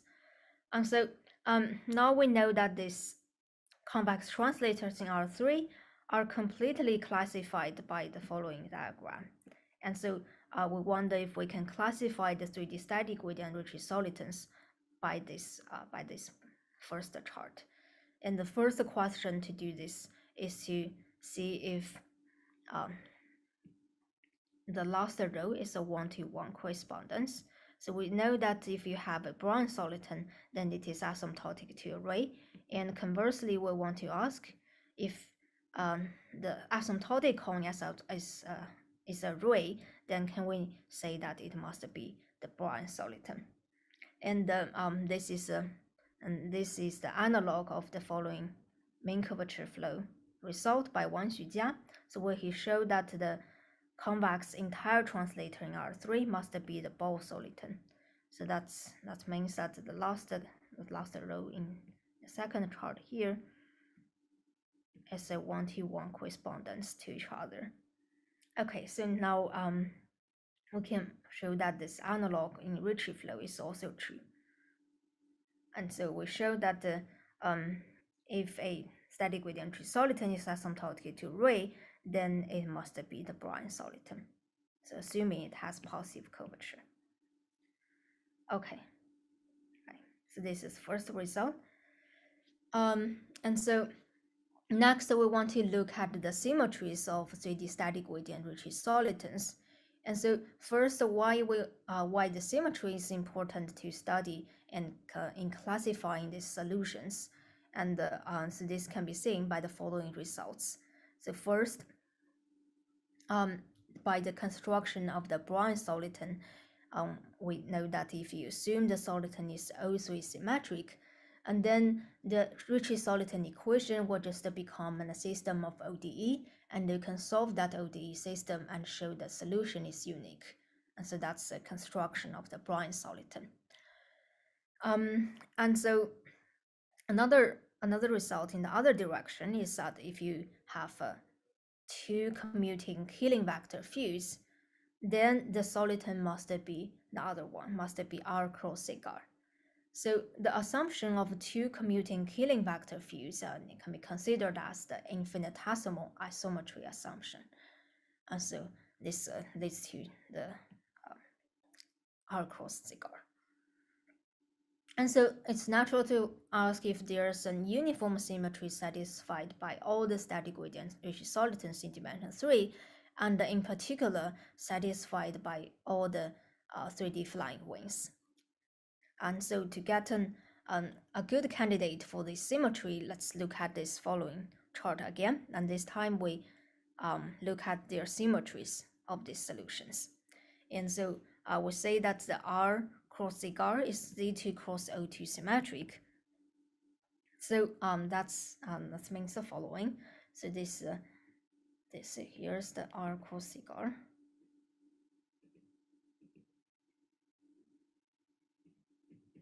So here's a Z2 reflection, which fixes a hypersurface of a cigar, of a cigar soliton. And then the Z2 symmetry means that away from the line of tips of cigar, then the symmetry, and then um, the sol the metric is a warped product with S1 fibers. Okay, and then um, the Bryant soliton is of course O3 symmetric, but you can also say that this implies um, Z2 cross O2 symmetric. Okay, because so let me draw a picture to, to um, explain. So this is a Bryant soliton, and uh, it's like a paraboloid. And so um, the reflection is easy to see, and uh, you can choose a complete geodesic. And then away from this geodesic, you can also write down the metric as a warped product with S1 fibers. Okay, so um, now this Bryant soliton is also Z2 cross O2 symmetric, and uh, um, because when we see that that uh, the examples we constructed for the flying wing are also Z2 cross O2 symmetric. So ideally, we would like to show that all the flying wings are Z2 cross O2 symmetric. Okay, so that is the um, that is the uh, candidate for the symmetry we want to prove, and the, the this can also be um, this another confid uh, another evidence uh, for this is uh, if you compare the O2 symmetry in Ricci flow with the Z2 symmetry in mean curvature flow. And then um, this is the symmetry for the convex translators. And so this is the symmetry for the mean curvature flow flying wings. And so um, the an analog of this symmetry is a Z2 cross O2 symmetry in the Ricci flow flying wings. Okay, so now um, um, let me state the, our next result. So we now can show that all the 3D flying wings are O2 symmetric. So uh, more explicitly, this means that away from a complete geodesic, the metric is a warped product metric with S1 fibers. Okay, so um, and the So this uh, symmetry holds for all 3D flying wings. And uh, combining this theorem with our previous theorem A, and then we can deduce immediately that all the 3D static gradient Ricci solitons are O2 symmetric because theorem A says that uh, if it is not a flying wing, then it must be the Bryant soliton. But we know that Bryant soliton is O2 symmetric. Okay, so any questions? Okay, so um, uh, in the next part of this talk, we're going to uh, sketch the proof of the O2 symmetry theorem, which is theorem B, and uh, and we'll also obtain the proof of theorem, sketch the proof of theorem A in between. So first, let's look at the following general scheme of proving the O2 symmetry theorem, and uh, it can be divided into the following uh, steps. So these steps are often uh, are also can also be seen in the in in the proofs of proving G symmetry, where G is some Lie group for some Ricci flows or ancient Ricci flow solutions or steady solitons. Um, but today we'll only focus on this uh, um, O2 symmetry for the static for the for the flying wings. Okay, so um, the first step we want to do is, uh, is asymptotic geometry analysis. So this means that um, we want to show that away from a compact subset in this soliton, the geometry can uh, locally be described by two geometric models. So the either the first one, the first model is R cross cigar, and the other one is R2 cross S1. So basically, this is what we're seeing in the um, flying wing examples we constructed previously, and we'll show that this is in general true for any flying wings. Okay, so that's the asymptotic geometry uh, at infinity. And why this is uh, useful for the O2 symmetry theorem, because these two geometric models are both O2 symmetric, so um, they're O2 symmetric. So now you can glue up this local um, approximate metric and get a global approximate metric outside of this compact subset. Okay, and so uh, and moreover, you can upgrade this approximate metric to a more precise approximate metric satisfying some error estimate. And then you consider the killing field to this approximate metric. And uh, you, you know, and then we can evolve this approximate killing field by some parabolic equation under the Ricci flow and uh, get that this um, and evolve this into a exact killing field. Okay, and then using this exact killing field, this will generate the O2 isometry that we want. So that's the um, major steps that we're going to follow. And so now let's um, look at each step more closely. So first we uh, let's see the asymptotic geometry analysis. Okay, so uh, first, so from now from now on, we're going to assume that the MG is a 3D static gradient Ricci soliton and uh, it is uh, not a Bryant soliton. And so this uh, and this assumption will be assumed throughout this talk. Okay, and under this assumption, we can show that uh, um, the following lemma is true. So um, we can so what this lemma says is that um, can be described by the following pictures. So so this uh, so imagine this is your soliton MG. Okay, and then um, if you take a sequence of points going to infinity, so first, uh, sorry, so there's a smooth curve gamma, which is this blue line here. And if you choose the points going to infinity along this um, along this curve gamma, and then this converges to, and then this uh, uh, this rescaled manifold converges smoothly to the first geometric model, R cross cigar. So this this R xi, so this is the volume scale, um, so that the limit will not be a Euclidean space. And so this volume scale is, uh, um, is uh, basically the radius of the half Euclidean volume of the same radius. Okay, so um, if you rescale by this by this number here, which could potentially get very large at a spatial infinity, and then you will either see the first the first limit or the second one, and depending on if these points are going um, on gamma or going away from gamma. Okay, so that's uh, uh that's uh, two two possible asymptotic limits. And then, okay, so now uh, let's look at the asymptotic cones of this of this soliton. So here we're assuming that uh, it is not a Bryant soliton, and uh, so we're trying to show that uh, it is asymptotic to a sector with a non-zero angle, and so this will prove theorem A. Okay, so um, in the following, um, we'll do this. Uh, uh, we'll do an argument like this. So let me draw a picture. So this is the Bryant, uh, this, this is a solid MG. And uh, um, we're going to choose a point X.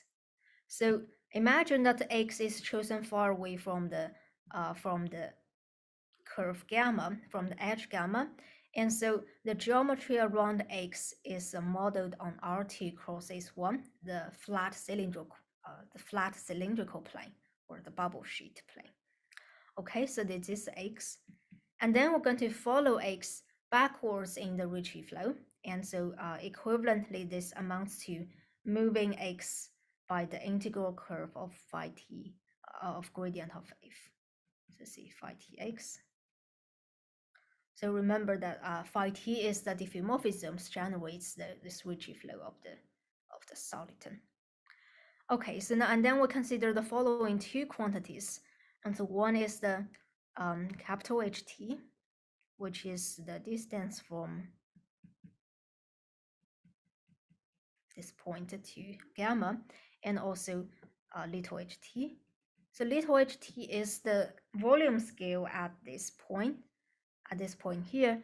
And so um, it's not hard to show that this uh, this point phi tx is also modeled on the flat cylindrical plane and roughly this uh, this little ht here is the length of the S1 fibers. So it is comparable to the length of the S1 fibers in this cylindrical plane.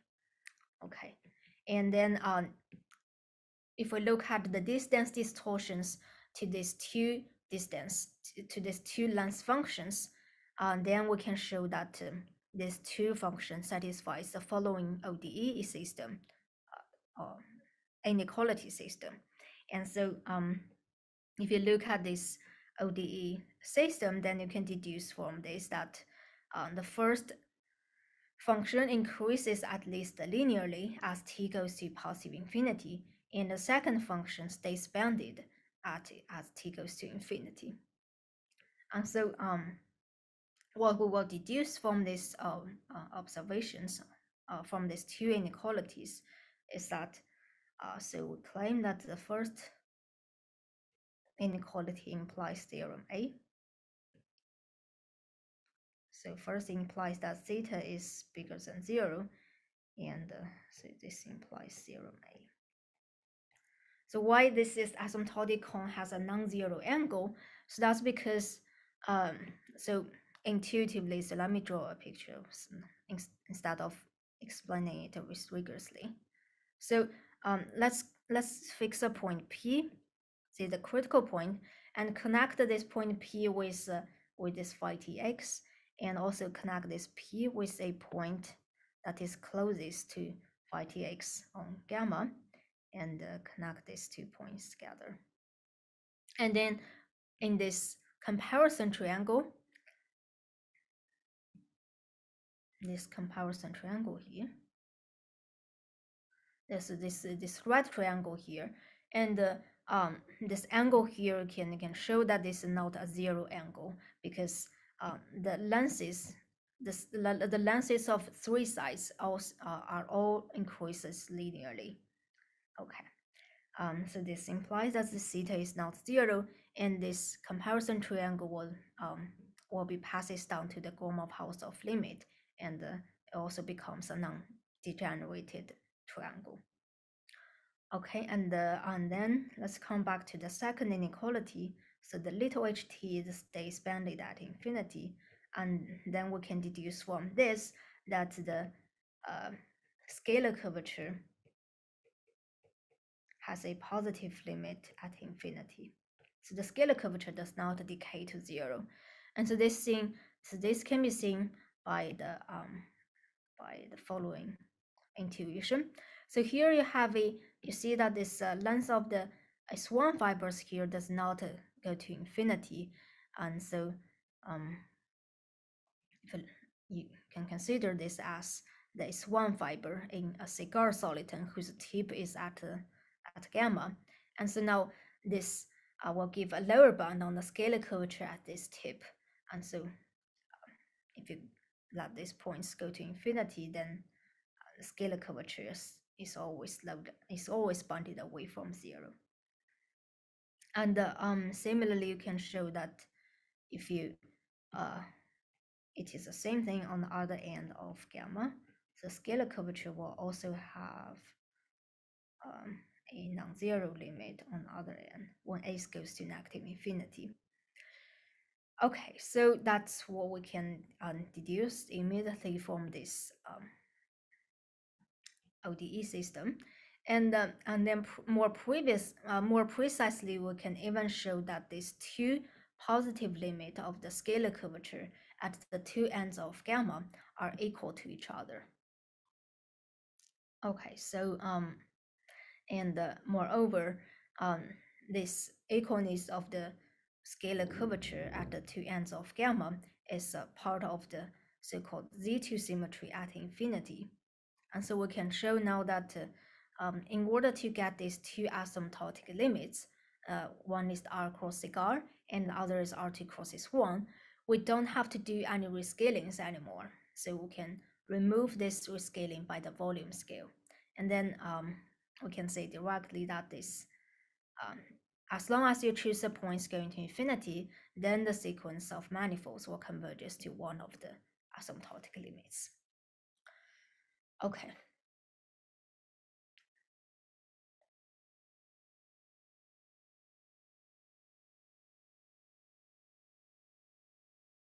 Uh, so, so here um, from now on, we're going to assume that uh, uh, because these two limits are equal, so we can uh, rescale the metric, rescale mg so that uh, um, these two limits are both equal to 4.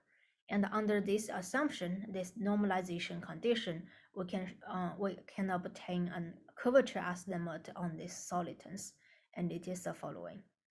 Uh, so this, this is a two-sided bound on the curvature. So first, uh, we can show that the scalar curvature decay is bounded below by this exponential uh, function in the distance to gamma, and uh, uh, it is bounded by this polynomial function in the distance to gamma. And so um, for the lower bound of the scalar curvature, it is almost sharp in the following way.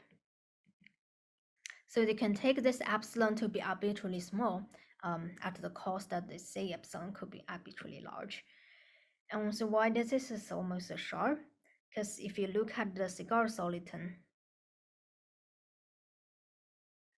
so if you rescale so that the cigar soliton, um, the scalar curvature of the cigar soliton at the tip is equal to 4.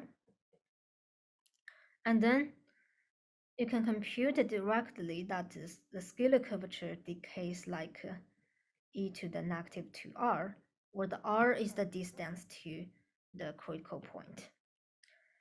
Okay, so now this is the um, so now this is the um, now this lower bound is uh, is similar to this uh, precise decay of the scalar curvature in cigar.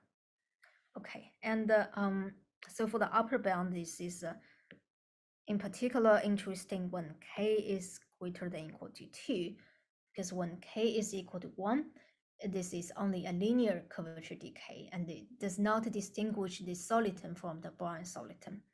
And in fact, this uh, um, this upper bound holds for any k as proven by an inductive process. So one can first show that this is true for k equals to 2, which is the smallest integer to, uh, to make this inequality interesting. And then using induction, you can show that uh, if uh, this is true for k, then it implies this is true for k plus 1. Okay, so um, for the upper bound, we um, this may not be an optimal upper bound, but this is good for our purpose to proving the O2 symmetry theorem. Okay, um, so now let's go back to the roadmap of the uh, O2 symmetry theorem and see what we have achieved so far. So uh, we're done with the asymptotic geometry analysis, and then we want to construct a approximate O2 symmetric metric satisfying some good error estimate, and we'll and explain what this error estimate that we want to achieve. Okay, so first, um, using the asymptotic geometry analysis, we can glue up the local geometries and uh, obtain a approximate metric which satisfies the um, first error estimate. So that uh, so this metric satisfies that uh, it is uh, this much close to the Soliton metric. So G is a Soliton metric, and then we can use some symmetry improvement theorem.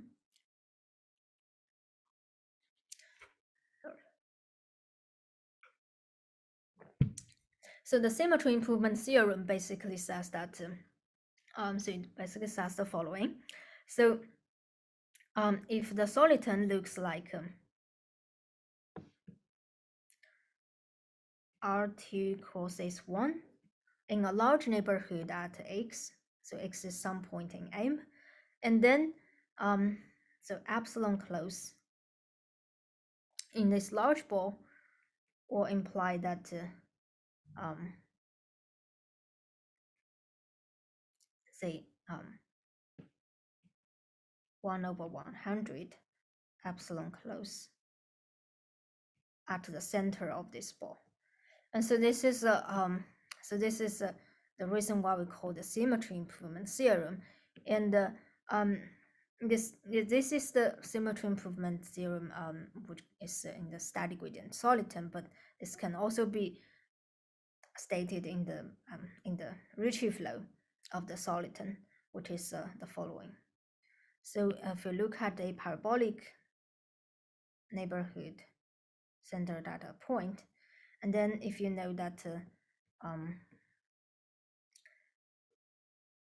in this backward parabolic neighborhood, you have that epsilon closeness to R2 causes 1. And then this will imply that uh, um, it is 1 over 100 epsilon close at x. Okay, so um, that's the um, symmetry improvement theorem. And uh, um, in the following, we're going to show how to um, use this to achieve the second error estimate for this uh, approximate uh, metric. So here we want to achieve an exponential decay in the distance to gamma. And so here's what we do. So imagine this is your soliton mg. And so um, first we apply the symmetry improvement theorems on the points which are 100 away from, so see, or uh, 100 away from gamma. So this, these points are in this region here.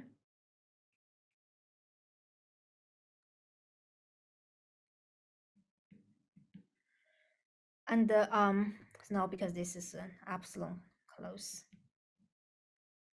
and this is uh, um, distance d to gamma. And then in this uh, and in this shadowed region here, the symmetry will get improved. The closeness to R2 crosses 1 will get improved to say 100 times epsilon. Okay, and then um, at an even more interior region, a region even more further away from capital gamma, see this double shaded region here. And you will, uh, you can show that this becomes to 100, 1 over 100 square times epsilon. Okay, and so you can see now the, the pattern is that as you go further and further away from gamma, the decay, um, the error to the soliton metric will get smaller and smaller. And so there's a, um, so there's a, in particular, you can find a, a positive number delta such that this error is bounded by this exponential function in the distance to gamma. Okay, so um, here this uh, delta is some um, constant greater than zero, and this is an error estimate that we can achieve by this uh, by this um, inductive argument. And then what we actually want to achieve is uh, is a more precise error estimate. And so now recall that we're assuming that um, this normalization condition is true. So the scalar curvature has positive limit equal to four at the two ends. And so um, we can upgrade the symmetry improvement theorems to a more precise version. So you see that in the last slide, when applying the symmetry improvement theorem, we need to sacrifice some distance to gamma. But if you take into account the tip contracting of the cigar, then you don't need to sacrifice this much distance. So um, what, I, what do I mean is that uh, eventually with a more precise symmetry improvement theorem, we can construct a approximate metric satisfying this as this error estimate. And so um, this is an exponential function, and in particular, um, corresponds to this four here, we can show that this exponent here is can be slightly slightly larger than two. Okay. So um, now we um, we find out the uh, approximate metric that satisfy this uh, error estimate. And then next uh, we want to look at the killing field of this approximate metric.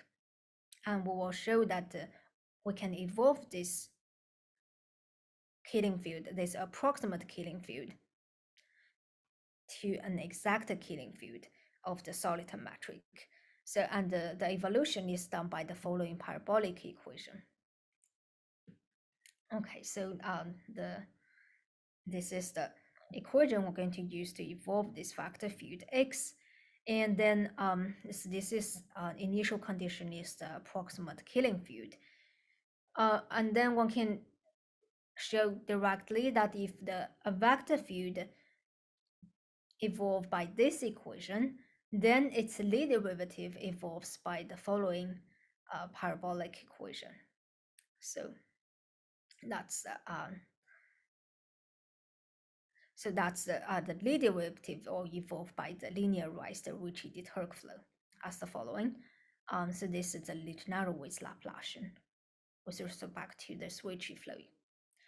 Okay, so um, for the Lie derivative, if you take the absolute value, the norm of this Lie derivative, then by the Anderson-Chow estimate, one can show that this um, norm satisfies the following is a sub-solution to the following parabolic PD, linear parabolic PDE. So um, this is one observation we can see. And uh, um, so now we're going to combine the ingredients that we gathered in the previous slides. So first we have a approximate metric satisfying this error estimate.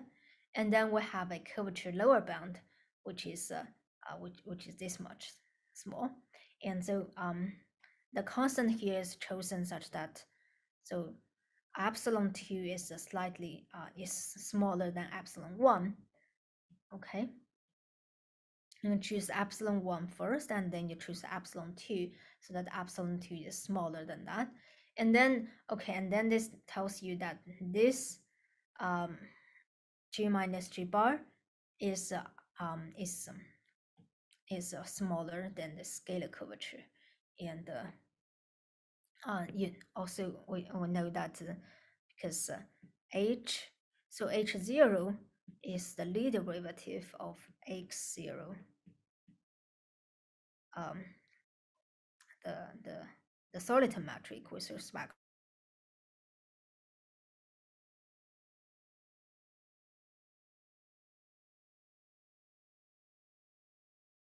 So here are some future questions. If you um, so first let's recall some previous theorems. And if you assume the non-collapsing condition, and then you can show that the steady gradient soliton is uh, is rotationally symmetric, and then um, and then using this rotational symmetry of the steady gradient soliton, you can show that the ancient Ricci flow on R3 and on S3 are also uh, rotationally symmetric.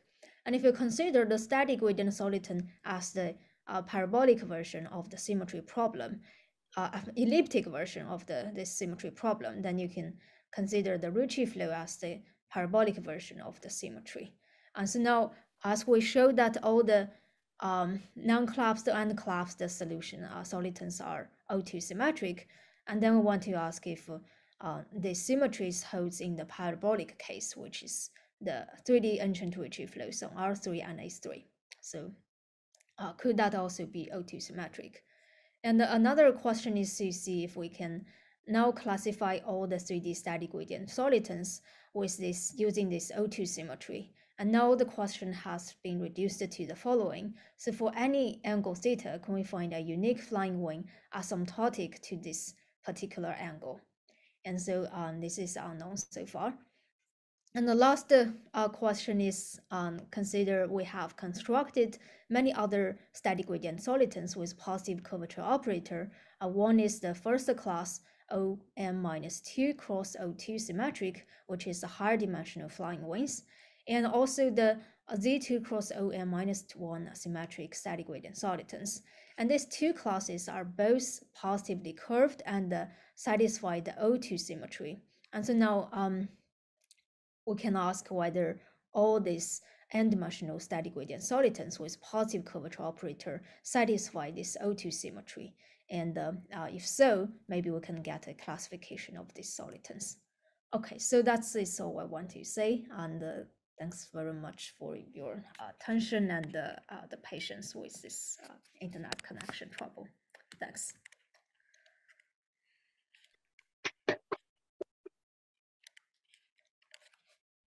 Thank you for your patience. So let me ask, uh, see if there's any questions from the audience. Um, hi. Um, Hi. So you mentioned the uniqueness uh, question of uh, of the solitons with the with theta, right? With the theta Yeah. angle. Uh, I was wondering whether um, the flying wing is possibly known to be unique if either theta is uh, very small or close to pi. Um, mm, not not yet. So uh, for right now, for any angle theta, it is not known if the if it is unique. And in fact, it is not ever known that if for any angle theta, we can find a flying wing asymptotic to it. So Oh, I see. Okay. yeah, yeah. So we only find a, a family of these flying wings correspond to some angles. uh, oh, some angles. zero Ah, ah, okay, okay. some angles. Yeah, but we do not know if this uh, covers all the values between zero and pi. Okay, thank you. I I believe this uh, as it could be uh, Mhm. proved by some other methods. Yeah, Thanks. thanks for the question. Any other questions? So um, you, you mentioned you, there are constructions in higher dimensions as well. The, the, the- one Um, of the last, when you sort of going through the, Yes. With positive curvature operator. okay. So earlier in your talk, when you mentioned positive curvature, did you mean positive curvature operator or? Oh that- yes. Okay, In, okay, in two dimension, this uh, this two concepts are the uh, equivalent, but in Okay. higher dimension, yeah, I do need to assume positive curvature operator. Uh, okay. Okay, then uh, let's thank the speaker.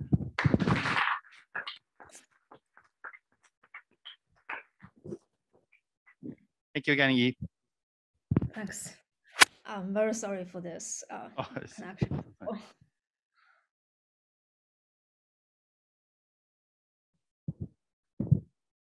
Okay, so for our final lecture today, it's a pleasure to welcome uh, Jeff Viaclovsky from uh, UC Irvine, who's going to speak on gravitational instantons, rational surfaces, and K3 surfaces. Okay, um, thanks very much for the introduction. Uh, thanks to the organizers for the invitation to speak here. I'm very sorry I wasn't able to make it in person this time, but um, hopefully next time everything will be better. So let me get started. So I'm praying that my internet does not fail. So it's been pretty stable this morning. So let's get started. So I'm going to talk about gravitational instantons. So we begin with the definition. So I'm looking at a real four manifold with a Riemannian metric G. So I'm going to call it a gravita gravitational instanton. If it's complete, the holonomy is contained in SU2 and it has finite L2 norm of curvature. Okay, so let me explain each of these uh, assumptions in a bit more detail. So this the condition of the holonomy contained in SU2 is called the Calabi-Yau condition. And this happens if and only if um, there's a complex structure and the metric is Kähler with respect to that complex structure. And also the canonical bundle is trivial. Okay, so it's well-known Calabi-Yau condition. that there's a coincidence in, uh, in uh, one of these exceptional Lie group isomorphisms. SU2 is equal to SP1. So these metrics are also a hyperkähler.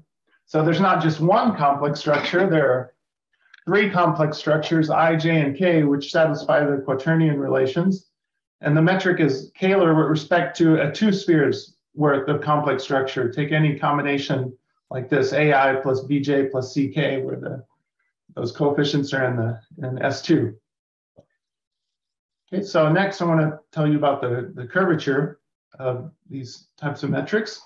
so the Calabi-Yau condition um, implies that there exists a parallel holomorphic 2-0 form. And so this is holomorphic with respect to the complex structure I. And that holomorphic 2-0 form, capital omega, can be written as omega j plus square root of minus 1 omega k, where those are the Kähler forms with respect to those other two complex structures. Okay, so this form is parallel. And the bundle of self-dual two forms um, decomposes into multiples of the Kähler form, real multiples of the I Kähler form, plus a rank 2 bundle, which is the lambda 2 0 plus lambda 0 2 real part of that bundle. So this has a basis of parallel sections, so the bundle lambda 2 plus is flat. Well, the curvature of lambda 2 plus is given by the following. It has a block decomposition. The um, upper left block is, or just the left, there's only two blocks. The left block is the self-dual part of the Weyl curvature plus scalar over 12 times the identity. And the right block is, this is just the traceless Ricci in dimension four, Ricci minus scalar over four times the metric. So if this vanishes, just taking a trace, we see scalar curvature has to vanish from this term, and then Ricci must vanish from this term, and Weyl plus has to vanish. So really, this is sort of the local um, the local hyperkähler condition, uh, Ricci flat and anti-self dual, but we're just, our assumption is really a global assumption. It's, we have an assumption on the holonomy. So this is just a local version of it. Okay, so what, um, so I just said that the manifold is complete, the metric is complete. Well, if it happens to be compact by the Enriques Kodaira classification. So a, a compact hyperkähler um, four manifold has to either be a K3 surface or a torus. So in the first part of this talk, we're, we're only going to be interested in complete non-compact examples. So we'll come back to the compact case for the, the last part of the talk when we uh, when I'll talk about the relation to K3 surfaces. So let's talk about the non-compact case. So what we'll do is we'll fix some model hyperkähler end. So just, just an end. So it's just a, a four manifold end of some four manifold with a metric and with these uh, three complex structures. and then associated to these, we have the three Kähler forms, omega i, omega j, and omega k. So now, and now I'll take a complete um, uh, metric, xg, with three complex structures, ijk, and we want to require that this be asymptotic to our model. So outside of a compact set, we want the metric to be asymptotic to the model metric plus some strictly decaying terms. So here R is the distance to some base point, and this is what some strictly um, inverse polynomial decay. So the metric is the model plus O of R to the minus delta. And then all three Kähler forms are asymptotic to the model. So omega i is omega i of the model plus decay, same for omega j, same for omega k. Okay, so that's our that's our assumptions. So not just the metric, but all three complex structures also um, are sort of asymptotic to the model. Okay, so now let me give you a list of the known types of geometries. So just this will be a survey of, of uh, a lot of the known examples. So the first case is called ALE, so the model end in this case is just Euclidean space. So C2 mod gamma, where gamma is a finite subgroup of SU2 acting freely on the three sphere. And we just have the Euclidean metric and then just the constant um, um, IJK matrices. So I don't write those down explicitly here. So uh, if this is a cone, so any metric which is asymptotic to this so there's no assumption in, in, in a compact region, but just outside of a compact set, it, it is asymptotic to this cone. So this is roughly what they look like. So these, this class of instantons is characterized by their volume growth being maximal. So we're in four dimensions. So volume of a ball of radius r around the point is asymptotic to some constant times r to the fourth. And the tangent cone and infinity of these is, of course, the, just C2 mod gamma, just that flat cone. So a famous example of this is the Eguchi-Hanson metric, which lives on the cotangent bundle of S2. There's the um, uh, Gibbons-Hawking metrics of type AK, where um, we have a cyclic group at infinity. And then there are these uh, other examples found by Kronheimer, of type DK, E6, E7, and E8. And the groups at infinity are the binary dihedral, um, binary tetrahedral, binary octahedral, and binary dodecahedral groups. So um, those were constructed by Kronheimer using this hyperkähler quotient construction. So he also um, used twistor theory to classify these. I'll come back to that in a little bit. Okay, so that's um, the ALE case. Next case is called ALF. So the model space in this case, so I'm not going to write down all the complex structures. I'm just going to concentrate on the metrics for the next few examples.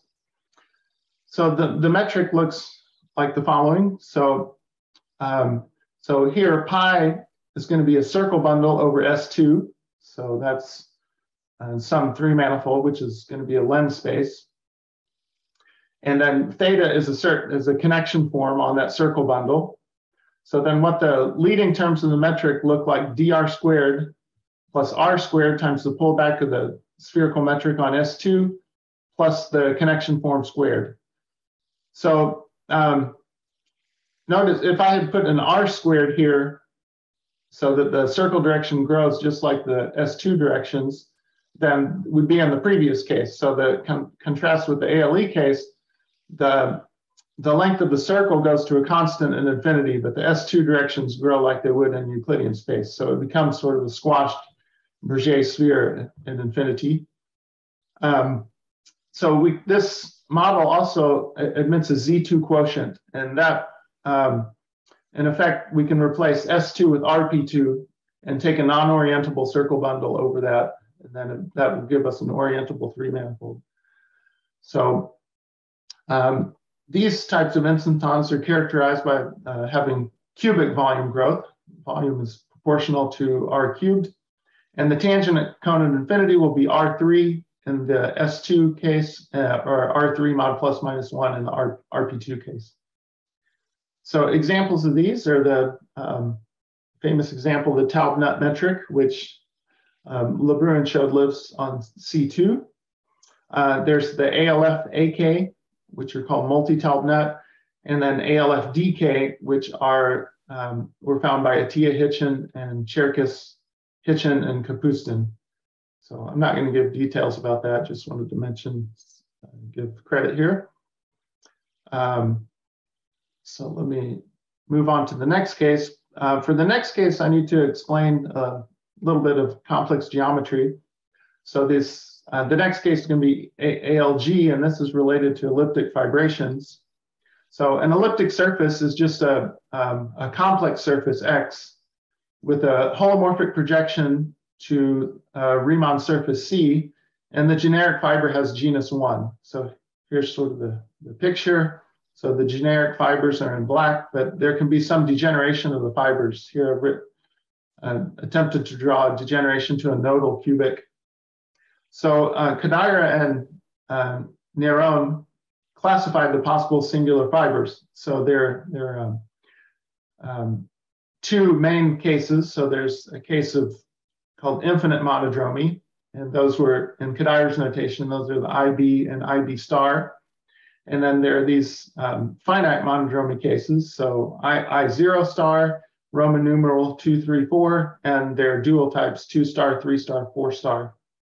So I, am not going to write down the, I could give you a big table with all the monodromy matrices, but I mean, that would just let me just attempt to explain. This is related to the ADE singularities before. So what these singular fibers are certain configurations of rational curves that the intersection matrix is an extended Dynkin diagram. So it's um, so, so it's actually very closely related to the ADE singularities. Um, so um, and the um, nodal cubic I've drawn here is the I1 type. So um, so let me explain the next um, case of gravitational instantons, ALG. So here, the model metric on this in this case is just a flat metric on a T2 bundle over a cone of angle 2 pi beta, um, the complement of some ball. So we're just interested in the end here. Um, so the metric is just locally a product, product of flat metrics with the, the T2 metric corresponding to some parameter tau in the upper half plane. And then we just have the flat metric on the, on the cone of angle 2 pi beta. Okay, so that's uh, that's just what the model metric is.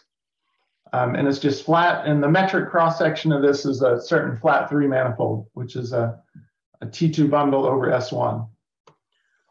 So, and it, it, turns out for all the known examples, only certain values of beta and tau are allowed. So the cone angle is restricted and the parameter in the upper half plane is restricted. And that's sort of because these known models can be compactified uh, to a complex surface by adding a finite monodromy singular fiber at infinity. Okay, so this is all the finite monodromy cases. There, there are ALG examples for each type of finite monodromy fiber. So these um, have volume growth is proportional to r squared. So these have quadratic volume growth, and the tangent cone at infinity is just that cone of angle 2 pi beta. It's just a two-dimensional cone so the examples of these came from um, Hans Joachim Hein's thesis. So what he showed is you can take any rational elliptic surface. So that's the blow up of P2 and nine points. These arise from uh, pencils of cubics in P2, and then you resolve in, in indeterminacy locus at the nine points by blowing up, and then you get a holomorphic projection to P1. And this is an elliptic surface. So now what you do is take one of those take such a rational elliptic surface, which has one of those finite monodromy fiber, fibers, and look at the complement. So cut out that finite monodromy fiber from the rational elliptic surface. Then the complement admits an ALG metric. And so um, any of these uh, finite, let me jump to the previous slide. So any of these finite monodromy fibers can occur as a fiber of a rational elliptic surface. So you get uh, families of ALG metrics for any type of finite monodromy fiber. Okay, so that's just roughly the, the ALG case. So one more, um, ALH. Um, the model metric in this case, this is perhaps the simplest to understand. It's just asymptotically cylindrical. Oh, I mean, the model metric is cylindrical with cross section of flat three torus. So the model metric is just G, G, dr squared plus uh, g on T3. So a metric, we just want it to be asymptotic to this. So that's known as asymptotically cylindrical. And the volume growth is linear for these. Um, the tangent cone at infinity is r plus unless it's trivially a product, r times t3. So these are sort of maximally collapsed. So you get a one-dimensional tangent cone. So, um, so again, these uh, examples of these were uh, arose in Hein's thesis. So now take a rational elliptic surface, but you just simply cut out a smooth fiber in this case. Cut out a smooth T2, and then he showed there these um, always admit um, ALH gravitational instanton metrics. Okay, so that, that was uh, four sort of classical classical types. So it turns out that the, these previous examples, ALE, ALF, ALG, ALH, these all satisfy strictly better than quadratic curvature decay. So the curvature tensor is big O of r to the minus 2 minus epsilon as r goes to infinity for some strictly positive epsilon.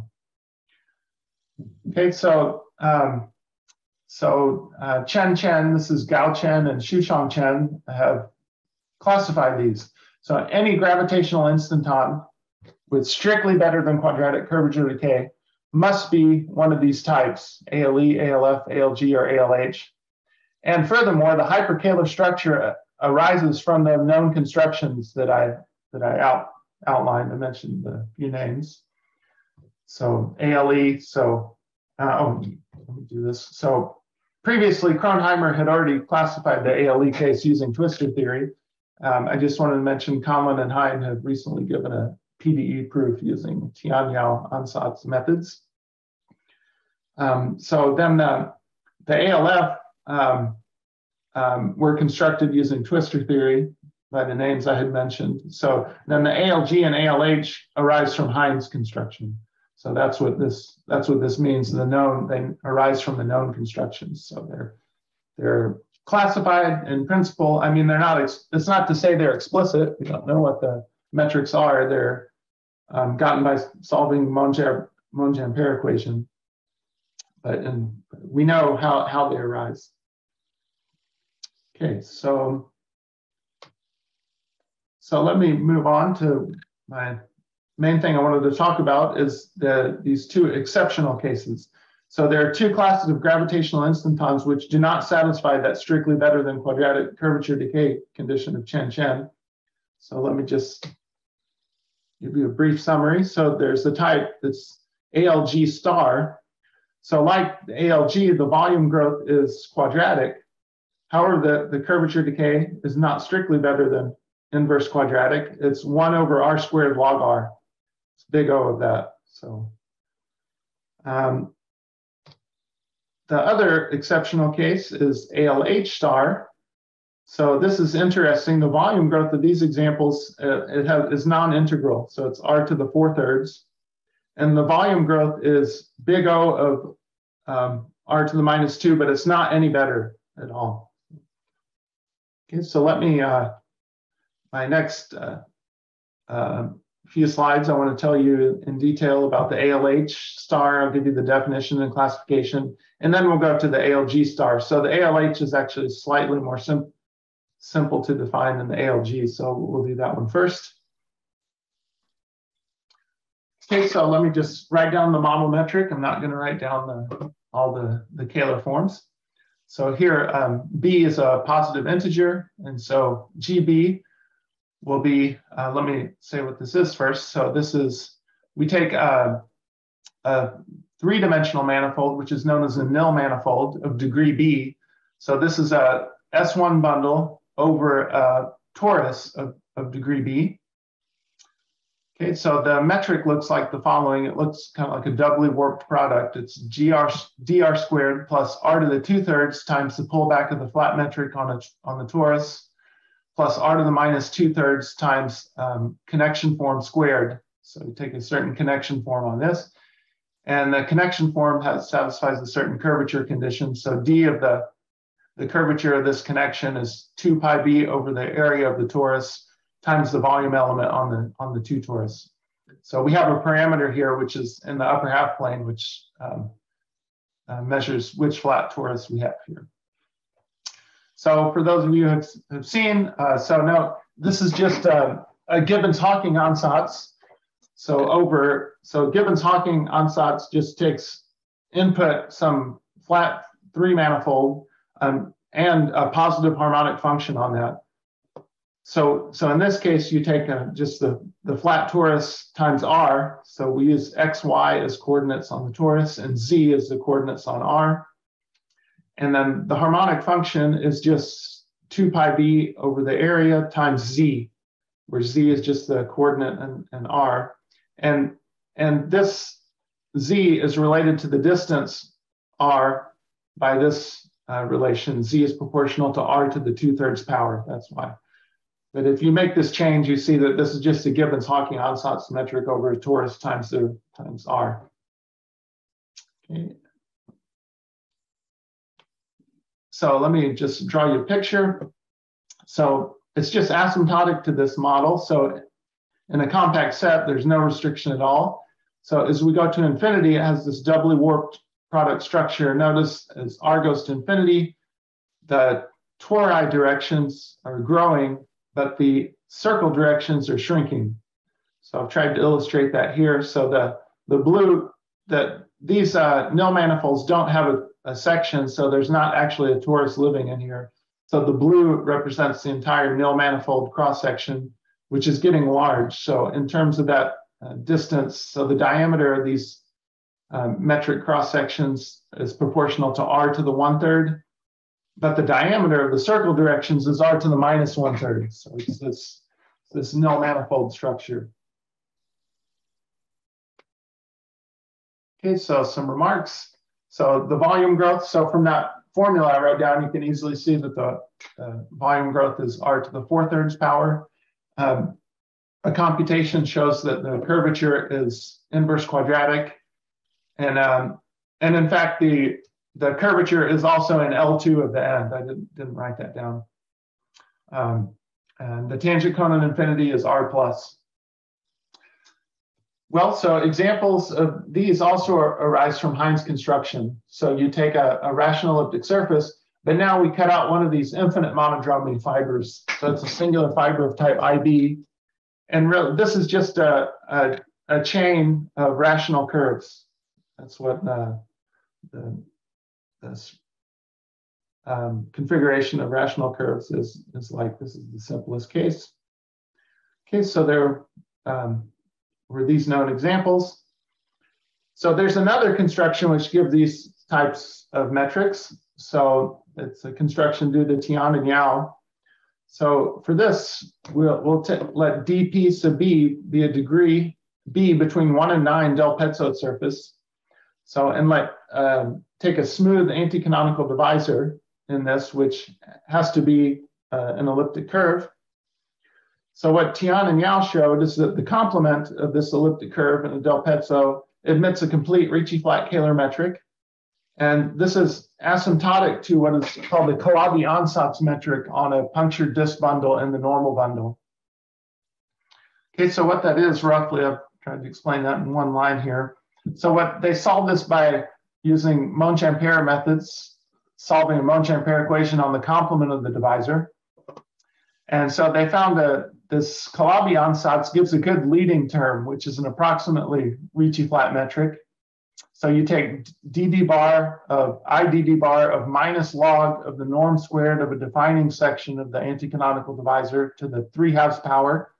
Just that's what it turns out to be. This is a um, nice approximately Ricci flat metric, and they perturb by some dd bar of some function phi, where phi has some control in some de decaying weighted space. I'm not going to write down the details, but there's a nice approximately Ricci flat metric, which they can use Yau's Monge-Ampere technique to, to find a, an exactly Ricci flat Kähler metric. Okay, so those are asymptotic to this Calabi ansatz. So a theorem I proved jointly with uh, Hein, uh, Song Sun, and Ruobing Zhang is that um, these Tian-Yau metrics on the complement of an anti-canonical divisor in a Del Pezzo is ALH star. And the metric is asymptotic to the our model Gibbons-Hawking metric plus some exponential decay term, e to the minus delta to the r to the two thirds power, and which is z, if you recall. Um, so to prove this, so it relies on just finding some improved asymptotics for the complex structure on, on the Del Pezzo as you asymptote to that anti-canonical divisor. And then, so we have to show, we showed that the leading term in the Calabi ansatz is in fact asymptotic to that ALH star Gibbons-Hawking model that I wrote down. So this is, it's not obviously, this has the uh, error terms involving the complex structure in it. So it's not completely obvious that this Calabi ansatz is, is the Gibbons-Hawking. So that's something that was one of the main steps. And actually, in a recent paper, we've determined the optimal decay. You can take delta to be um, square root of lambda 1, where that's the lowest non-zero eigenvalue of the Laplacian on that torus. Okay, so um, let me next tell you about the classification of these. So this is joint work with uh, Hein Song and Ruobing. Um, so with respect to the complex structure I, one of those hyperkähler complex structures, so any ALH star gravitational instanton must arise from this Tian-Yau construction um, slight, on a slightly generalized Del Pezzo, so called a weak Del Pezzo. Um, that means that um, anti-canonical bundle is big and nef. So um, on the complement of an anti-canonical divisor. So, but remember, I, I also said that these arise from Hein's construction. So, but, so, so that with respect to a hyperkähler rotated complex structure J, so that any ALH gravitational instanton can be compactified to a rational elliptic surface minus the singular fiber of type IB. So these are uh, sort of the same construction up using hyperkähler rotation that they compactify to different surfaces. So I want to say here, so we've classified it um, metrically using the Tian-Yau construction. We also expect in the latter case that the hyperkähler structure arises from a from a slight generalization of Hein's ansatz, but we didn't uh, write that down because we already had the metric classification from the Tian-Yau perspective. Um, I should mention uh, Collins, Jacob, and Lin have some related results in this direction so one uh, corollary from this is that um, so the degree of a del Pezzo has to be in between one and nine. So um, remember when I defined ALH star, we I took some integer b and z. Well, that, that's necessarily restricted. So it, b has to be in between one and nine. Okay, which is um, not obvious at all from the from the definition. Okay, so let me uh, attempt to outline the, the proof of this. So to compactify that the um, sort of the asymptotically Calabi complex structure to a weak Del Pezzo, so what we need to do is, um, well, we are we have the the torus already, so we have a holomorphic coordinate on the elliptic curve, but we need a coordinate in the normal direction. So to find a coordinate on the compactification, it start it turns out that's equivalent to finding a nice holomorphic function on the on your gravitational instanton with certain prescribed asymptotics. And it has to grow at this rate. It's, it's a holomorphic function, which is like e to the k over 2 z squared. It's like a double, a quadratic exponentially growing holomorphic function. You need to, so the, the, the model space has this holomorphic function, but we need to prove that that extends to a global holomorphic function on our on our uh, manifold X. Um, well, if you take uh, d bar of this, of the model function, that with respect to our, our weak, our asymptotically Calabi complex structure, it turns out that this is big O of e to the k over 2 z squared minus delta times z. So this is the same z from before. z is r to the 2 thirds power. So this is kind of problematic because what you'd like to do is standard Fredholm methods. So if, if d bar of this was e to the k over 2 minus epsilon times z squared, then you uh, it would be easier to solve. But it's it's we see it's it's it's only slightly better. It still has the same leading term, but there's this minus delta to the z. But it turns out we can we can still solve that for a function u such that d bar of u is this right hand side using a Hörmander's L2 theory with appropriate weights. Basically, this is the weight. Um, since this the model space is one convex, so Hörmander's techniques work to find this holomorphic function. So then you, this gives you a, a, holomorphic coordinate in the normal direction to the divisor. So then using some algebraic geometry and the hyperkähler condition, we can prove there's a compactification to a weak del Pezzo by adding the anti-canonical divisor D. Um, then we, we show that the, the hyperkähler structure has to come from the Tian-Yau construction by proving a weighted DD bar lemma.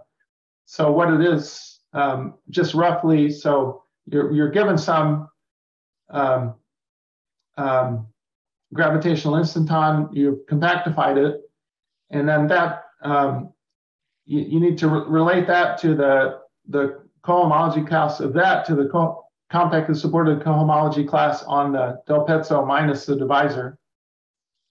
And then, uh, but in that class, uh, you can show there's a, a the Tian-Yau metric hyperkähler structure also exists in the same class.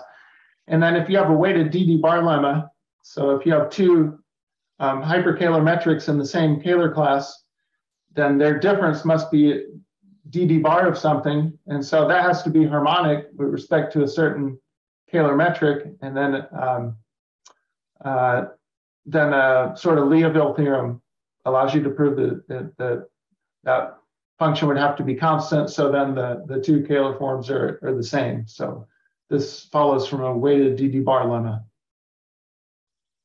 Um, finally, to compactify the hyperkähler rotated complex structure to a rational elliptic surface. So now with this, you can use sort of the, the Fredholm theory, and uh, we also need a Liouville theorem that was proven in our previous paper. So here we show that um, e to the square root of lambda 1 times z plus iy is the function that can be extended to a global holomorphic function. And then this will be uh, close to the model one, and the fibers of this are, are elliptic curves. So then this, so you can use this as a coordinate to get to uh, compactify to a rational elliptic surface. So there's um, some details there, which I won't have time to go into. Um, but that's in a nutshell the outline of the um, ALH star case. So next, let me talk about the ALG star case. So, okay, so um, looks uh, kind of similar to the to the ALH star case, but there's uh, one little extra step. So now, so we again take a nil manifold. So again, that's a degree B circle bundle over the two torus.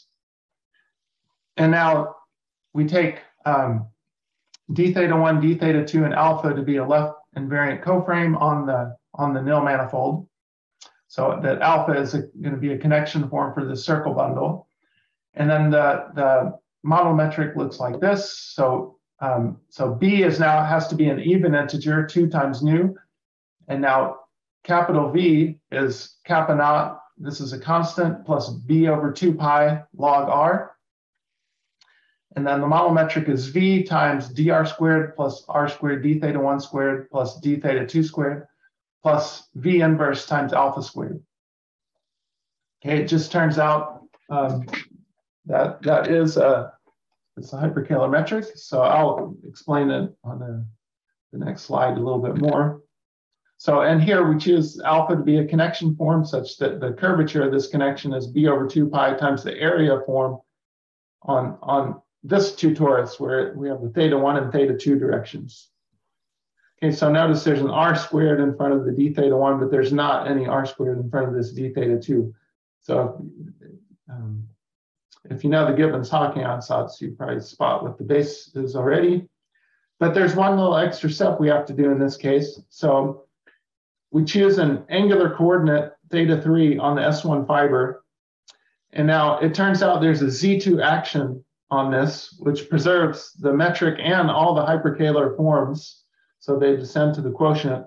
So an action is this. So in the theta 1, it's rotation by 180 degrees. In the theta 2 variable, it's a reflection. And in the fiber direction, it's also a, a reflection. So this is um, orientation preserving. And the cross section, so this was a nil manifold, but we took a Z2 quotient of a, a nil manifold. So the cross section will be an infranil manifold in this case. Okay, so I've attempted to draw it, draw it here. So notice, so if you put r and theta 1 together, it's dr squared plus r squared d theta 1, but we took a quotient by 180 degrees, um, by 180, 180 degree rotation. So the we, um, we have a projection to a base space, which is R2 mod Z2. And now the fiber here is a torus. So in the theta 2 direction, that's just an S1, but we have V here. So V have log in it, log of R. So V is growing. So these the theta 2 direction is getting very large. But then we have V inverse here. The fiber is getting very small. So we again see this sort of doubly warped product structure. And so as you go off to infinity, so these tori become very squashed. Okay, so that's just a picture. Um, so, so here's just the metric again. So, um, so before we take the Z2 quotient, this model metric is just the Gibbons-Hawking ansatz over R2 times S1. So this was just an R2 here in radial coordinates, and this was just the S1. And the harmonic function that V was kappa naught plus nu over pi log R, that's just a harmonic function in R2. That's the Green's function. We can always add a constant to it. So that's what that was if you've seen the Gibbons-Hawking construction. So the volume growth of these um, is quadratic. So like the ALG case, however, unlike the ALG case, the curvature only decays like one over R squared log R. So, and that's not surprising because V had log in it. And the tangent cone at infinity, because we took that Z2 quotient, is R2 mod plus minus 1.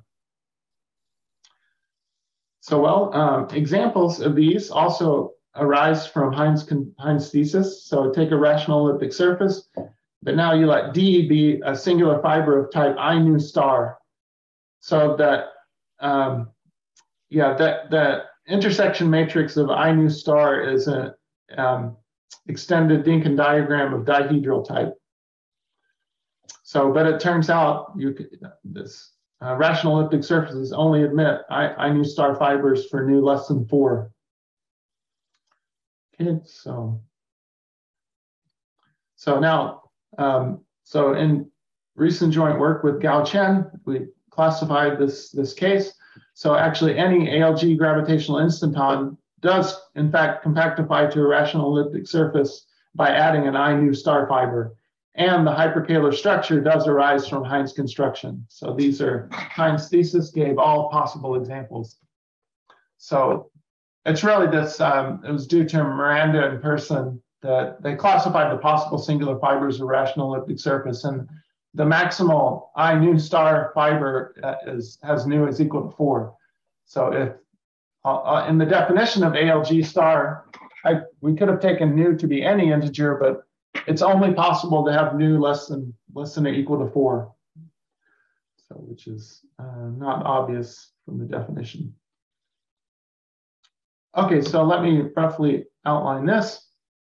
So in this case, we, we developed a Fredholm theory for the Hodge-Laplacian on ALG spaces in, in joint work with Gao and Ruobing. So um, this didn't follow, fall under the standard Fredholm packages, so we had to had to work this out our, ourselves using basically separation of variables argument. So using this Fredholm theory, then uh, we can prove there exists a holomorphic function on the total space to C, which is asymptotic to z squared.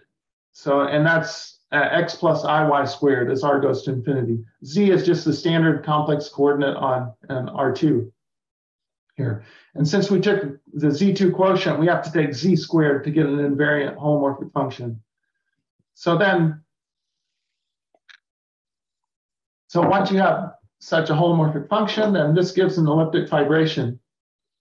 And this yields a compactification, which is an elliptic surface, um, by adding a fiber of type I nu star, and this does not have any multiplicity infinity.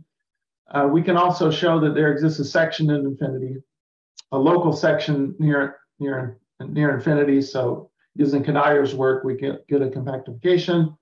So sort of using a Bochner argument, we can show the first Betti number vanishes. So then that implies that this compactification is a rational elliptic surface. And then similar to the previous case, we had to prove a, a weighted DD bar lemma and, and uniqueness will follows from that. So that's just in a very quick nutshell how that is proved. Um, now let me make some re remarks. So, so on very beautiful work. Um, last year, um, Song, Song Sun and Ruobing Zhang have actually proved that any gravitational instanton must be of one of the above types, ALE, ALF, ALG, ALG star, ALH, or ALH star. So, so combining all the previous results, so this means that gravitational instantons are now classified. So, but uh, I want to mention um, another result. So there's a, there were still a couple of remaining cases which needed to be rolled out in Sun Zhang. So there's uh, another corollary in my work with Gao and Ruobing. So uh, you might you might wonder why in the ALG star definition we had to take that Z2 quotient. Without taking the Z2 quotient, that still defines an, a hyperkähler N. So, but it turns out there just do not exist any gravitational complete gravitational instantons which are asymptotic to the ALG model space, ALG star model space, but without taking the Z2 quotient. And the proof of this is to use uh, our Fredholm theory to show that the function, so just x or y, so that's not that's not invariant under the Z2 action. So um, this we could extend this to a globally defined harmonic function. Then um, d of that would be a harmonic one form, which would have to vanish by the Bochner formula and maximum principle, but this just can't vanish because the leading term does not. So this gives a, a immediate contradiction.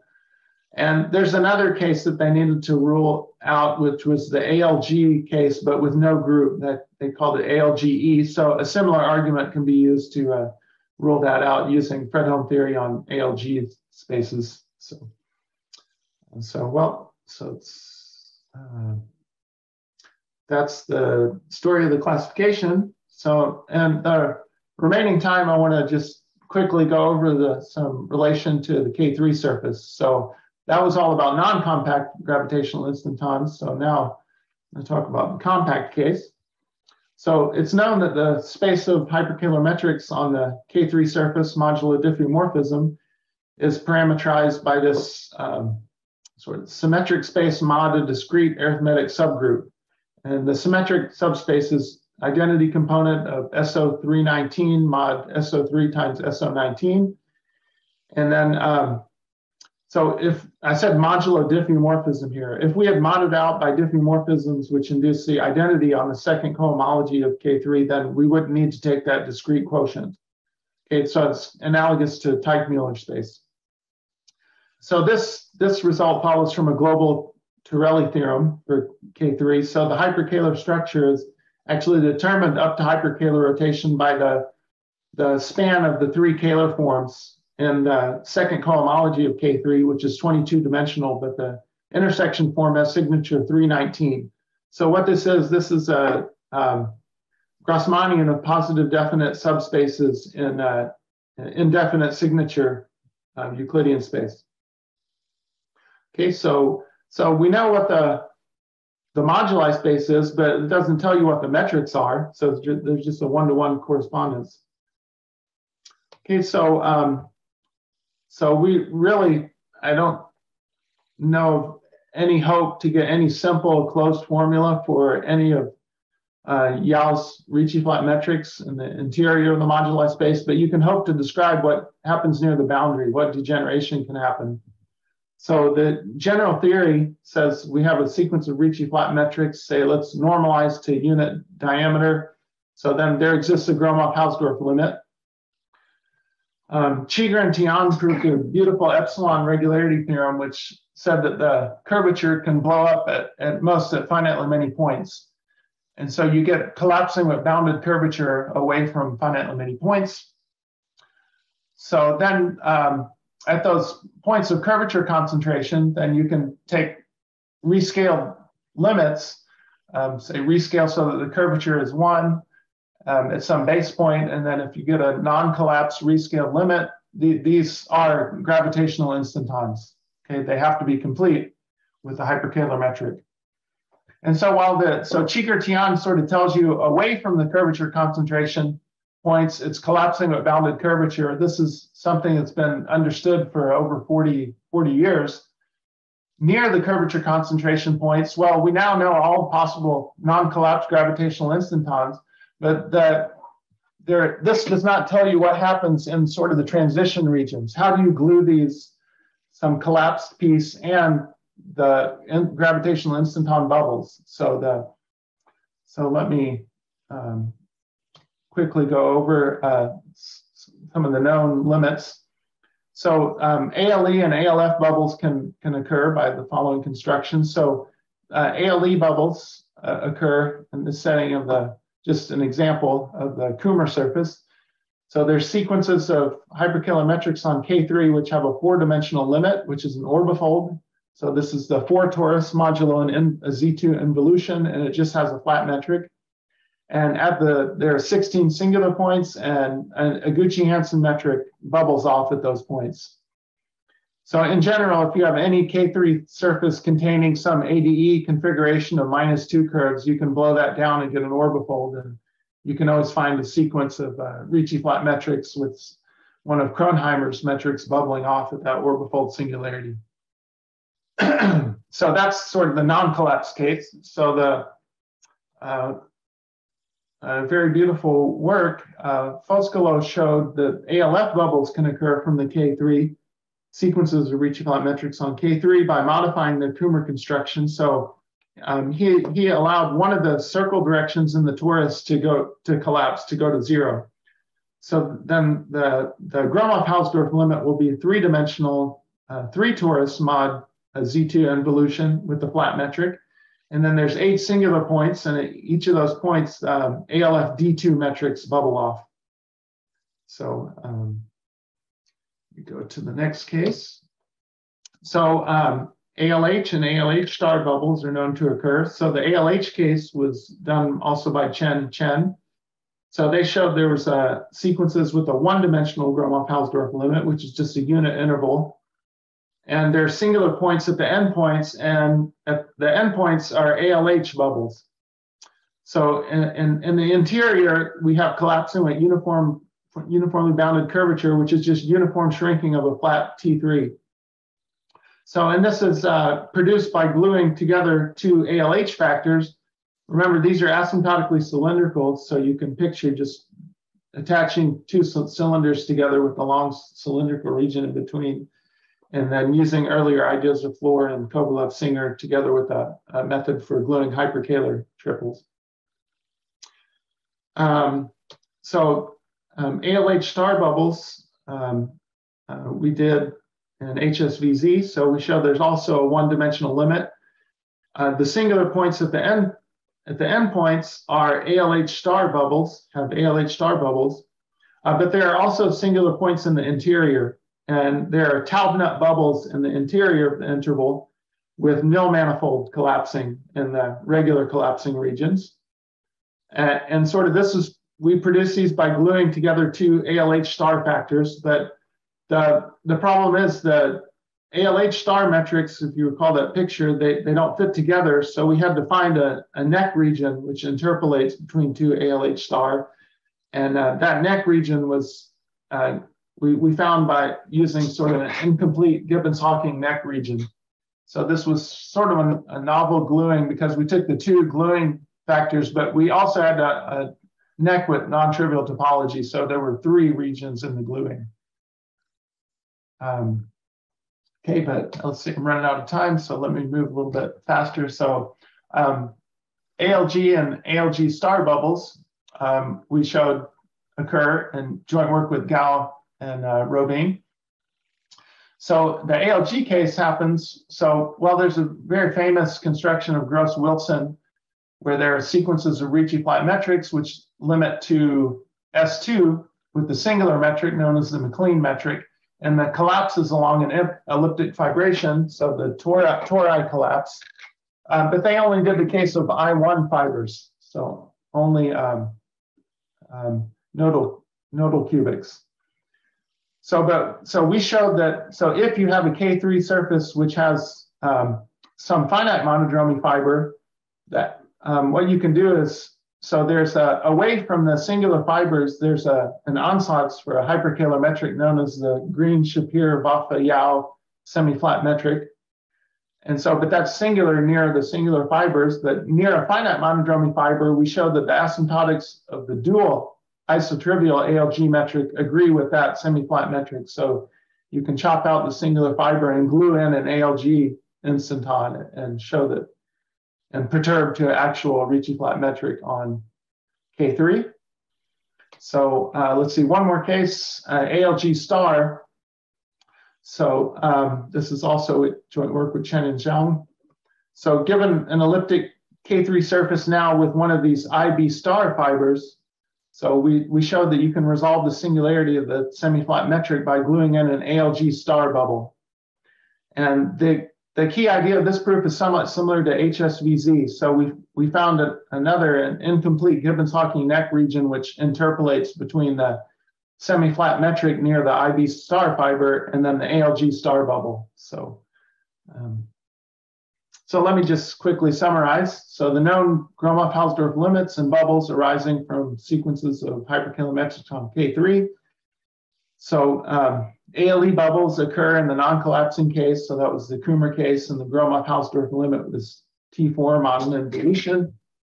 Um, ALF was shown by Foscolo, and the Gromov-Hausdorff limit is T3 mod Z2.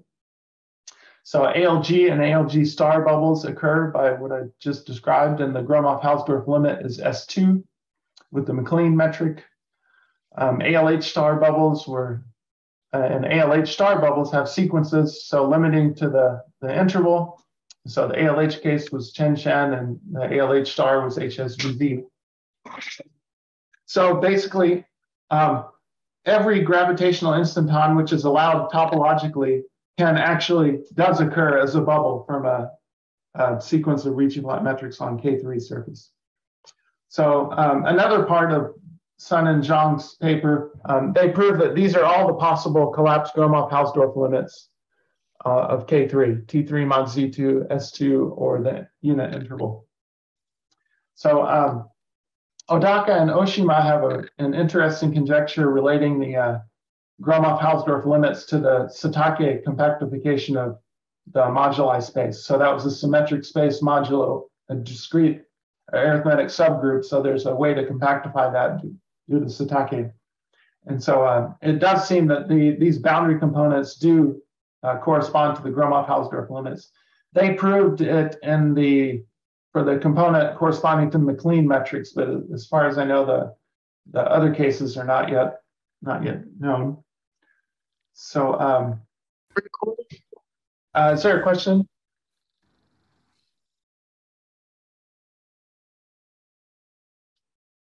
Sorry, I heard somebody, I'm not sure.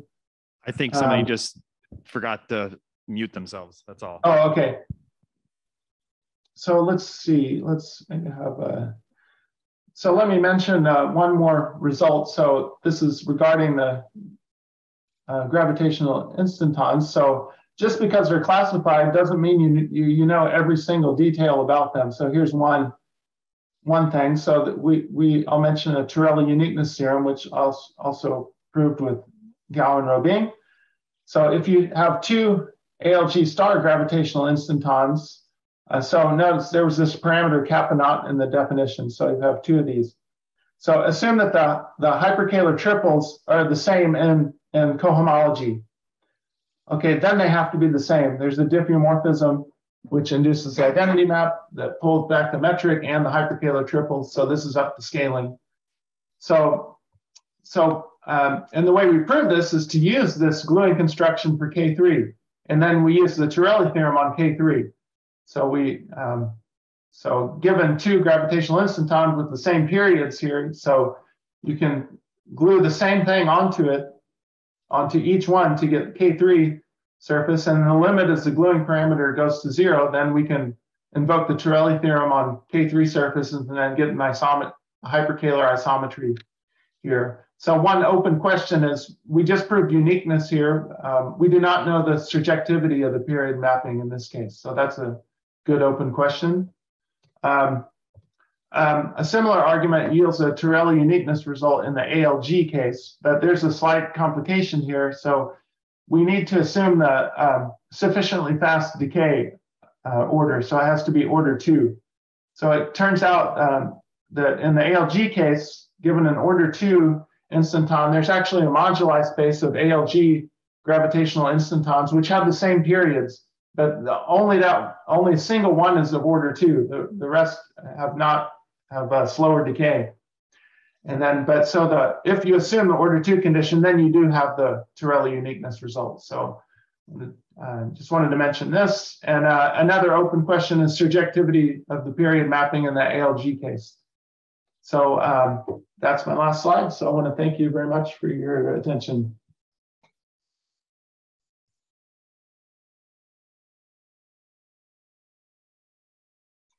Okay, thank you, Jeff. Uh, questions?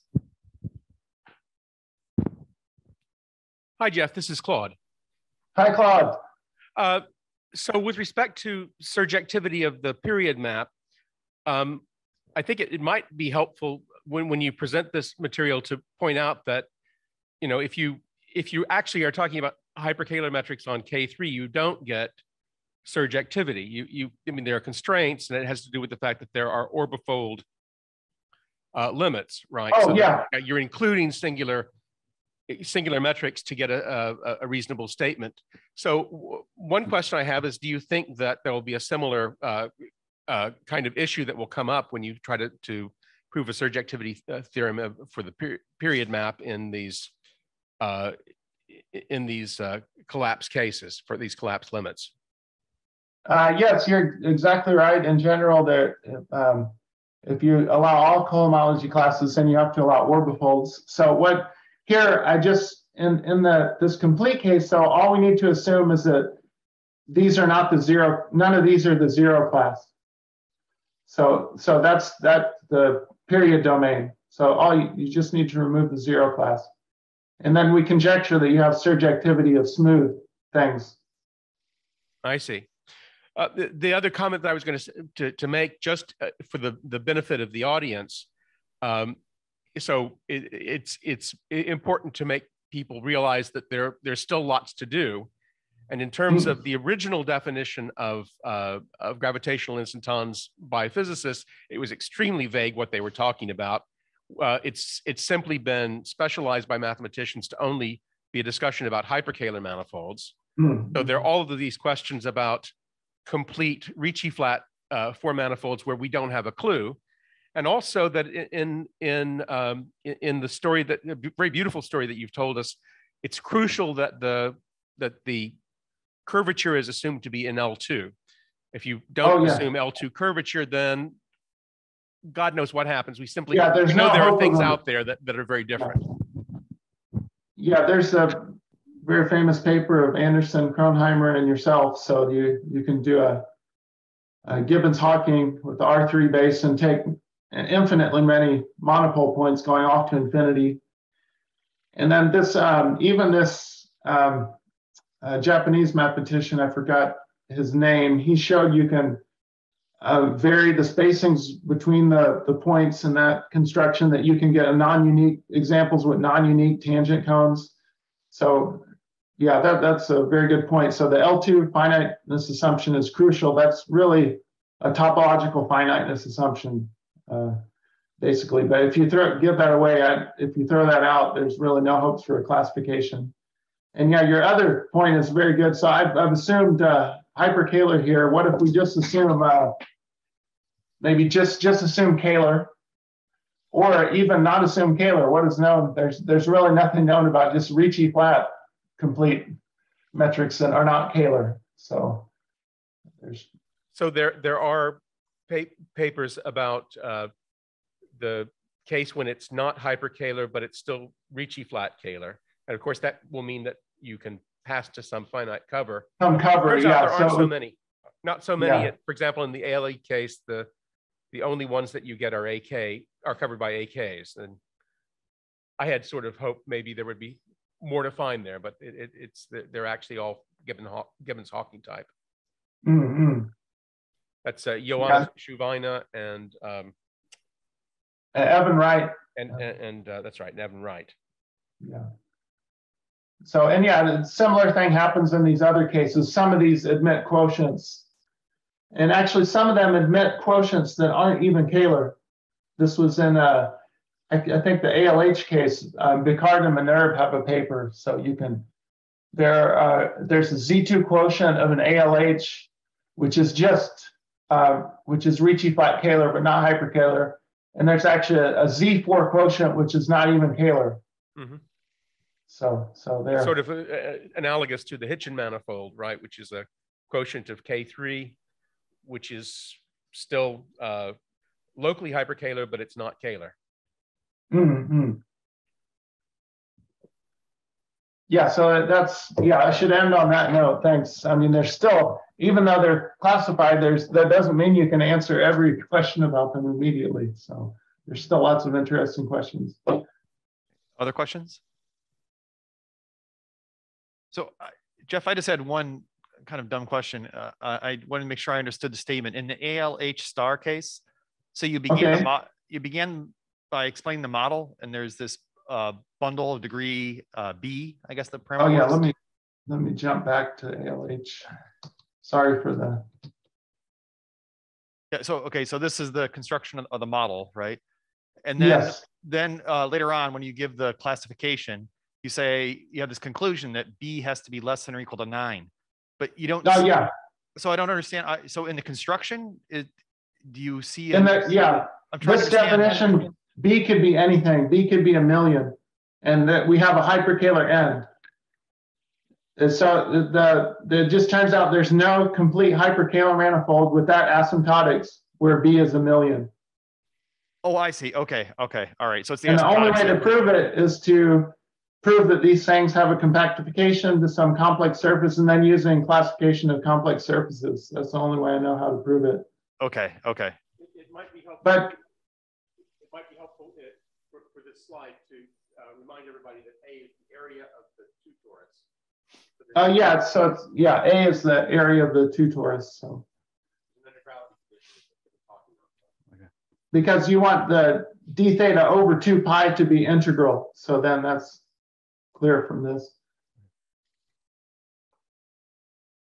Okay. Well, So for- there, I might, I might mention there, there could be another way to prove this, maybe, um, if you could prove some, uh, maybe Chern-Gauss-Bonnet and signature theorem, but with this type of asymptotics. So this doesn't follow under any of the standard uh, index theorems. This is a, a weird type of geometry, but if somebody, if you can prove that, then there may be a Hitchin-Thorpe for this type, and that, that may imply that B is less than nine, less than or equal. Yeah. Okay. Uh, well, let's uh, thank Jeff again.